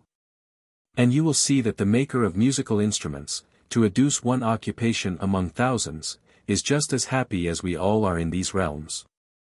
So he continues to make his instruments, brings happiness to himself and to so many other people, who will pleasurably and usefully bring joy to still more through the creation of his mind. Incidentally, I should mention that it is not imperative that one should acquire a musical instrument solely through the Hall of Music. Any person who is skilled in the fashioning of such instruments would be only too willing to provide another person with anything he might require musically. In many a home here there reposes, and not as a mere ornament. A beautiful pianoforte, built by clever hands, who have learnt the spirit methods of creation. These things cannot be bought. They are spiritual rewards. It would be useless to try to possess that to which we have no right. We should simply find ourselves without it, and with no means of getting it. No one could create it for us, whatever it might be. If they were to try, they would find that their power would not function in that direction. If you were to ask me who or what governs these things, I could only tell you that I do not know, beyond knowing the fact that it is the operation of a spirit law. Before we pass on from the Hall of Music, we might just look at the library. Here are musical scores by the thousand, together with the various parts from which the instrumentalists play. Most of the large orchestras here obtain their music from the Hall of Music. It is free for all to borrow whenever they wish, but someone has to duplicate it. And that is another important and productive occupation. The librarians who take care of all this music, and who attend to people's wants in this connection, fulfill another useful task. And so the details could be multiplied, covering the whole range of musical endeavor, from the person who does no more than love and enjoy music to those who are instrumentalists and leaders in the musical art. In the Hall of Fabrics we shall find the same industry, the same happiness among all those who are working there. At any moment I am at liberty, if I wish, to join the students there who are learning to weave the most exquisite fabrics. It happens, however, that my interests lie elsewhere, and my visits to the hall are for purpose of recreation only. Ruth regularly spends a certain time of studying, and she has become an expert in weaving tapestries. It is part of her spirit life occupation, and it is part of her recreation also. She has produced some beautiful tapestries, of which Edwin and I possess two choice specimens hanging upon our walls. We can obtain all the different materials we need from the Hall of Fabrics, or, as in the case of music, we can ask some craftsmen to make what we require. We shall never have a refusal, nor shall we have to wait an interminable time before we receive what we want. There are plenty of craftsmen to supply the needs of all of us. In the same hall there are students learning the art of designing, and they are instructed by masters in the art. Experimentation is continually going on in producing new types of cloth and new designs. These various materials have nothing whatever to with our own spirit clothes. That is a personal matter. The products of the fabric hall are used for general purposes. Such as, for instance, in the garniture of our homes and in the larger halls and buildings. In the case of the historical pageants, which I mentioned to you, those who organize them exact a heavy contribution from the Hall of Fabrics for all their authentic costumes. Now, I have given only two or three examples of what it possible for a person to do here. There are thousands more covering as great a field of activity as there is to be found upon the earth plane. Think of the doctors who come into the spirit world, and still carry on their work here. Not that we need doctors but they can work here with their colleagues in investigating all causes of sickness and disease upon the earth plane, and they can help in alleviating them. Many a spirit doctor has guided the hand of an earthly surgeon when he is performing an operation. The earthly doctor is, probably, perfectly unaware of the fact and would ridicule any suggestion that B is receiving assistance from an unseen source. The doctor in spirit is contented to serve without acknowledgement from him whom he serves. It is the successful issue that he is concerned about, not who shall have the credit. The earthly doctor, in such cases, makes some illuminating personal discoveries when he finally comes into the spirit world. The scientist, too, continues his researches when he comes here in whatever branch of science he may be concerned, he will find enough, and more than enough, to engage his attention for a long, time to come. And so with the engineer, and scores upon scores upon scores of others. Indeed, it would be impossible, or if not impossible, a little tedious, perhaps, to run through the long list of occupations so well known upon the earth plane, of which we have a counterpart in the spirit world. But by now you should have some idea of what his spirit world has to offer. All that we have in our halls and our houses, in our homes and in our gardens, has to be made, to be fashioned, or created, and it requires someone to do it. The need is constant, and the supply is constant, and it will ever be so. There is another department of industry, though, which is vitally necessary, and it is peculiar to the spirit world. The percentage is low, deplorably low, of people who come into the spirit world with any knowledge at all of their new life and of the spirit world in general. All the countless souls without this knowledge have to be taken care of, and helped in their difficulties and perplexities.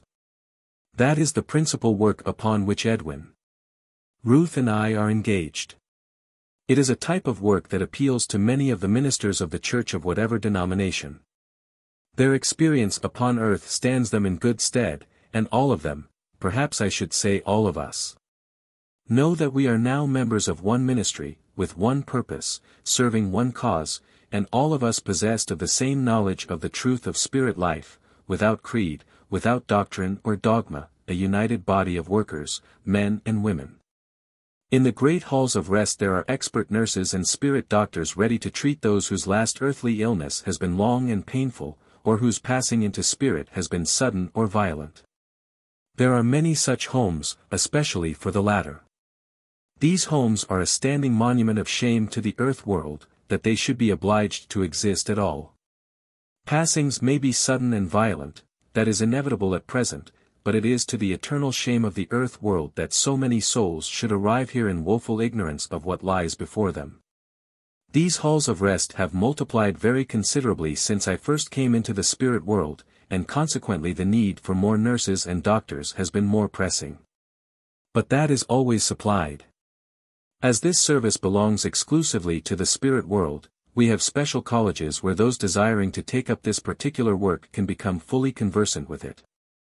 Here they learn much that scientifically concerns the spirit body itself, and the spirit mind.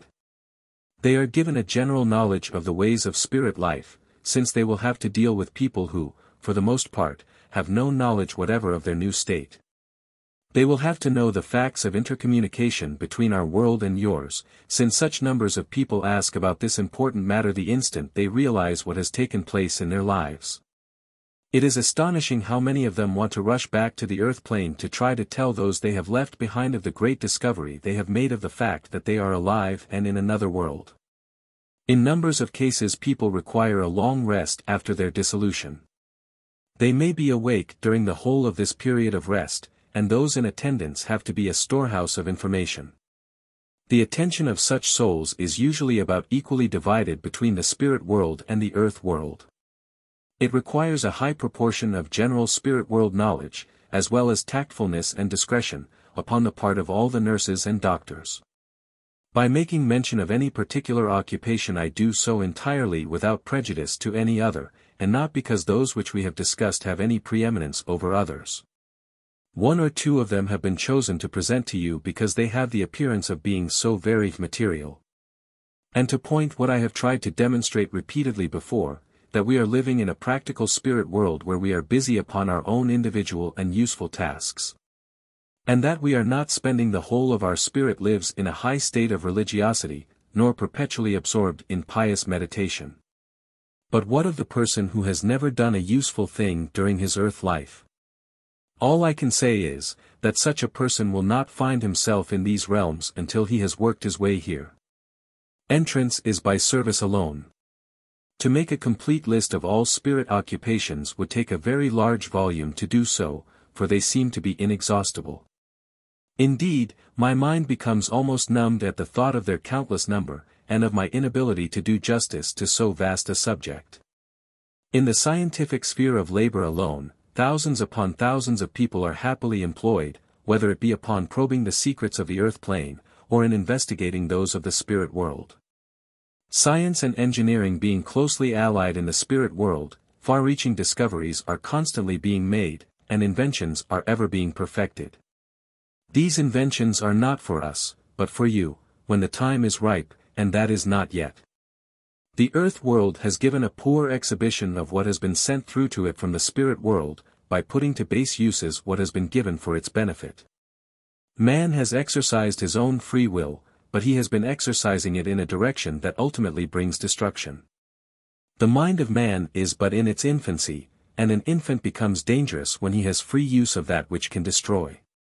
Hence, much is held back from the earth world until man has reached a higher state of development.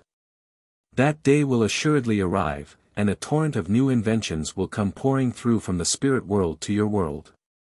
In the meantime, the work goes on, research, investigation, discovery, and invention, and it is work that absorbs great hosts of interested people, and provides them with useful employment in their spirit life. Nothing ever disturbs the ordered routine of our work. While the work continues, we may be retiring from it for a space, either to rest or to follow some other line of endeavor. We have no disputes, no domestic upheavals, no rivalries that produce dissatisfaction and unpleasantness. We have no discontented folk. We may have the urge to be doing something of greater moment, but that is not discontent, but the prompting from within that denotes the steps of our spiritual progression. The humblest of us is made to feel that whatever his work, however insignificant it may appear beside other and seemingly greater tasks. He is performing something vital and significant that will bring with it its own inevitable reward that none can withhold from us, none can take away. In the spirit world, to work is to be profoundly happy, for the many reasons that I have given you. There is none here who would not endorse my words wholeheartedly and unreservedly. Famous people to leave the earth world and to take up permanent residence in the spirit world is not such a personal upheaval as some people might be disposed to imagine. It is true that for a great many all earthly ties are severed, but when we pass into the spirit world we meet again those of our relatives and friends who have passed over before us. In this respect we start a fresh period in our lives, apart altogether from the new life that begins with our entry into the world of spirit. The meetings with relations and friends are something that must be experienced in order to grasp the full significance and joy of reunion. Such meetings will only take place where there is mutual sympathy and affection. We will not, for the moment, consider any other. These gatherings will continue for some while after the arrival of the new resident. It is natural that in the novelty both of surroundings and condition some time should be spent in a grand exchange of news, and in bearing of all has transpired in the spirit lives of those who have predeceased us. Eventually that time will come when the newly arrived individual will begin to consider what he is to do with spirit life. Now, it might be said that with most of us on the earth plane we have a twofold existence, our home life and the life connected with our business or occupation. In the latter we associate perhaps, with an entirely different group of people. It is there in the natural order of things, here in spirit, that much the same state of things should also exist. The scientist, for example, will meet, first of all, his own family connections. When the quest of work is broached he will find himself among his old leagues who have passed into the spirit world before him, he will again feel more than at home. And he will be more than overjoyed at the prospect of the scientific research that stretches before him. It is the same with the musician, the painter, author, the engineer, the doctor, the gardener, the stonemason or the man who weaved carpets in a factory, to mention but fraction of the many occupations both of the earth and spirit worlds. It will be seen from this that the question which puzzles many folk, namely, what becomes of the famous people in spirit world, practically answers itself. Fame in the spirit world is vastly different from fame in the earth world. Spiritual fame carries with it distinctions of a very different order from the earthly distinctions, and it is gained one way only, in service to others. It sounds almost too simple to be feasible, but such is the case, and nothing will alter it. Whether the earthly famous will reside in the realms of live immediately after their dissolution remains with themselves. The law applies to all irrespective of earthly position. A certain inquisitiveness concerning the general fate of the well-known upon the earth plane, is possessed by most people who are in their early days of psychic study. The mere fact their being well known is sufficient. But none calls forth me curiosity than the historically famous people. Where are they the masters in all branches of earthly endeavor, the names that are familiar in the history books? They must be somewhere most certainly they are. A good number of them are to be found in the dark realms where they have been living for countless centuries, and they are more than likely so to continue for many countless centuries. Others are in those exalted realms of light and beauty, where their noble lives upon earth have found the just reward. But there are many, a great many, who will find themselves within these realms whereof I have tried to give you some account. I cannot do better than give you an example, of which, for our present purpose, I have gathered a few details.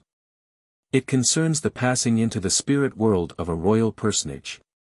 I take this case because, although an extreme one, it demonstrates more clearly than any other the principles that govern life in general in the spirit world. In this particular case we knew beforehand that this personage was about to come to the spirit world. His own countrymen were naturally interested in what was about to take place. His own family, in common with any other family here, were ready in awaiting his arrival. A short illness was the occasion of his passing here, and as soon as dissolution had taken place he was taken to the home of his mother, who had everything in readiness for him. The home is an inconspicuous one, similar, broadly speaking, to others hereabout. The news had spread that he had at last arrived. There was no universal rejoicing, such as might take place upon the earth plane following a safe homecoming. But happiness was felt for all those who were directly concerned with the arrival in the spirit world of this well-known and much-loved figure. And there he remained for a time, enjoying a seclusion and freedom of action and a simplicity of life that had been denied him upon the earth plane. He needed rest after his active life and the illness that terminated its earthly span. Numbers of people who had formed part of his official circle as well as his private circle, and who had passed on before him, had called to inquire after him, but they had not seen him as yet. There had been, of course, a grand family reunion, and as soon as he had rested sufficiently, he issued forth to see the wonders of his new life. He retained to a noticeable extent his former and usual personal appearance. The signs of illness and bodily and mental fatigue had disappeared, and he looked some years younger. The rest had achieved its purpose as unfailingly as usual. As he walked abroad he was recognized for what he had been, and respected for it, but he was still more honored and respected and loved for what he now was. Now, you may think that as soon as he met and mingled with his own countrymen, the latter would have shown some embarrassment, perhaps, and exhibited a general air of diffidence such as they would have done, perforce, upon the earth plane. But during that period of recuperation much had been explained to him as to the conditions of life in the spirit world, its methods, its laws, and its pleasant customs. Such revelations had filled him with happiness, and he knew that as soon as he left the seclusion of his mother's house to venture abroad, he could do so with a freedom that is only to be found in spirit lands. Where the inhabitants would regard him in the light in which he would wish to be regarded, that of a plain man desirous of joining with his fellow beings in their happiness and their rejoicings. He knew that he would be treated as one of themselves. When, therefore, in company with members of his family, he walked through these realms on the voyage of discovery that is such a common sight among the newly arrived. He did not experience in himself or cause in others any feelings of mental discomfort. No one referred to his earthly position, unless he himself broached the subject, and then there was no suspicion of inquisitiveness or ignorant curiosity. You may think that one who had occupied so elevated a position upon the earth plane would engender in the minds of others here thoughts of sympathy with such a change of relative position that had taken place. But no such feelings of sympathy are ever wished for, nor extended, in these realms in such cases, for the very good reason that the occasion for them never arises. We have left our earthly importance behind us, and we do not refer to it except to show, by our own experiences, to others still incarnate, just what to avoid. We do not revive our memories for the purpose of self-glorification, or to impress our hearers. Indeed, they would not be in the least impressed, and we should only succeed in making fools of ourselves we recognize the truth here, and our true worth is for all to see. It is spiritual worth, and that alone, that counts, irrespective of what we were upon the earth plane. Perspectives and viewpoints are completely altered when one comes into the spirit world. However mighty we were upon the earth plane, it is spiritual worth only that takes us to our right place in the spirit world, and it is the deeds of our life, regardless of social position, that at our transition will assign to us our proper abode. Position is forgotten, but deeds and thoughts are the witnesses for or against us, and we become our own judges.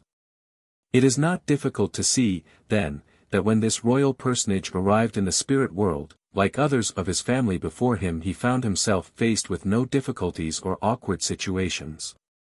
It was just the reverse, for the whole situation seemed to simplify itself, and provided its own solution.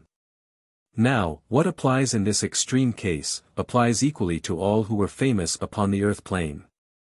But how does this affect some well-known scientist, let us say, or a musical composer, or a painter? To us, and to themselves, they will be learners, and humble learners, too, in whatever branch of science or art their earthly lives led them.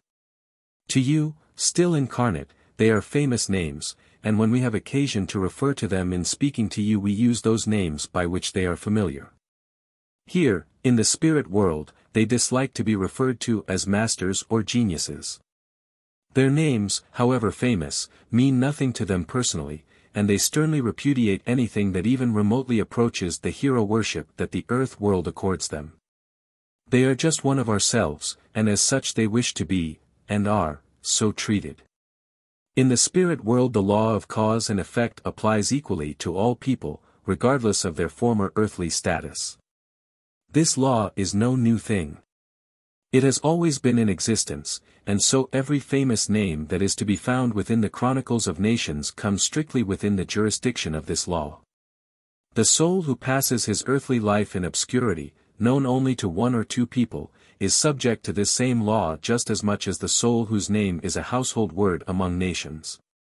In living in these realms one is inevitably bound, sooner or later, to encounter some person whose name is known to all upon the earth plane. But these famous folk have no attachment to the earth world. They have left it behind them, and many of those who passed to here hundreds of earthly years ago are glad to have no occasion to recall their earthly lives. Such numbers of them suffered a violent transition that they are happy to consider their present only, and leave their past sealed up in their memory. The people of the earth world may think it strange to walk through these realms and mingle with persons who lived on the earth plane hundreds, and, in some cases, thousands, of years ago. A meeting of the past, as it were, with the eternal present. But it is not strange to us here.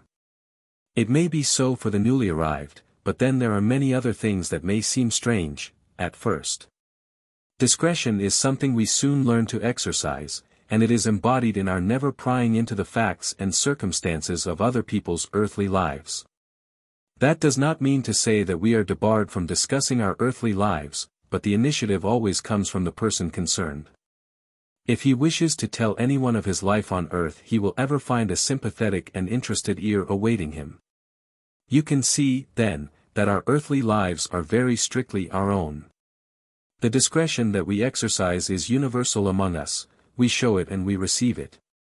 And whatever our former position upon earth, we are united in these realms, spiritually, intellectually, temperamentally, and in such human traits as our like and dislikes. We are one. We have achieved the same state of being upon the same plane of existence. Every fresh face that enters these realms receives the same heartfelt welcome, without reference to what he was upon earth. One will meet many people here, who were famous upon earth, in all sorts of places and pursuing all sorts of occupations some of the latter a continuation of their earthly calling, and some, perforce, entirely new. All alike are approachable without formalities of any kind whatever. We need no introductions to men and women whom the earth knows as famous. Their gift are at the disposal of all, and happy, indeed, are they to assist another who comes to them for help in any difficulties, whether it is in art or science, or in any other form of activity. The great who have gained their greatness through the various expression of their genius, consider themselves but the lowly units of a vast whole, the immense organization of the spirit world. They are all striving, as we are too, for the same purpose, and that is spiritual progression and development. They are grateful for any help towards that end, and they are glad to give it wherever possible.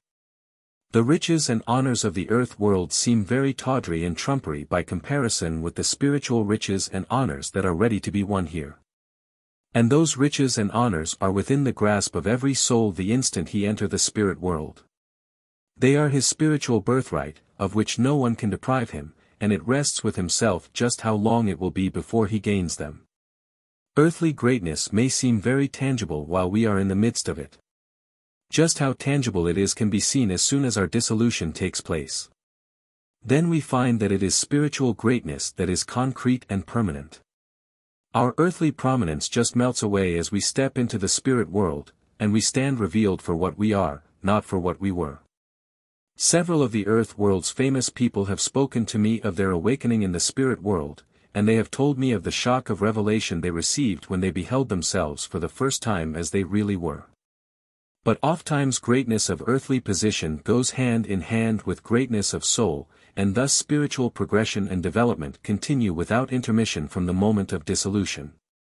Organization You will have gathered that the spirit world is a vast place, and, with the earth world in mind, you may conclude that it possesses an administrative organization in all respects proportionate to its demands. You would be right, for it does. But our needs are not as yours. With you in your corruptible world it is constant war with material decay and degeneration. With us in our incorruptible world we have neither the one nor the other. Ours is a state far beyond utopian in quality. But it is a state where thought is its basic element. I have recounted to you how, when I first saw my own spirit garden, I marveled at its orderliness and excellent preservation, and I wondered just how it was maintained thus, and who was responsible for it. Edwin told me that it would require practically no effort in its upkeep. By that he meant, as I have since learnt, that provided my wish remained constant for the garden to continue unaltered, and provided that I had affection for the flowers and grass and trees. The garden would respond to my thoughts and flourish under them. If I desired to alter the arrangement of the flower beds, and so on, I could easily ask some expert to come to my help, and he would be only too happy to do so. So much for the upkeep of my garden. My house is provided for under the same law. And so it is with all gardens and houses belonging to other folk in this realm. These, however, are what you would call more or less private concerns. They are so in one respect, but the fact that I can find an expert gardener who can make radical changes in my house and garden. Indeed, who can build me an entirely new and different home, with surrounding gardens wholly different from what I have now, shows that organization of some sort, and a very considerable one, must exist somewhere. The united thoughts of the inhabitants of the whole realm will sustain all that grows within it, the flowers, and the trees and the grass, and the water, too, whether of lake, river, or sea, for water is fully alive in the spirit world. It is when we come into the city and travel through the halls of learning that the organization becomes outwardly more observable. In the Hall of Music, for example, we find many students busy at work upon their lessons and studies.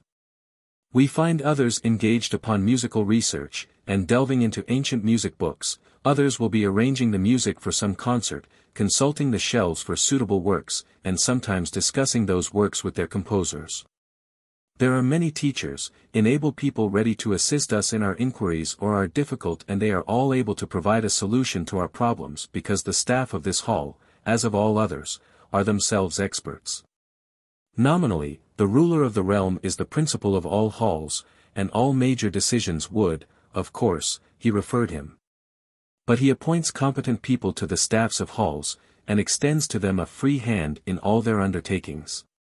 Each hall will have its own direct head, but it must not be thought that this official is an unapproachable, detached personage, hidden away from all sight, and only seen on relatively rare occasions. He is just the opposite. He is always to be about the hall, and he welcomes, personally, anyone who comes there either as a learner, or as a mere lover of music, or to carry out musical researches.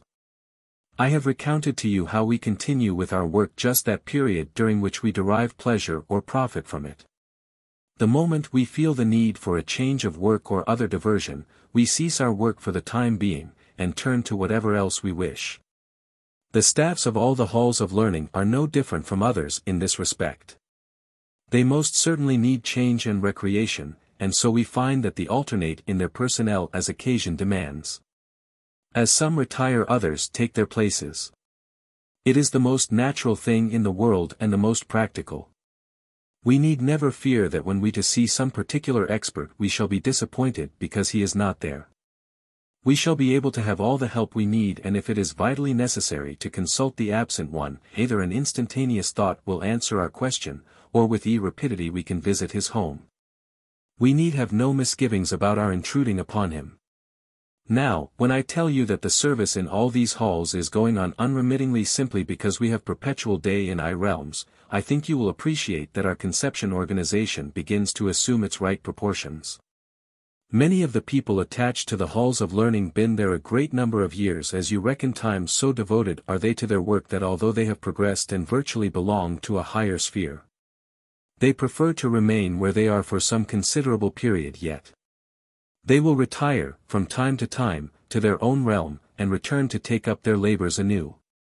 The moment will eventually arrive when they will relinquish their position altogether to reside permanently in their own sphere, and then others, equally capable, will take their place. And so it goes on, and has gone on for countless centuries. And this rule applies to all the various halls of learning. The work of the spirit world functions unceasingly, the workers rest and change about, but the work never stops. The pressure of work may fluctuate, as it does with you upon earth.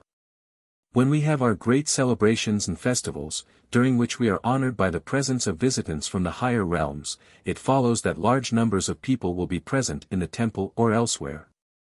And during that time there will be an appreciable diminution of some activities. We are naturally desirous of holding our festivals in company with one another, and we do so. But the services never suffer on that account.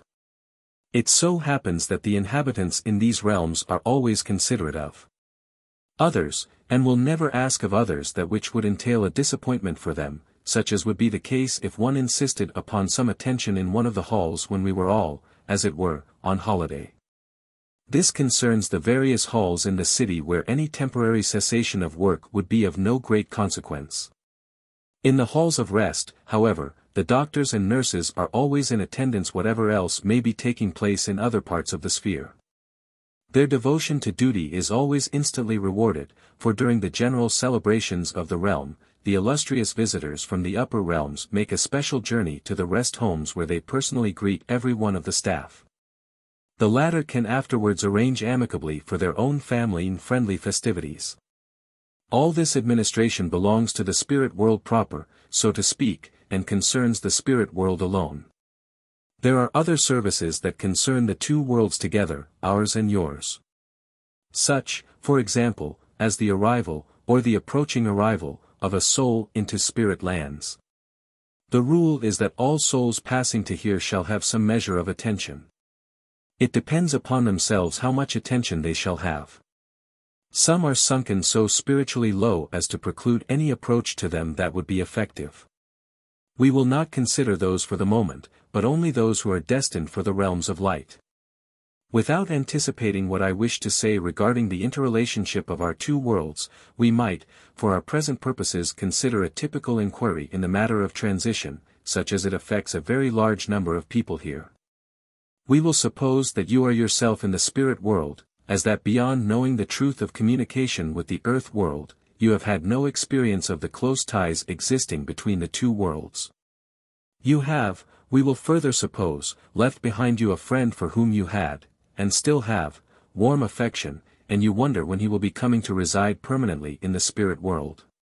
Occasionally you have received his thoughts of affection arising from the earth plane by which you know that he has not forgotten you. You have we will say, never tried to communicate with him because you know from your earthly knowledge that he would rather frown upon such ideas. Is it possible to find out just when he is likely to join you in the spirit world, and if so, how does one go about it?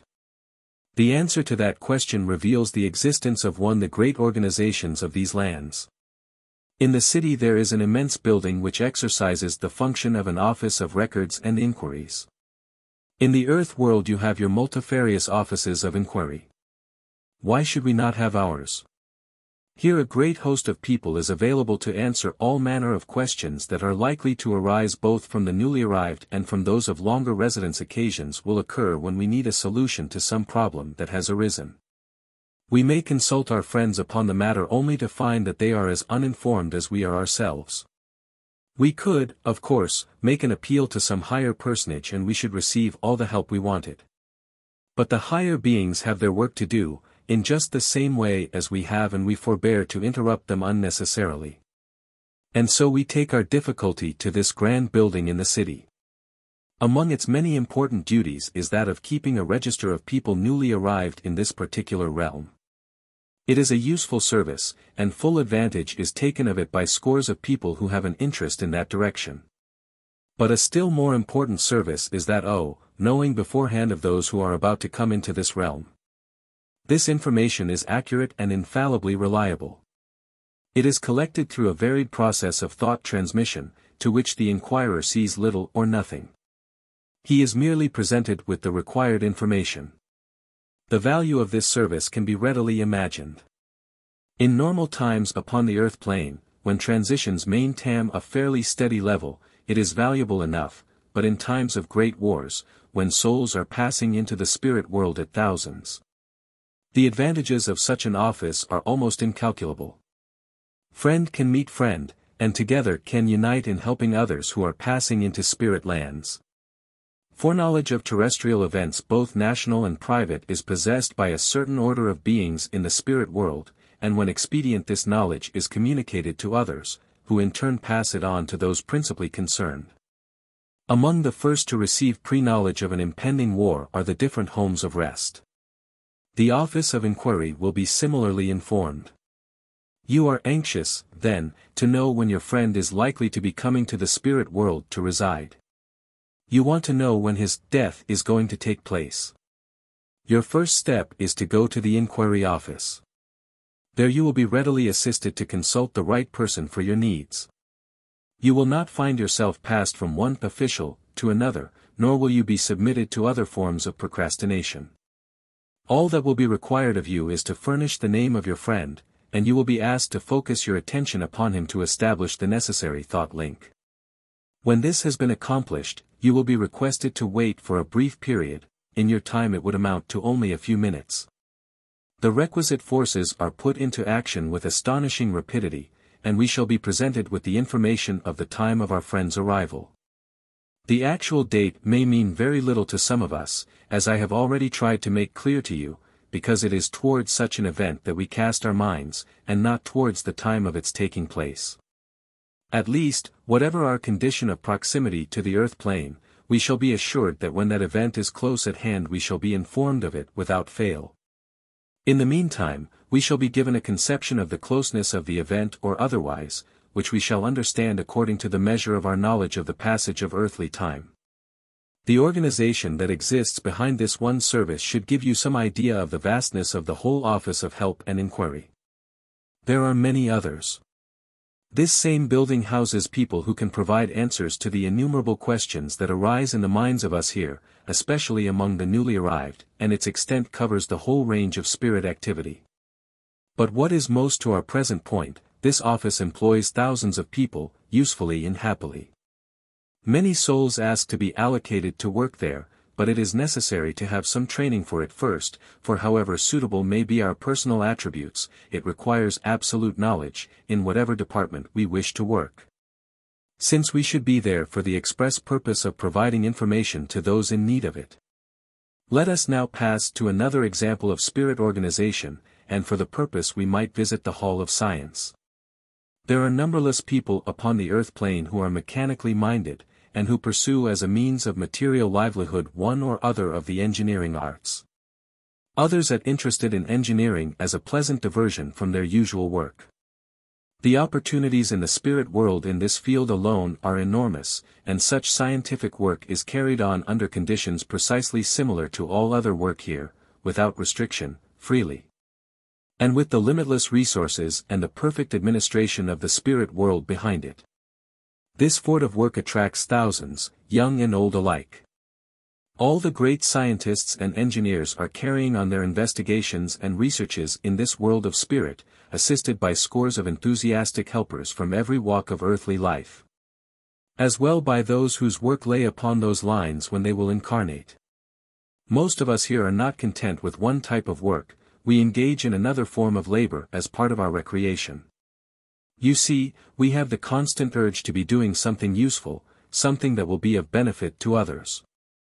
However small that service may be, it will be valued as a service. To have only two forms of work with which to alternate is to give the second lowest estimate. So many of us have a dozen channels through which we are usefully engaged. It must be obvious, then, the supply of useful tasks is entirely adequate to the thousands upon thousands of us here. And each and every form of work has its separate organization. There are no such things as haphazard methods. Every type of pursuit has those in charge of it who are experts, and the administration admits of no muddle or fuss. There is no mismanagement, for everything runs with the smoothness of perfectly constructed machinery under the operation of efficient hands. It must not be concluded from this that we are infallible. That would be a totally wrong estimation, but we know that whatever our mistakes may be we are always sure that our perfect organization will come to our rescue and help us to put things right. Mistakes are never frowned upon as a piece of glaring inefficiency, but are regarded as very good lessons for us by which we can profit to the fullest extent. But because of this sympathy with our mistakes, we are not careless on that account for we have our natural and proper pride in our work, which spurs us on to do our best always, and free from mistakes. To attempt to give you anything like a comprehensive survey of the administrative organization of the spirit world would be a gigantic task, and quite beyond my descriptive powers. Apart altogether from the impossibility of putting into material language what can only be understood as an inhabitant of these lands. Perhaps one of the most striking features of life in the spirit world is that the organization of life is so perfect that there never seems to be any suspicion of hurry or confusion. In spite of the fact that we can perform so many actions of a material kind with the rapidity of thought, which latter is the motive force. This rapidity is as second nature to us, and we scarcely notice it. It is there, none the less, and it is because of it that our great system of life, and the organization of living generally, works so perfectly and yet so unobtrusively. It is something of a proud boast upon the earth plane that you have reached such an age of speed. By comparison with our rapidity of motion, why, you are scarcely moving. You must wait until you come to live here with us. Then you will know what real speed is like. Then you will know, too, what real efficiency and real organization are like. They are like nothing upon the earth plane. Spirit Influence It is the habit of most men to look upon the spirit world and the earth world as two planes apart, separate and distinct. They regard the two worlds as being each independent of the other, cut off from each other, and both entirely uninformed or unaware of what the other is doing. That the spirit world could possibly have any influence upon the earth world to the latter's advantage is demonstrated to be altogether false by the state of universal disorder that exists through the entire earth world. There is another school of thought, consisting of those who have made a superficial study of what they call occultism. These people believe that the earth world, being indisputably very earthy, and the spirit world being incontrovertibly very spiritual, the two worlds are for these reasons automatically inhibited from anything like intercommunication. Both these lines of thought are unquestionably wrong. The two worlds, yours and ours, are in constant and direct communication, and we are fully aware of what is occurring upon the earth plane at all times. I do not, for one minute, say that we all of us know what is taking place with you. Those of us who are in active communion with you are conversant with your personal affairs and with the affairs of your world in general while the rest of us here, who have no further active interest the earth plane since we left it, may be unaware of many thin in connection with it. Those wise beings in the higher realms are in possession of all knowledge of what is transpiring upon earth I would like to indicate one or two channels through which the influence of the spirit world is exerted upon the earth world. First, we might take that influence in a personal way. Every soul that has been, and is to be, born upon the cart plane has allocated to him, or her, a spirit guide. In past ages some such idea must have filtered through into the minds of the early churchmen, since they adopted the pious notion of giving to every incarnate person an unseen protector whom they call a guardian angel.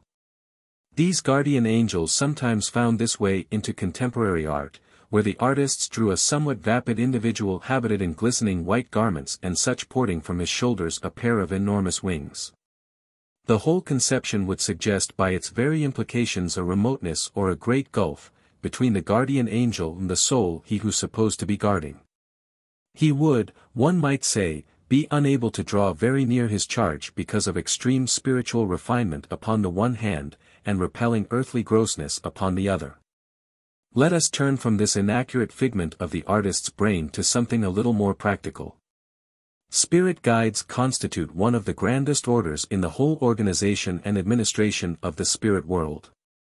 They inhabit a realm of their own, and they have all lived for many centuries in the spirit world. They are drawn from every nationality that exists upon the earth plane, and they function regardless of nationality. A great many of them are drawn from caste countries, and from the North American Indians, too, because it has always been the case that dwellers in those regions of earth world were, and are, already possessed of psychic gift themselves. And were therefore aware of the interrelationship of our two worlds.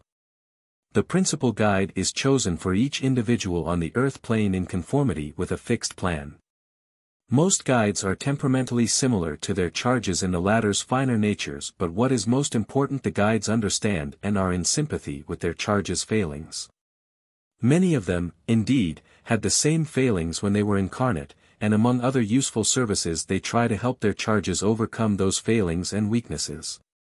A great number of those who practice communication with the spirit world have already met their spirit guides and are in close touch with them. And fortunate, indeed, they are.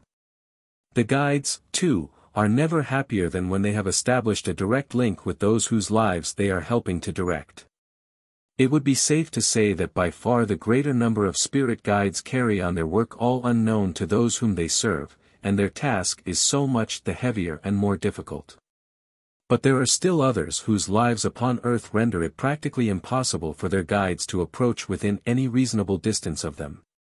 It naturally saddens them to see the mistakes and follies into which their charges are plunging themselves, and to be obliged to stand aloof because of the thick wall of material impenetrability which they have built up round themselves.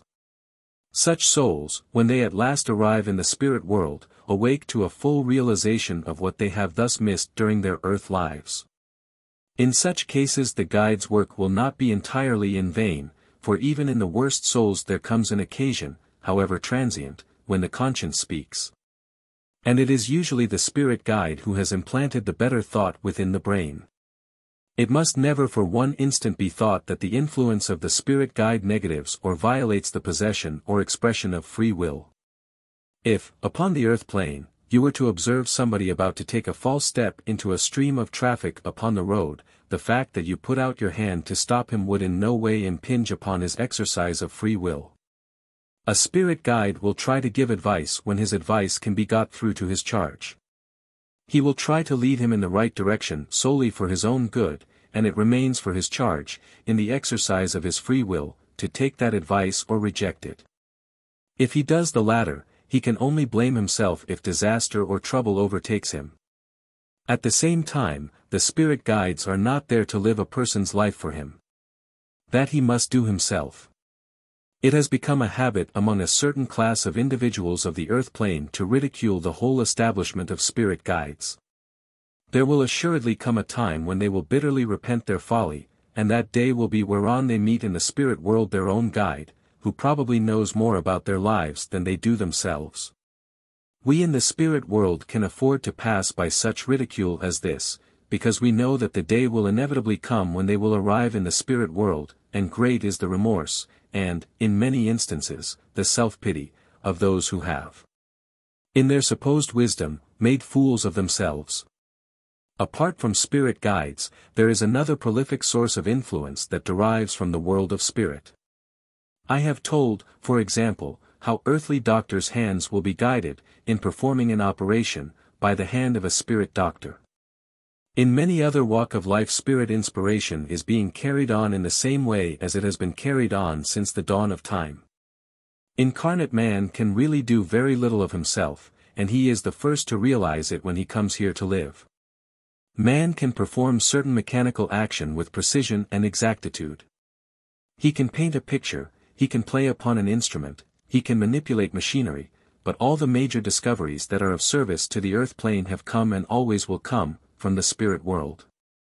To man, employing his free will, chooses to put those discoveries to base ends, that he can thank himself for the calamities that follow. Inspiration devoted to whatever cause or pursuit, comes from the world spirit, and from nowhere else. If it be for the good of mankind the source is equally good. If the inspiration is obviously not for the good of mankind, then the source is unquestionably evil man has it within his own hands as to which source of inspiration he will lend himself, to good or to evil. You will remember how I have told you that a person is exact the same spiritually the moment after he has died as he was the moment before. No instantaneous change takes place to turn an earthly lifetime of evil into good. One Orthodox Church takes the view, which is also an infallible teaching, that those of us who return to the earth plane and mal our presence known, are all devils. It is a pity that the church is so blind, for it can be said that they are trying, ineffectually to stifle the forces of good, while they are ignoring the real force of evil. If they encouraged the forces of good to come to them the forces of evil would soon be put to flight. The churches, whatever denomination, suffer from abysmal ignorance. Throw out the ages right down to the present time they have gone their own blind, ignorant way, disseminating fantastic teachings place of the truth, and paving the way, through the universe ignorance begotten of such false teachings. For the forces of to operate. A minister of the church performs the services and offices prescribed by his particular sect, and he stifles all inspiration by holding to creeds and dogmas that are utterly false. If he were interrogated in the matter he would reply that he believed in inspiration, in a vague, remote way. In the long run he would find it much less trouble to borrow the religious thoughts of some other incarnate person, and rely upon his own cleverness for any original thought. But to suggest that the spirit world has any influence upon the earth world other than evil, would be totally against his principles. It is a strange habit of mind that persists in the belief that it is always the forces of evil from the spirit world that try to make their power felt upon the earth plane. The forces of evil are attributed with powers which, it would seem, are denied to the forces of good. Why? And why are the churches mortally afraid to try the spirits, as they are advised to do in the very book upon which they place so much reliance? They ignore this text, and point a warning finger to the supposed woman of Endor. The spirit world works constantly to make its power and force and presence felt by the whole earth world, not only in personal matters, but through individuals into a wider sphere for the good of nations and national policies. But so little can be done, because the door is usually closed to the higher beings of the spirit world, whose range of vision, and whose wisdom and knowledge and understanding are vast. Think of the evils that could be swept from the face of the earth under the immensely able guidance of wise teachers from the spirit world. The world of spirit does its best through the limited channels available. But it is safe to say that there is no problem upon the earth plane that could not be solved by the help and advice and experience of those beings I have just mentioned. But it would involve one thing, an implicit adherence to whatever they advised or advocated. Many a leader, either of the nation's affairs or of religious thought, who is here with us in the spirit world, is filled with sorrow when he looks back upon the wasted opportunities for bringing about a revolutionary change for the betterment of his fellow countrymen. He will confess that he had the idea in his mind, he did not know then that it had been impinged thereupon by the spirit world, but he had allowed himself to be overruled. These souls sigh for the state into which humanity has degraded itself. Humanity has, in effect, allowed the evil forces to dictate to it. But the evil ones, so beloved by the churches, have appeared in a different direction from that which those same churches allege that they come. The men and women who practice communication with us in all seriousness and earnestness, and who enjoy happy meetings with their spirit friends as well as with noble teachers from the higher spheres, are accused of dealings with devils. This is rubbish. The real devils are far too busy elsewhere, in places where they can produce far greater results to their own evil satisfaction. You will say that my outlook seems rather pessimistic. Really, after all, the earth world is not so bad as I paint it. That is perfectly true, because we have managed to get through the earth world just one or two of our ideas and thoughts and precepts but it can safely be said that in spite of universal earth world disorder, had we withdrawn every element of our influence earth world would, in a very brief time, be reduced to a of complete and absolute barbarity and chaos. And the reason that man thinks he can get along nicely by his own power's volition. He is conceited enough to think that he requires no help from any source whatever as for assistance from the spirit world, if such a place exists, it is unthinkable. If there is such a place as the spirit world, it is fully time enough to begin thinking it when one arrives there. For the present, then, they are so superior that they know everything, and can manage their own affairs perfectly well without the help of a shadowy spirit world. When many men arrive here in the same world of spirit that scorned, they see their own littleness and the littleness of the world they have just left.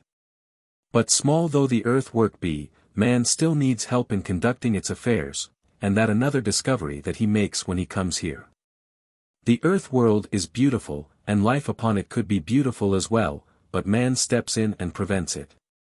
The spirit world is surpassingly beautiful, more beautiful than the mind of incarnate can possibly imagine. I have tried to show you a glimpse or two of it.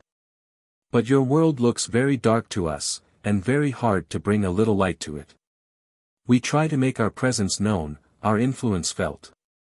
Our influence is great, but it has to be increased far, far beyond its present range. When we and our world gain full acceptance you will then know what it means to live upon the earth plane. But we have a long, long way to go yet. The highest realms. I have spoken to you, on a number of occasions, of the spheres. There are two ways, and two ways only, of penetrating into those lofty states. The first is through our own spiritual development and progression. The second is by special invitation from some dweller in those regions. Any other way is barred to us by the invisible barriers of spiritual impenetrability.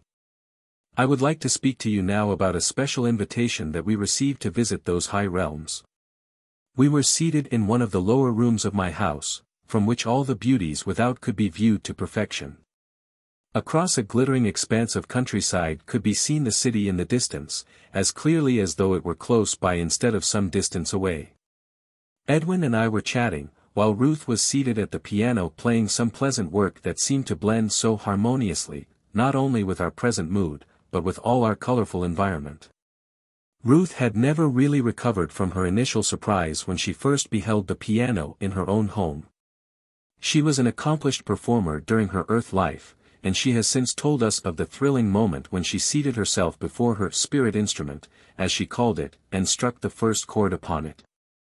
She said that she never precisely knew what was going to happen, or what description of sound would come forth with her striking the keys.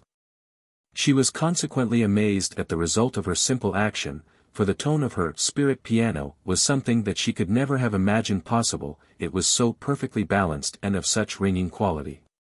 Her surprises were not ended, however. She found that her dexterity had increased a hundredfold by her casting off her physical body, and that she had taken her technique with her to the spirit world. She further discovered that her hands, when applied to the instrument, just rippled along the keys without conscious effort, and that her memory was as sound as though she had the very music before her. On the present occasion she was filling the air with dulcet sounds, and so helping all three of us in our rest and recreation, for we had just completed a particularly onerous task during the course of our usual work. We three work together, we are still doing so at this moment of your time, and we usually take our rest and amusement together. In fact, Edwin and Ruth spend far more time in my home than they do in their own. Speaking for myself, I would not have it otherwise. Suddenly Ruth ceased playing, and ran to the door. Wondering what had caused her to stop so abruptly, Edwin and I joined her. We were much surprised to see, walking across the lawn, two striking figures, of whom I have before made mention. One was the Egyptian who had given me such helpful advice when I was but recently arrived in spirit lands, and who had since taken such a kindly interest in my welfare. The other was his master, who had accompanied the great celestial visitor upon that occasion the temple in the city. The Egyptian's master was a man with jet black hair, matched in its color by a pair of eyes that bespoke the greatest sense of humor and merriment. I subsequently learned that our guide was a Chaldean. We went forward eagerly to welcome our two visitors, and they expressed their pleasure in thus coming to see us. We conversed happily upon various matters, and Ruth persuaded to finish the work she had been playing when they arrived. At the finish they voiced their appreciation of her talent and then the Chaldean broached the subject upon which they I called. He came, he said, with an invitation from the Greta whom we had assembled to honor upon that memorable day the temple, for us to visit him at his own home in the high realm in which he lived. The three of us were silent for a moment. Ruth and I did know exactly what to say beyond expressing our sense of privilege that was contained in such an invitation. Edwin, however came to our rescue, and acted as our spokesman. The Chaldean was much amused at our embarrassment, and he hastened to assist us that there was nothing to fear in such a meeting. That would be impossible, as we should see. I think what troubled us most or, at least, puzzled us most, was the reason why we should invite it upon such a visit, and just how we were to get there indeed, we had no notion where, there, might be. As to first question, the Chaldean said that we should ascertain that when we arrived at our destination. As to our getting to our destination, why, that was what he and his much-loved friend, the Egyptian, had come for purposely.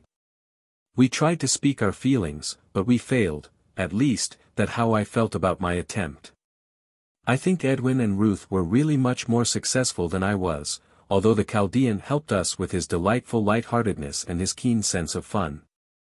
I truly believe that the Chaldean is the merriest soul in the whole of the spirit realms.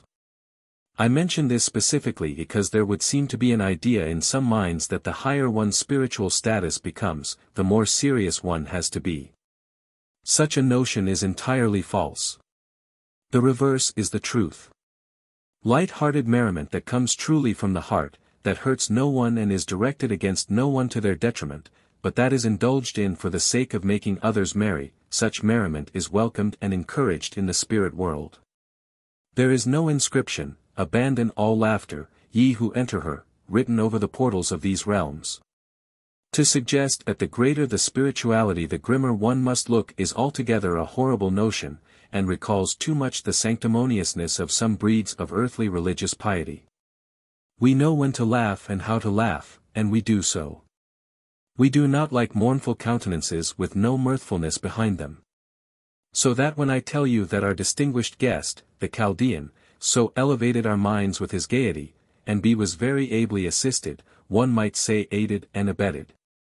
By the kindly Egyptian, you must know that he lost none of the grand dignity and stateliness of his high station.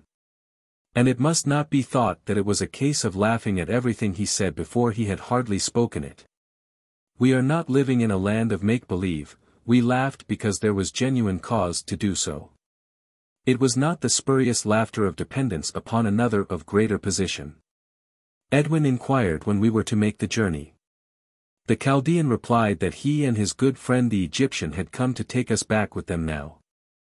I was still, we all were, in the dark as to the actual procedure in making such a journey, but the Chaldean soon took matters in hand by bidding us to come along. And he led us towards the boundary of our realm. As we walked through the woods and meadows, I asked the Egyptian if he could tell me anything about the great being whom we were about to visit. What he told me was very little, although I was certain that he knew very much more than he revealed. Most likely I should not have understood had he told me all he knew, so that he, in his wisdom, withheld further information. This, then, is what he told me. The illustrious personage, towards whose home in the high realms we were making our way, was known by sight to every soul in the realms of light. His wish was always treated as a command, and his word was law. The blue, white and gold in his robe, evident in such enormous proportions, revealed the stupendous degree of his knowledge, spirituality, and wisdom. There were thousands who named him as their beloved master, the principal among whom being the Chaldean, who was his right hand. As to his special function, he was the ruler of all the realms of the spirit world, and he exercised collectively that function which the particular ruler of a realm exercises individually. All other rulers, therefore, were responsible to him, and he, as it were, united the realms and welded them into one, making them one vast universe, created and upheld by the great Father of all. To attempt to define the immense magnitude of his power in the spirit world would be to essay the impossible. Even were it possible, understanding would fail. Such powers have no counterpart, no comparison even, with any administrative powers of the earth plane. Earthly minds can only conjure up those individuals who ruled great kingdoms upon earth, who held sway of vast territories, it may be, but who did so through fear alone and where all who lived under him lived as serfs and slaves.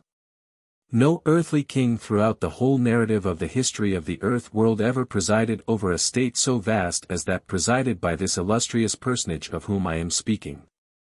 And his kingdom is ruled by the great universal law of true affection. Fear does not, could not, exist in the minutest, tiniest fraction because there is not, and cannot be, the slightest cause for it. Nor will there ever be. He is the great living visible link between the Father, the Creator of the universe, and his children. But notwithstanding the supreme elevation of his spirit position, he descends from his celestial home to visit us here these realms, as I have tried to describe to you on a former occasion. And it is permissible for others of incomparably less degree to visit him in his own home. There is nothing unsubstantial, vague, or unreal about this regal being. We have beheld him on those great festival days that we have in the spirit world. He is not some spirit experience, some grand enlistment of the soul produced within by some invisible means from some invisible source.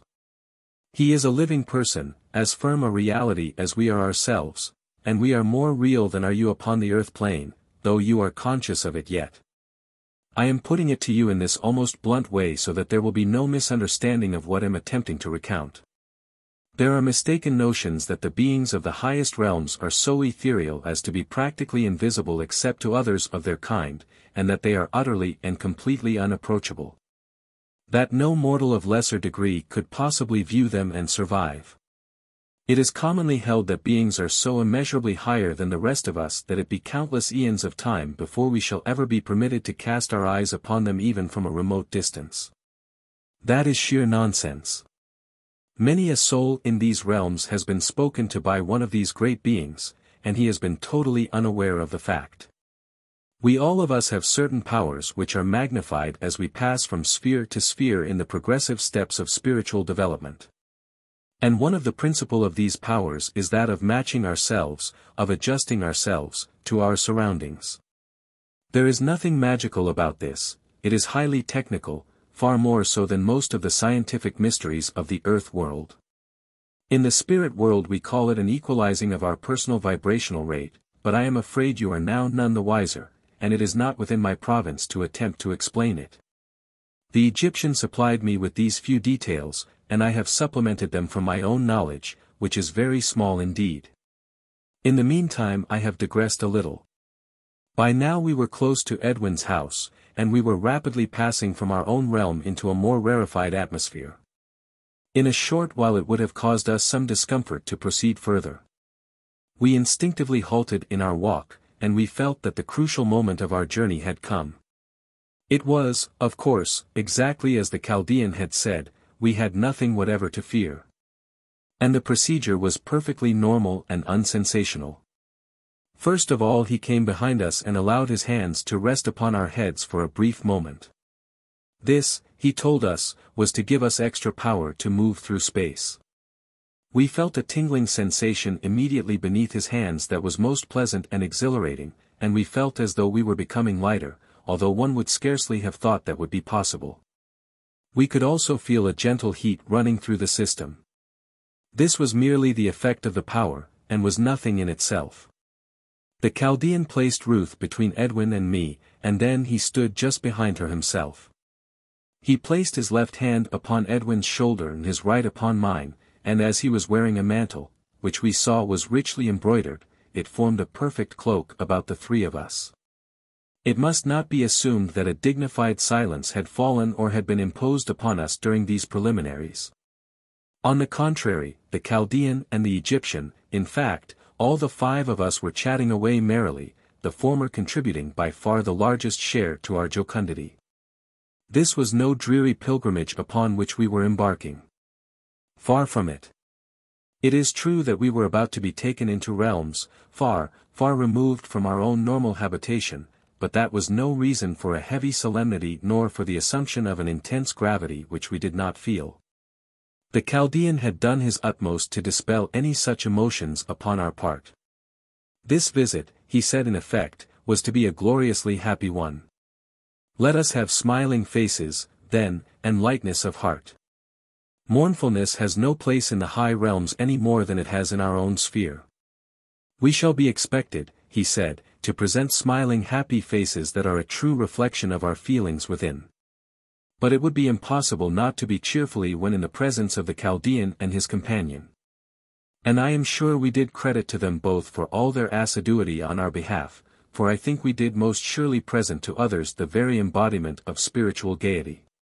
The Chaldean told us that by placing his hands upon our heads it would also have the effect, in addition to giving us power travel, of adjusting our vision to the extra intensity of light that we should encounter in the high realm.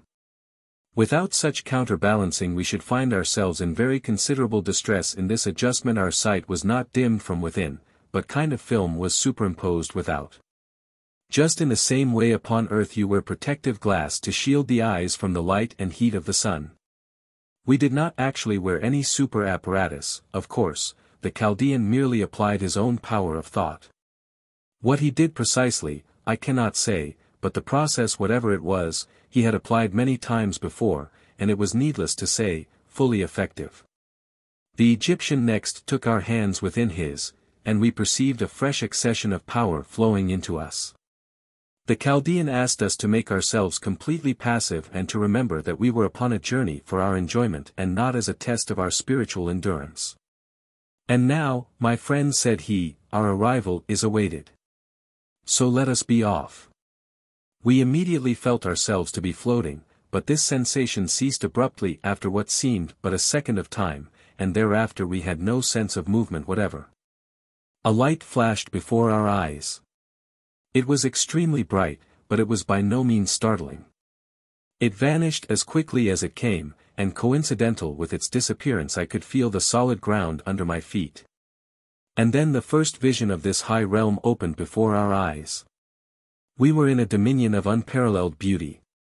There is imagination upon the earth plane that can visualize such impressible beauty, and I can only give you some meager detail of what we saw in the limited terms of the earth plane. We were standing within the realm of a king, that was evidence to us at once. We stood upon an elevation some height above the city, our good friends had expressly taken us to this particular location to present us with this superb view. It would not be possible, they said, to spend more than a limited period here, uh, so it was the wish of the Chaldean's master that we should see much as possible within that period. Stretching before us was the wide stream of a river, looking calm, peaceful, and overwhelmingly lovely as the heavenly sun touched every tiny wave with a myriad tints and tones.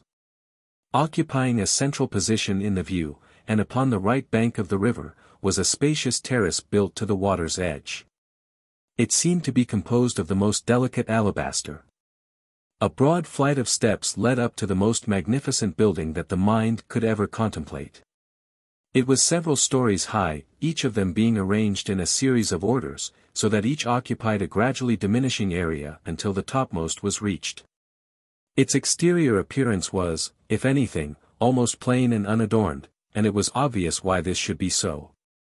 The whole edifice was exclusively composed of sapphire, diamond, and topaz, or at least, their celestial equivalent.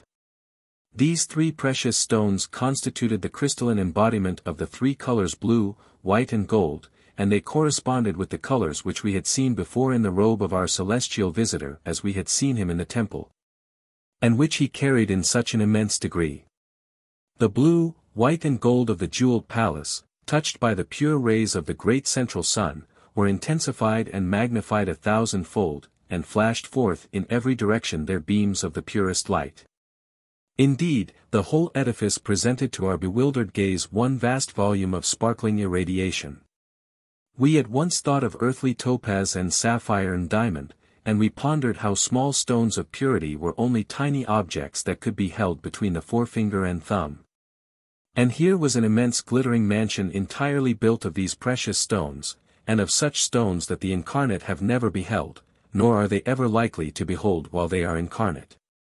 Our first question concerned the reason or significance of the especial fabric of the building that was before us. There was no special significance in the actual materials of which the palace was constructed, so the Chaldean informed us. The precious stones were proper to the realm which we were now visiting. In our own realm the buildings are opaque, albeit they have a certain translucence of surface. But they are ponderous and heavy by comparison with the upper realms. We had journeyed through many other spheres to reach this present one, but had we paused to observe the lands through which we had passed. We should have seen a gradual transformation taking place until the relatively heavy-looking materials of our own realm became transmuted into the crystalline substance upon which our gaze was flow fastened. But the colors most certainly had a special significance to which I have already alluded. We could see, surrounding the palace, many acres of the most enchanting gardens laid out in such fashion that, from the distal and elevated viewpoint which we occupied, they presented a huge and intricate pattern as in some superbly wrought eastern carpet we were told that upon close view, or in walking through the gardens, the pattern would be lost but that we should find ourselves in the midst of delicately arranged flower beds and some velvety lawns. Though we could scarcely remove our eyes from the superlative glory of the palace and its grounds, yet the Chaldean gently drew our attention to the remainder of the prospect. It extended for miles upon countless miles, or so it seemed us. The range of our vision was increased in these rarefied region beyond all human conception, and so it seemed that literally an unending vista spread before us of more earthly miles than it possible to contemplate. And all through this wide expanse we could see other magnificent buildings built of still more precious stones, of emerald and amethyst, to name but two, and, far away what looked like pearl. Each of the different buildings was set amid the most entrancing gardens, where trees were growing unimaginable richness of color and grandeur of form. Wherever we cast our eyes, there we could see the flashing of jeweled buildings, reflecting back the rays of the central sun, the myriad colors from the flowers. And the scintillating from the waters of the river that flowed before us far away into the distance. As we were gazing spellbound upon the scene a sudden flash of light seemed to come from the palace directly to the Chaldean and it was acknowledged by an answering flash which he sent back to the palace. Our presence in the realm was known, and soon as we had feasted our eyes upon the view, we were asked to walk within the palace, where our host would be waiting to receive us. Such was the message contained in the flash of light as interpreted by the Chaldean. We, therefore, proceeded at once towards the palace. By the same means of locomotion that had brought us in the sphere, we quickly found ourselves walking upon the terrace beside the river, and up a broad flight of steps that led to main entrance of the palace.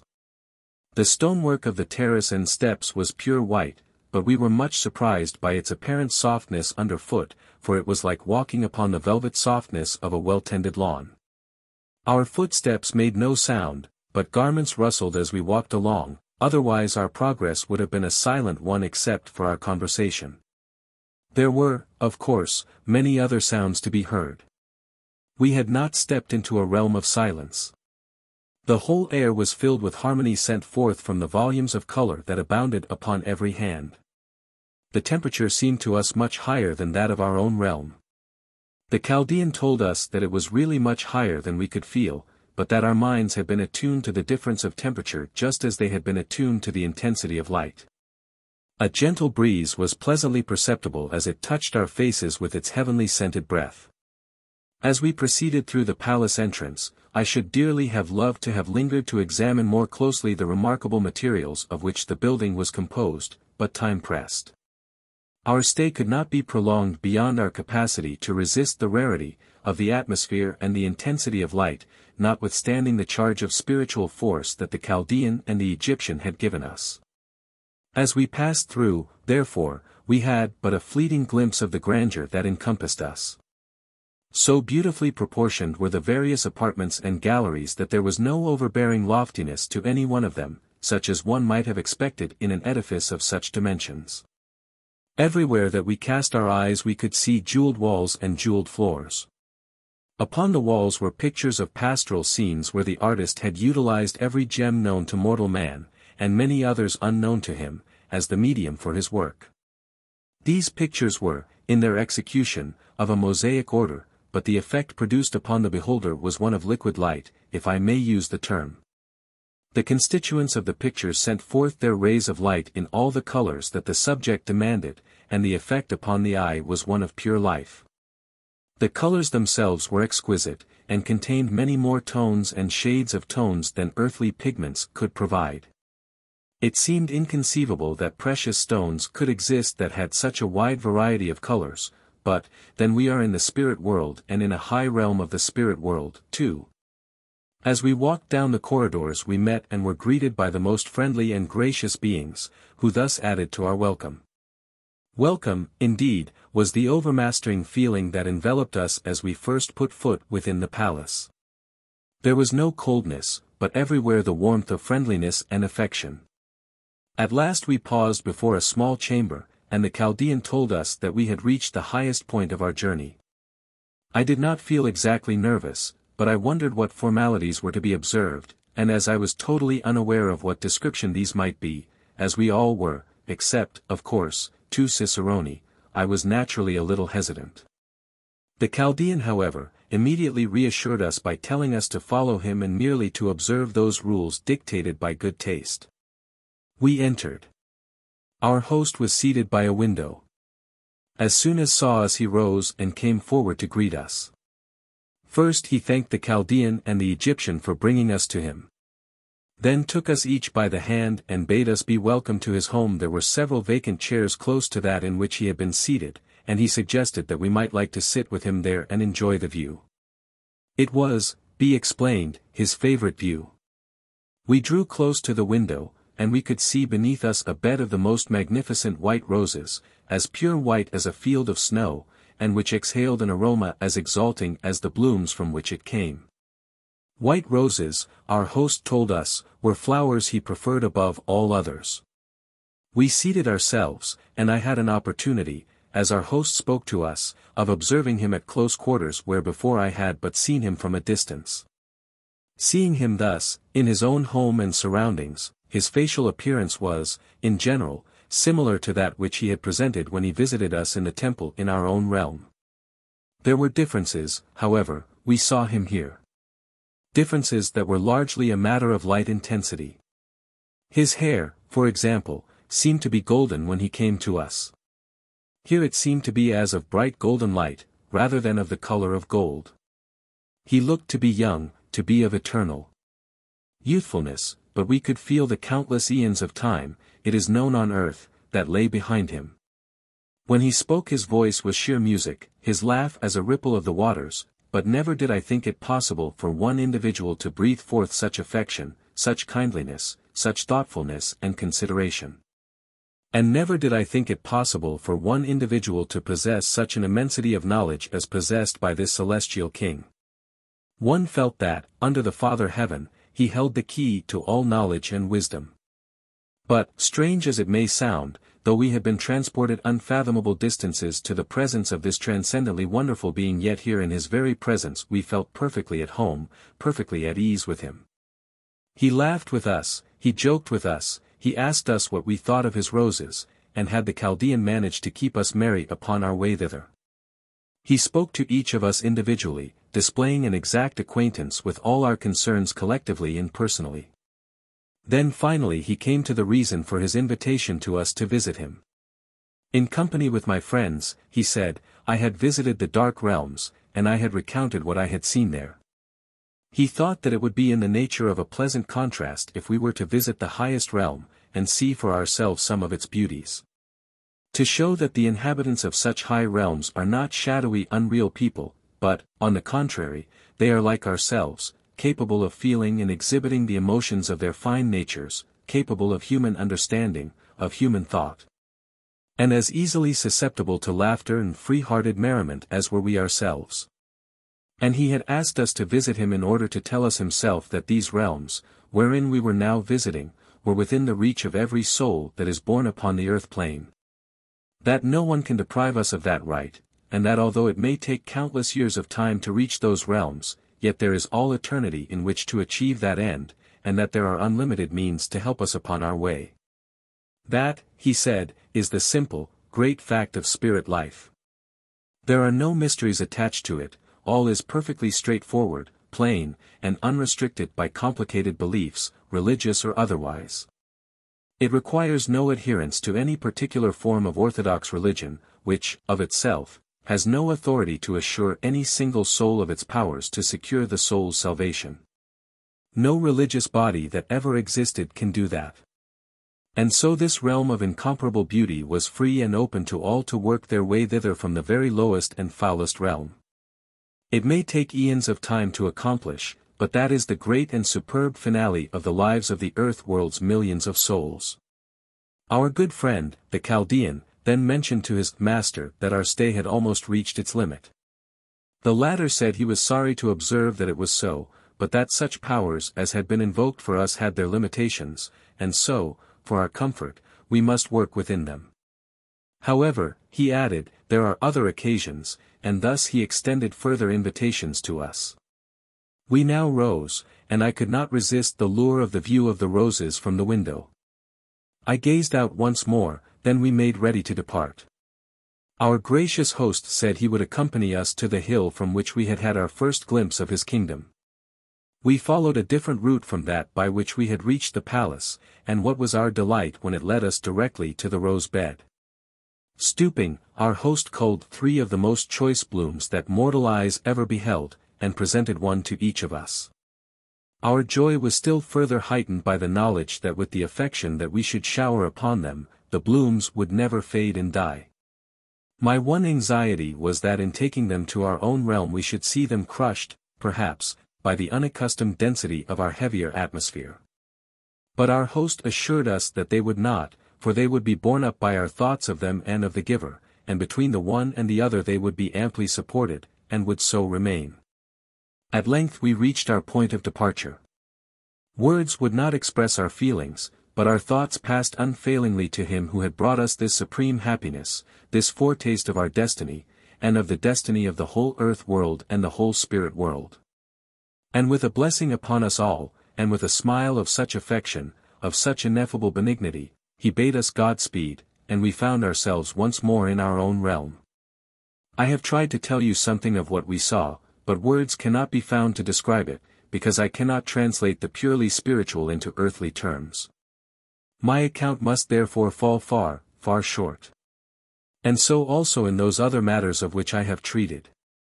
To give you a comprehensive account of all that we have seen in the world of spirit would fill many volumes, and therefore I have chosen what I felt would be of most interest and benefit. My earnest wish is that I have captured your interest, taken you away, for a moment, from the pressing affairs of earthly life, and given you a glimpse of the world beyond the world in which you are now living. If I have brought a measure of comfort, or of good hope, then great is my reward, and I would say to you. Benedicat te omnipotens Deus.